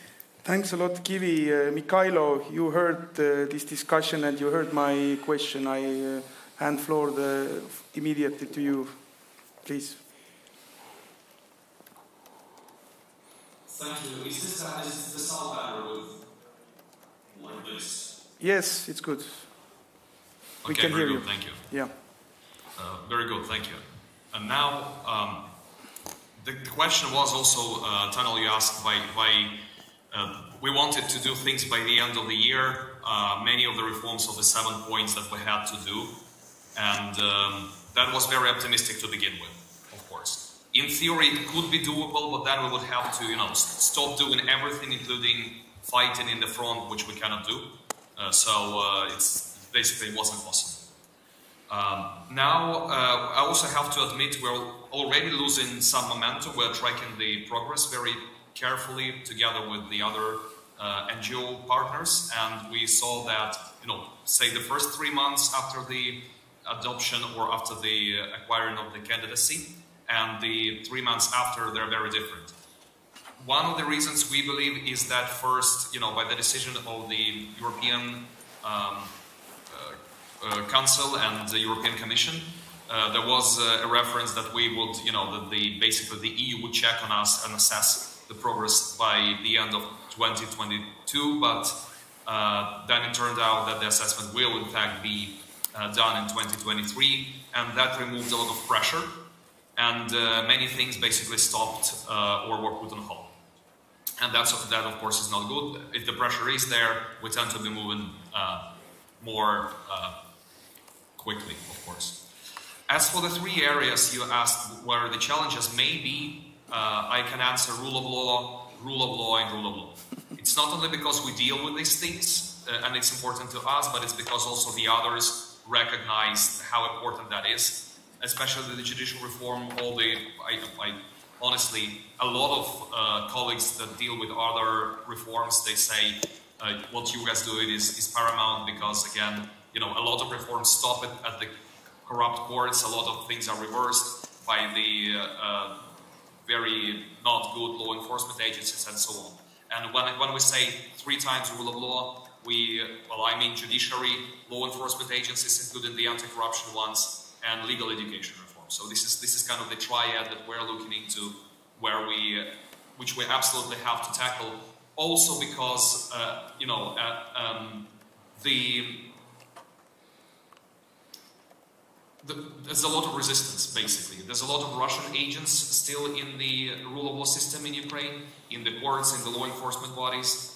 Uh, there's a lot of uh, corruption, obviously, that we have to uh, deal with, and the, the situation would be so much different if we would not have to fight the corruption inside these bodies, if we would not have to fight against the corrupt or at least imperfect uh, legal system, and we, we would have it on our side, basically. And we already have parts of it that, that is already good. The newly established anti-corruption infrastructure, uh, which which performs fantastically, and of course it's day and night compared to the old unreformed system that we are in the middle of transformation. And of course the corrupt system fights back, and of course they jeopardize a lot of reforms, and that is why I think it's it's uh, uh, essentially a number one priority. Also because it is, you know, for the oligarchy, it is the way to be. If it were not for the imperfect uh, uh, rule of law system, then the oligarchs would not be able to be oligarchs. It's what makes them oligarchs. It's, it's uh, you know, when, when there is rule of law in the country, you can't, you cannot really be an oligarch. Uh, now, how to help Ukraine do that? Here's the key. Uh, it might seem counterintuitive, but um, there, there is this logic sometimes, and we see it in, in here and there uh, that you know Ukraine's in the middle of the war and let's not not go very hard on them and let maybe you know look at the things differently and let a couple of things slide it will be okay and also we want to make things go fast right do not do this this is a very flawed logic because especially with the rule of law First of all, the stakes in the rule of law reforms are very high because right now you say judicial system, right now we have almost half of the vacancies inside the judiciary are, are uh, of the posts, judicial posts are vacant.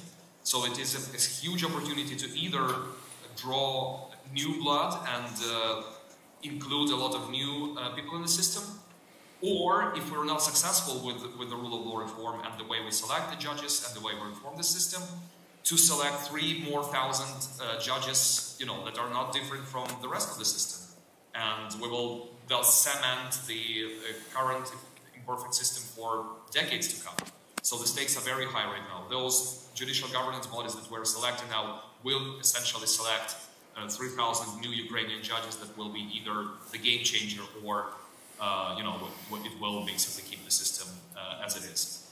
The second reason is um, that the leverage that we have right now, this EU candidacy and the opening or non-opening of the negotiations, is of course the highest we, we got in decades, and I don't know how will, will we ever have uh, the leverage as high as, as this one, because 91% of Ukrainian population supports the EU integration.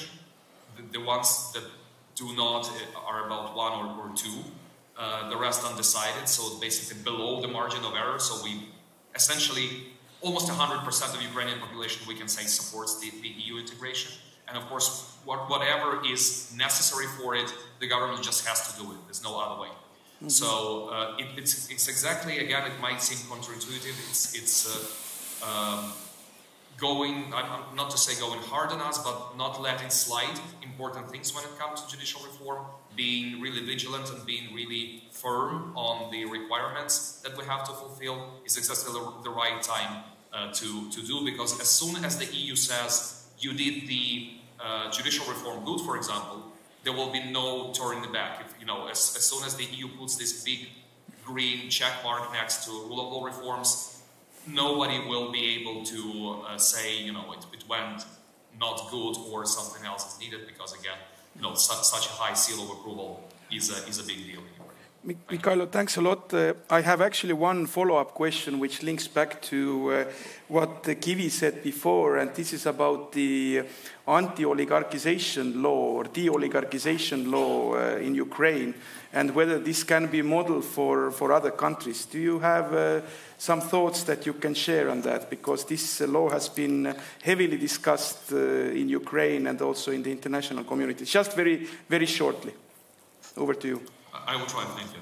Uh, first of all, I'm not an expert on de-oligarchization per se, so I, I, just only, you know, can kind of look at it from uh, from the side. Um, it has the, the law has ten articles. You know, you cannot fight the oligarchs with ten articles, and the law basically says if you uh, fulfill this and that criteria, we put you on the list. And and the oligarchs, of course, they don't want to be on the list, and that already somehow affects them but essentially it does not um, make them an oligarch.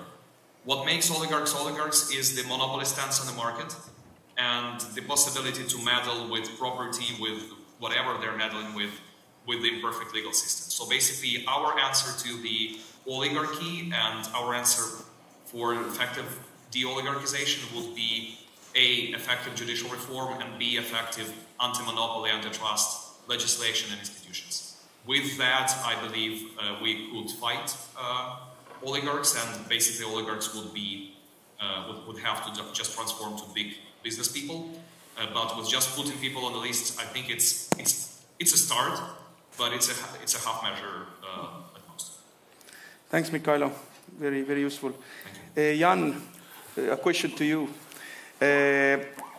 you have worked many years in the council and uh, you are familiar to the um, process of uh, consensus building uh, on council conclusions and many, many other documents. Uh, you are uh, well aware that any uh, further step on any country on enlargement needs to be built on consensus across the member states.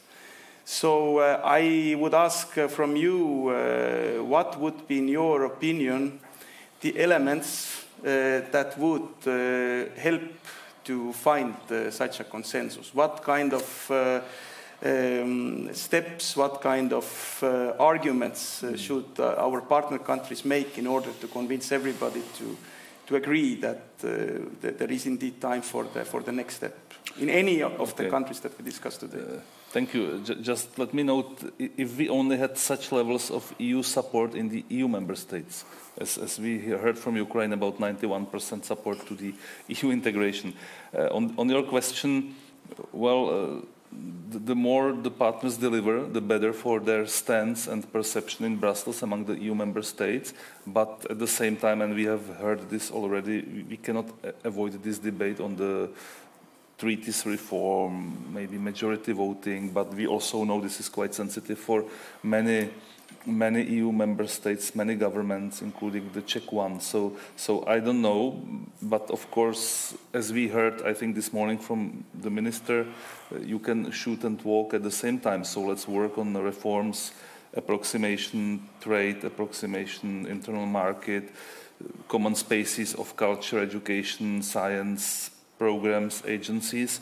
And in the meantime, let's build consensus. Of course, one day maybe there will be less. Now the momentum is here, but it might be complicated in one, two, three years' time. But of course, the, the, the, the faster Ukraine manages to win the war, the better for this process as well. Okay. Good. Thanks a lot, uh, Jan. Uh, we have uh, 10 minutes left uh, for which is, I think, considering all the issues that have been addressed, uh, not a lot of time, but uh, I would like to use uh, this opportunity and open the floor uh, to, to questions. Uh, please, the floor is yours. Is there any, whether Yes, you can raise your hand high, very high, then we can see.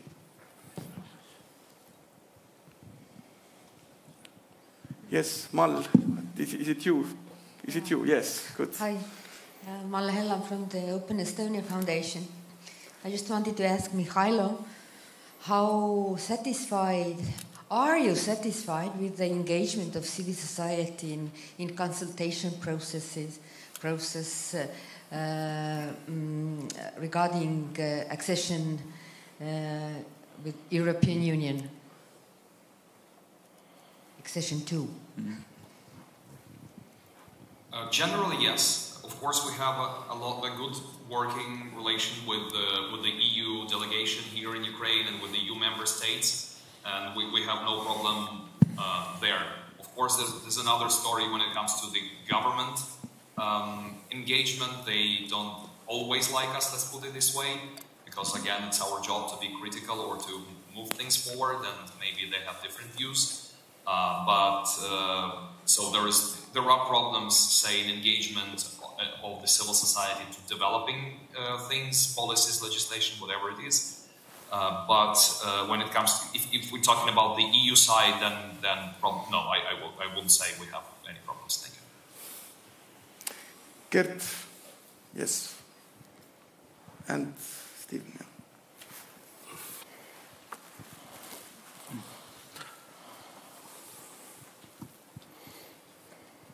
Thank you. Mikhailo, uh, well, a question uh, to you from me as well. And first of all, thank you for speaking over the video link and sorry that um, the logistics played a bad trick and uh, didn't work out to, to see you in, in person in Tallinn. But uh, one question I was looking forward to asking you is that we were just with um, colleagues, fellow um, Eastern Partnership um, ambassadors from, from EU member states and from Brussels uh, in Yerevan and Baku. And in Armenia, the human rights ombudsperson told us that she is, she is against um, vetting of judges, that they have looked at the European, sorry, at, at the Ukrainian experience, and well, it's, it's a bad one. Um, the EU delegation there was uh, supporting um, that view as well. And as I understand, her main argument was that um, vetting the judges is sort of violating the human rights of judges, well, potentially corrupt judges as well. Uh, what's you have been dealing, you know, for for years with that uh, matter. What's your response to that? Thank you. Thank you. Uh, well, first of all, uh, let, let me just very quickly add to my previous answer. Uh, do I think we have enough instruments for the uh, civil society to have their kind of voice heard? I also, no, I don't think so. So we, we, we, do, we do talk to the EU stakeholders, but of course, if, if, there, if there would be an official platform where kind of the civil society that is deeply involved in the reforms can, can voice out, that would be, of course, better because we have to find out kind of our own um, formats for that. And, uh, you know, it's, it's, it's not official. And, and sometimes, you know, the government voice is heard, is heard much more. So, so thank you for, the, for, this, for this question. Now, uh, when, when it comes to the vetting of judges, the only reason Ukrainian experience, let's say part of Ukrainian experience is not uh, very good, is because we gave too much power in vetting the judges to the Ukrainian judges. Because we too early implemented this uh, European standard, by the way, of judicial self governance, while essentially our um, uh, judiciary is a, while it was a, a, corrupt criminal syndicate.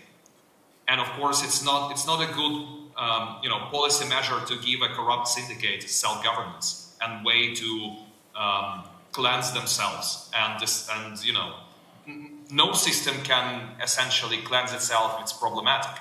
You know, you have to, you have to do it from the outside. Now in Ukraine, we have a very good, of course, works, you know, the self-governance works where you have a good system and you want to preserve it. You know, if you have, you know, a certain EU country, there's lots of them that have around 80% trust of the judiciary, the judiciary works well. Of course, why not? Let's preserve it and give them, give the system means to reproduce itself. The judges select those who select the next judges, and it goes on and on. Now, when we have problematic judges in Ukraine, when we have hundreds and thousands of judges who are super corrupt, who do, not correspond to the integrity criteria, whose decisions are compromised, you give them self-governance. Of course, they select, you know, other corrupt people to these judicial governance bodies, and then the system reproduces itself. While it is a good policy measure to keep the system in place, it is a horrible, sorry, policy measure to change the system.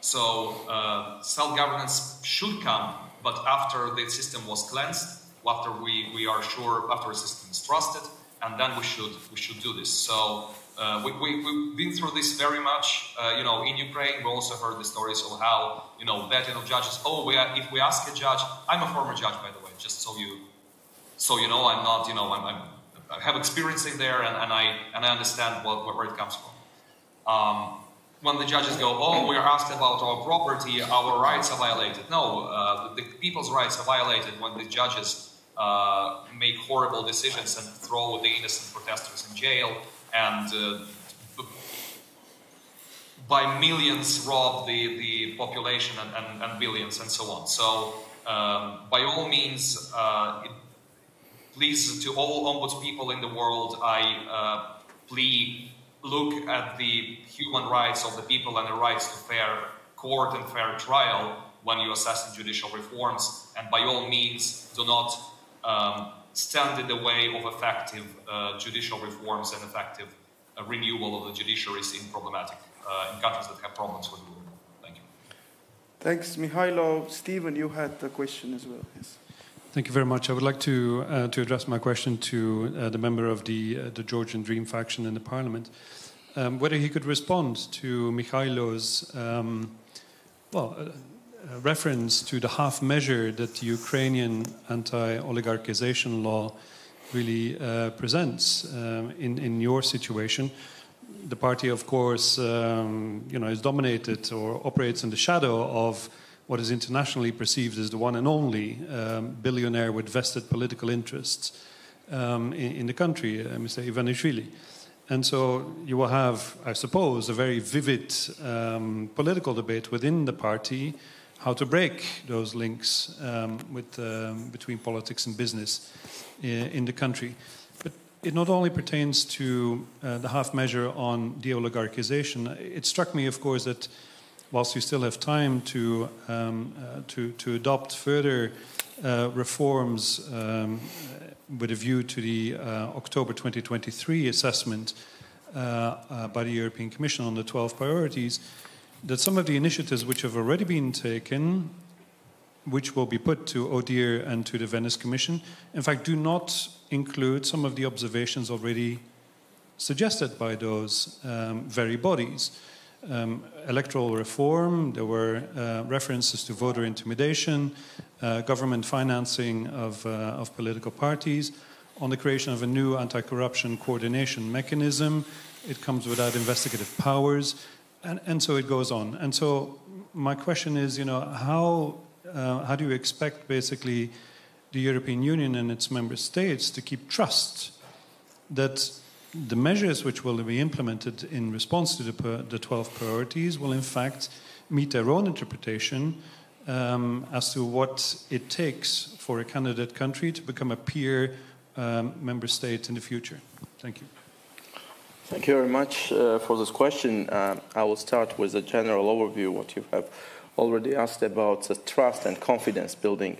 Of course, uh, with every single step and every single activity, what has been done, especially since July when we've started uh, implementation of this 12-point uh, plan, uh, the confidence uh, among the society is uh, increasing because they see it's a very transparent process and they see the uh, real results. And uh, this, uh, this process is not, how to say, um, done um, in a way that it's done just in the parliament and it is not communicated with our international partners.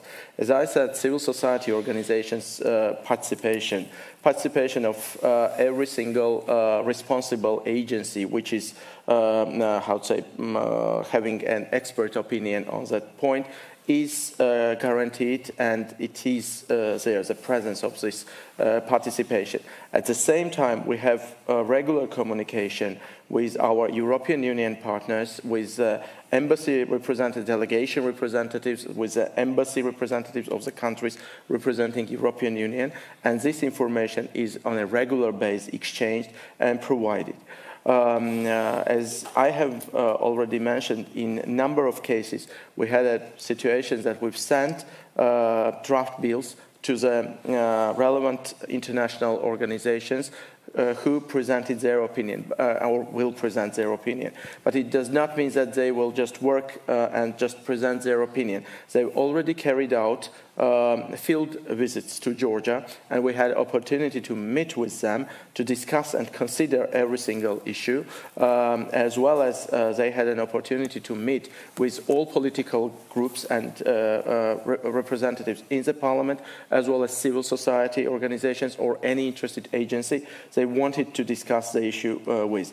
Therefore, uh, it is some kind of a, like a complex issue when they just see where is a um, uh, uh, consensus if it's a consensus-based issue, as well as, uh, for instance, when uh, I had a meeting just 10 days ago with the Venice Commission and the OSCE representatives as a chair of the working group on election code, they really uh, made a very uh, positive assessment on a point that um, uh, we've uh, left door open even for those opposition parties who from the very initial stage did not participate in the process and now this, this is uh, guaranteed and assured and they are involved in these negotiations and we will proceed with this. However, of course, you can ask um, what is the uh, case when uh, uh, what has been already agreed with them is not presented with the document which has been sent officially to them. However, during those discussions, we have concretely and were in very detail inform them where we have already achieved uh, uh, joint agreements and what will be um, uh, taken uh, on board when we will be discussing with the second hearing in detail the, amend the, amendments which will be presented to the plenary session. Um, this is somehow a, more or less a similar case in every single direction.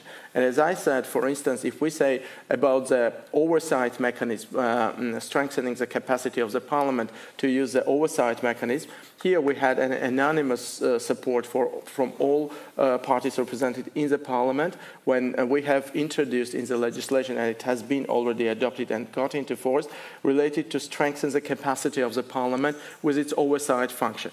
And this makes increase of confidence and trust to the process, first of all. Um, therefore, we are very much committed to continue in this way.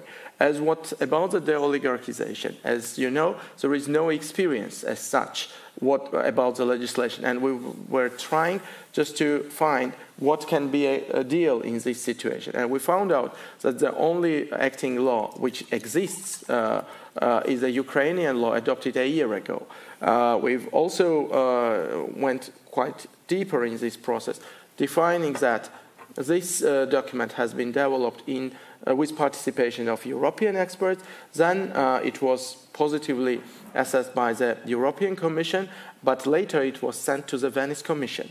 So it is important and crucial for us to get um, uh, opinion of the Venice Commission on this law because it's the same what uh, what we will have in Georgia, and we will definitely consider and take on board those recommendations which the Venice Commission will be providing to Ukraine. At the same time, um, uh, you mentioned about uh, Bidzina Ivanishvili. Uh, um, we, like any law cannot be, uh, how to say, um, uh, uh, any law cannot be um, uh, developed uh, um, related to some person. It is a general law, and there are special criteria. Any person who falls under those criteria can be fall, falling uh, within the framework of this uh, law. And uh, uh, regarding this case, it is quite easy issue because this person who has established uh, the ruling party some um, 11, 12 years ago. Um, he was a prime minister, you know very well, and then he removed from the uh, politics, and later he returned as a chair of the uh, ruling party. But two years ago, he finally, finally left the politics, and uh, none of person can present any single evidence of his presence in the politics he has, uh, he has just uh, um, publicly made a statement that he has no sense to be part of any kind of political issues.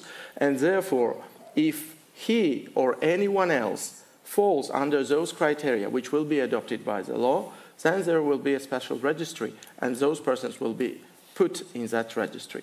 However, when we talk about the particular case, the opposition was, uh, first of all, they were saying that the Ukrainian uh, uh, law is very good. When they found out that we are translating this law and it goes directly in line what is uh, adopted by Ukraine, they found out that they have several people in their party who um, uh, gets to those qualification criteria. And now they dislike this law and they are arguing. So it's a matter of consideration. However, here we need additional expert support and opinion from our partners. As well, uh, and as I said, we are uh, waiting for the Venice Commission expert opinion, which will be um, in a very detailed considered and discussed, and we will see how it will go. Thank you. thanks a lot for this extensive uh, answer, and of course, uh, feel free to discuss this uh, with Steven further. Now, uh, actually, I had a plan to give to everyone uh, uh, floor for the, the last remark, but we are a little bit late with, uh, with our panel. We also started a bit later, but I would still like to, as uh, Givi and Mikhail already spoke, I would still like to give uh, floor to you, Jan, and to you, Petar, and just a very short answer to a very concrete question. I mean, actually, both of you already addressed this. But what kind of suggestion should I, as a Commission representative, take back to Brussels what we should do in helping candidate country like uh, Montenegro, but also other candidate countries to fulfill those steps, fulfill those conditions to, to go to the, to the next step? Very shortly. Very short. Yeah. Uh, in addition to helping those at the back of the line of accession, which we are doing now, we need to help those who are in front because accession will be based on those who make it across the finish line. Uh, so uh, help uh, Montenegro break the rule of law blockade it has in the parliament now with any means possible because the citizens are ready, the administration is ready. We need to just unblock our parliament. And um, in, I echo all candidate and potential candidate countries. We need Brussels to speak with one voice mm. to us. We have different institutions having varying messages. We need one voice. We need a clear orientation. That's it. Thanks, Jan. But I'm not sure whether Tanel can can provide this or issue. Well, I take. I just asked can, what I will take uh, take with me. I mean, it does not mean that I have a silver bullet solution to that. But you uh, can do your best. But this is the member states who are in yeah. charge of unity, of yeah. course. But but I think, uh, as I said, more of the same. And let's let's help Ukraine win the war, and let's have some good policy of no business as usual with Russia, and let's hope that we will be able to contain Russia, and then we will have space for reforms and help to Ukraine, Moldova, and others. Mm-hmm. And uh, please tell them that they can count on the Czech presidency and then they can count on the Swedish presidency. Yes. I see that uh, Mikhailo raised his thumb up. I think this is the, the best signal to, to end this panel. Of course, uh, I think this is our everybody's uh, wish uh, and, and, and strong hope that, uh, that Ukraine will win this uh, war very soon. And from our side, from everybody in this room and, uh, and, and beyond, we of course uh, continue to support you, Mikhailo, and, uh, and, and your, your colleagues and your people. Uh, thanks a lot for your uh, attention. Um, it was a very interesting discussion. I think that now we are uh, about to start the concluding session, which will probably summarize this and some other discussions before. Thank you very much.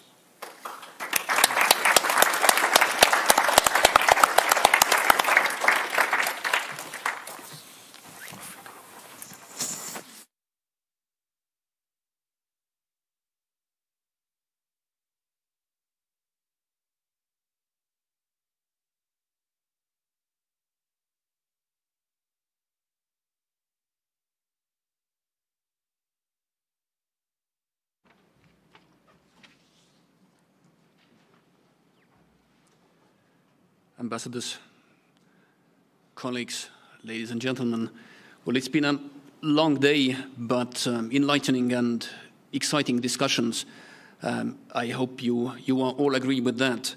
Um, let me very briefly try to summarize the day, what I would um, take away from it. Uh, first of all, our determination to help Ukraine win the war, the, the thing Tanel concluded with, um, our well, especially on, on such a day, again, uh, starting uh, with an attack on the maternity ward in Zaporizhia in the morning, um, then, um, uh, well, I shouldn't say ending, but, well, uh, let's say, um, uh, many of you might have seen already, um, attacks, uh, missile attacks all over the country, and including Kiev, and um, electric electricity missing in a big part of the country, in neighboring Moldova as well. So um, uh, obviously we have to unite our forces, and um, Minister was uh, clear about it, and I'm sure that um, no participant here um, harbors any doubts about it or, or thinks any, any differently.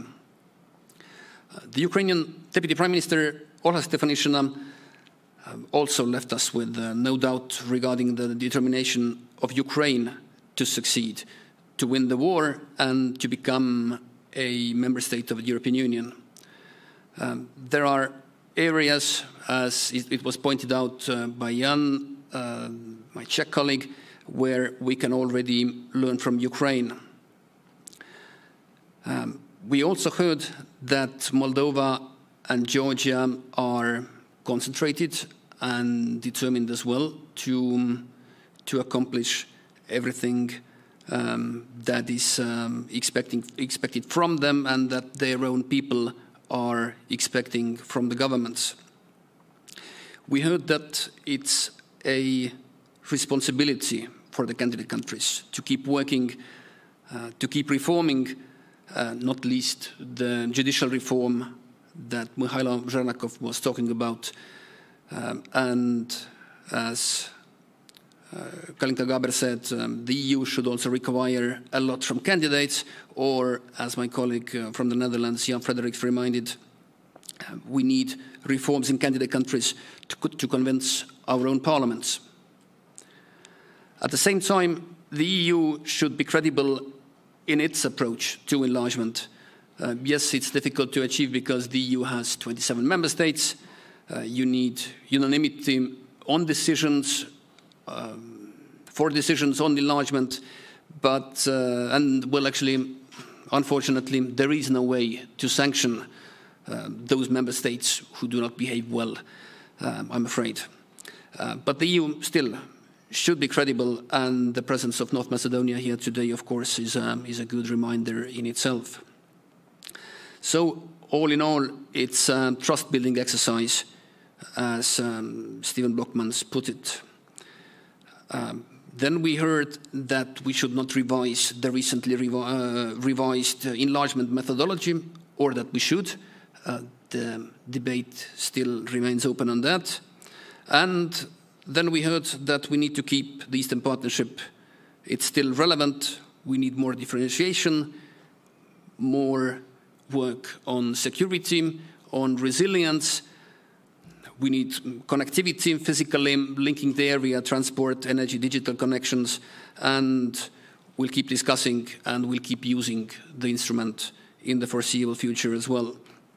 Uh, perhaps my main takeaway as being part of the organization of the event as well, is that um, indeed it was a good idea to put um, representatives from the Western Balkans and the Eastern Partnership countries on the same stage. Uh, there are certainly comparable experiences, and um, well, it's difficult to predict the future always, but I hope we'll uh, keep doing that in Estonia as well. So, um, Kalinka, Peter, uh, thank you very much for coming over and, and joining the discussions. Before concluding, let me thank all those who have made um, this conference possible and who have helped it along. Uh, first of all, of course, all the panelists and, and the moderators. Then the Swedish Embassy, uh, Ambassador, uh, and the European Commission representation in Tallinn. Thank you very much for your cooperation. Um, then I would like to thank the volunteers from the Estonian School of Diplomacy, the students, and also the, the School of Diplomacy for letting um, the students skip the classes uh, for the day and, uh, and help us with, uh, with the conference. Um, I would like to thank all of you who have stayed bravely until the end, which um, brings me to the next person in line, namely the current EU presidency, uh, the Czech embassy, who will reward all those um, brave participants shortly. But uh, before that, I will leave the floor to the Czech uh, charge d'affaires, Petr Precik. Thank you.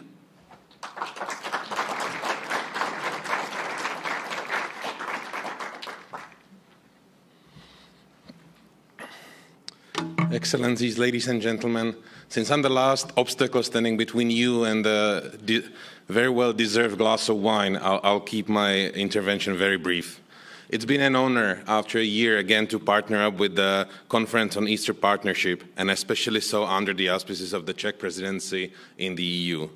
Throughout the presidency, we promoted coordination on all levels, and I believe the number of meetings, conferences, and consultations we organized and co organized uh, is witness to this fact. Many of these meetings uh, did, not, did not lead directly to hard and tangible results. But as the Estonian Prime Minister Kaja Kallas said when returning from Prague from the first meeting of the European uh, political community, it's the discussion in itself which is worthwhile and which, which has its merit. Uh, I'm sorry, my cell phone got stuck. But, uh, anyways, uh, what. What I wanted to say is that we really appreciate all the speakers and all the all the participants in the today's conference which took part and uh, and contributed with pertinent questions and their contributions today. So the thank you belongs to the ICDS, to the Ministry of Foreign Affairs of Estonia, to the Swedish Embassy, and to all who have made this conference possible. And now it's my pleasure to invite you for a glass of Czech wine, which awaits us in the foyer. So once again, thank you very much for uh, participating today.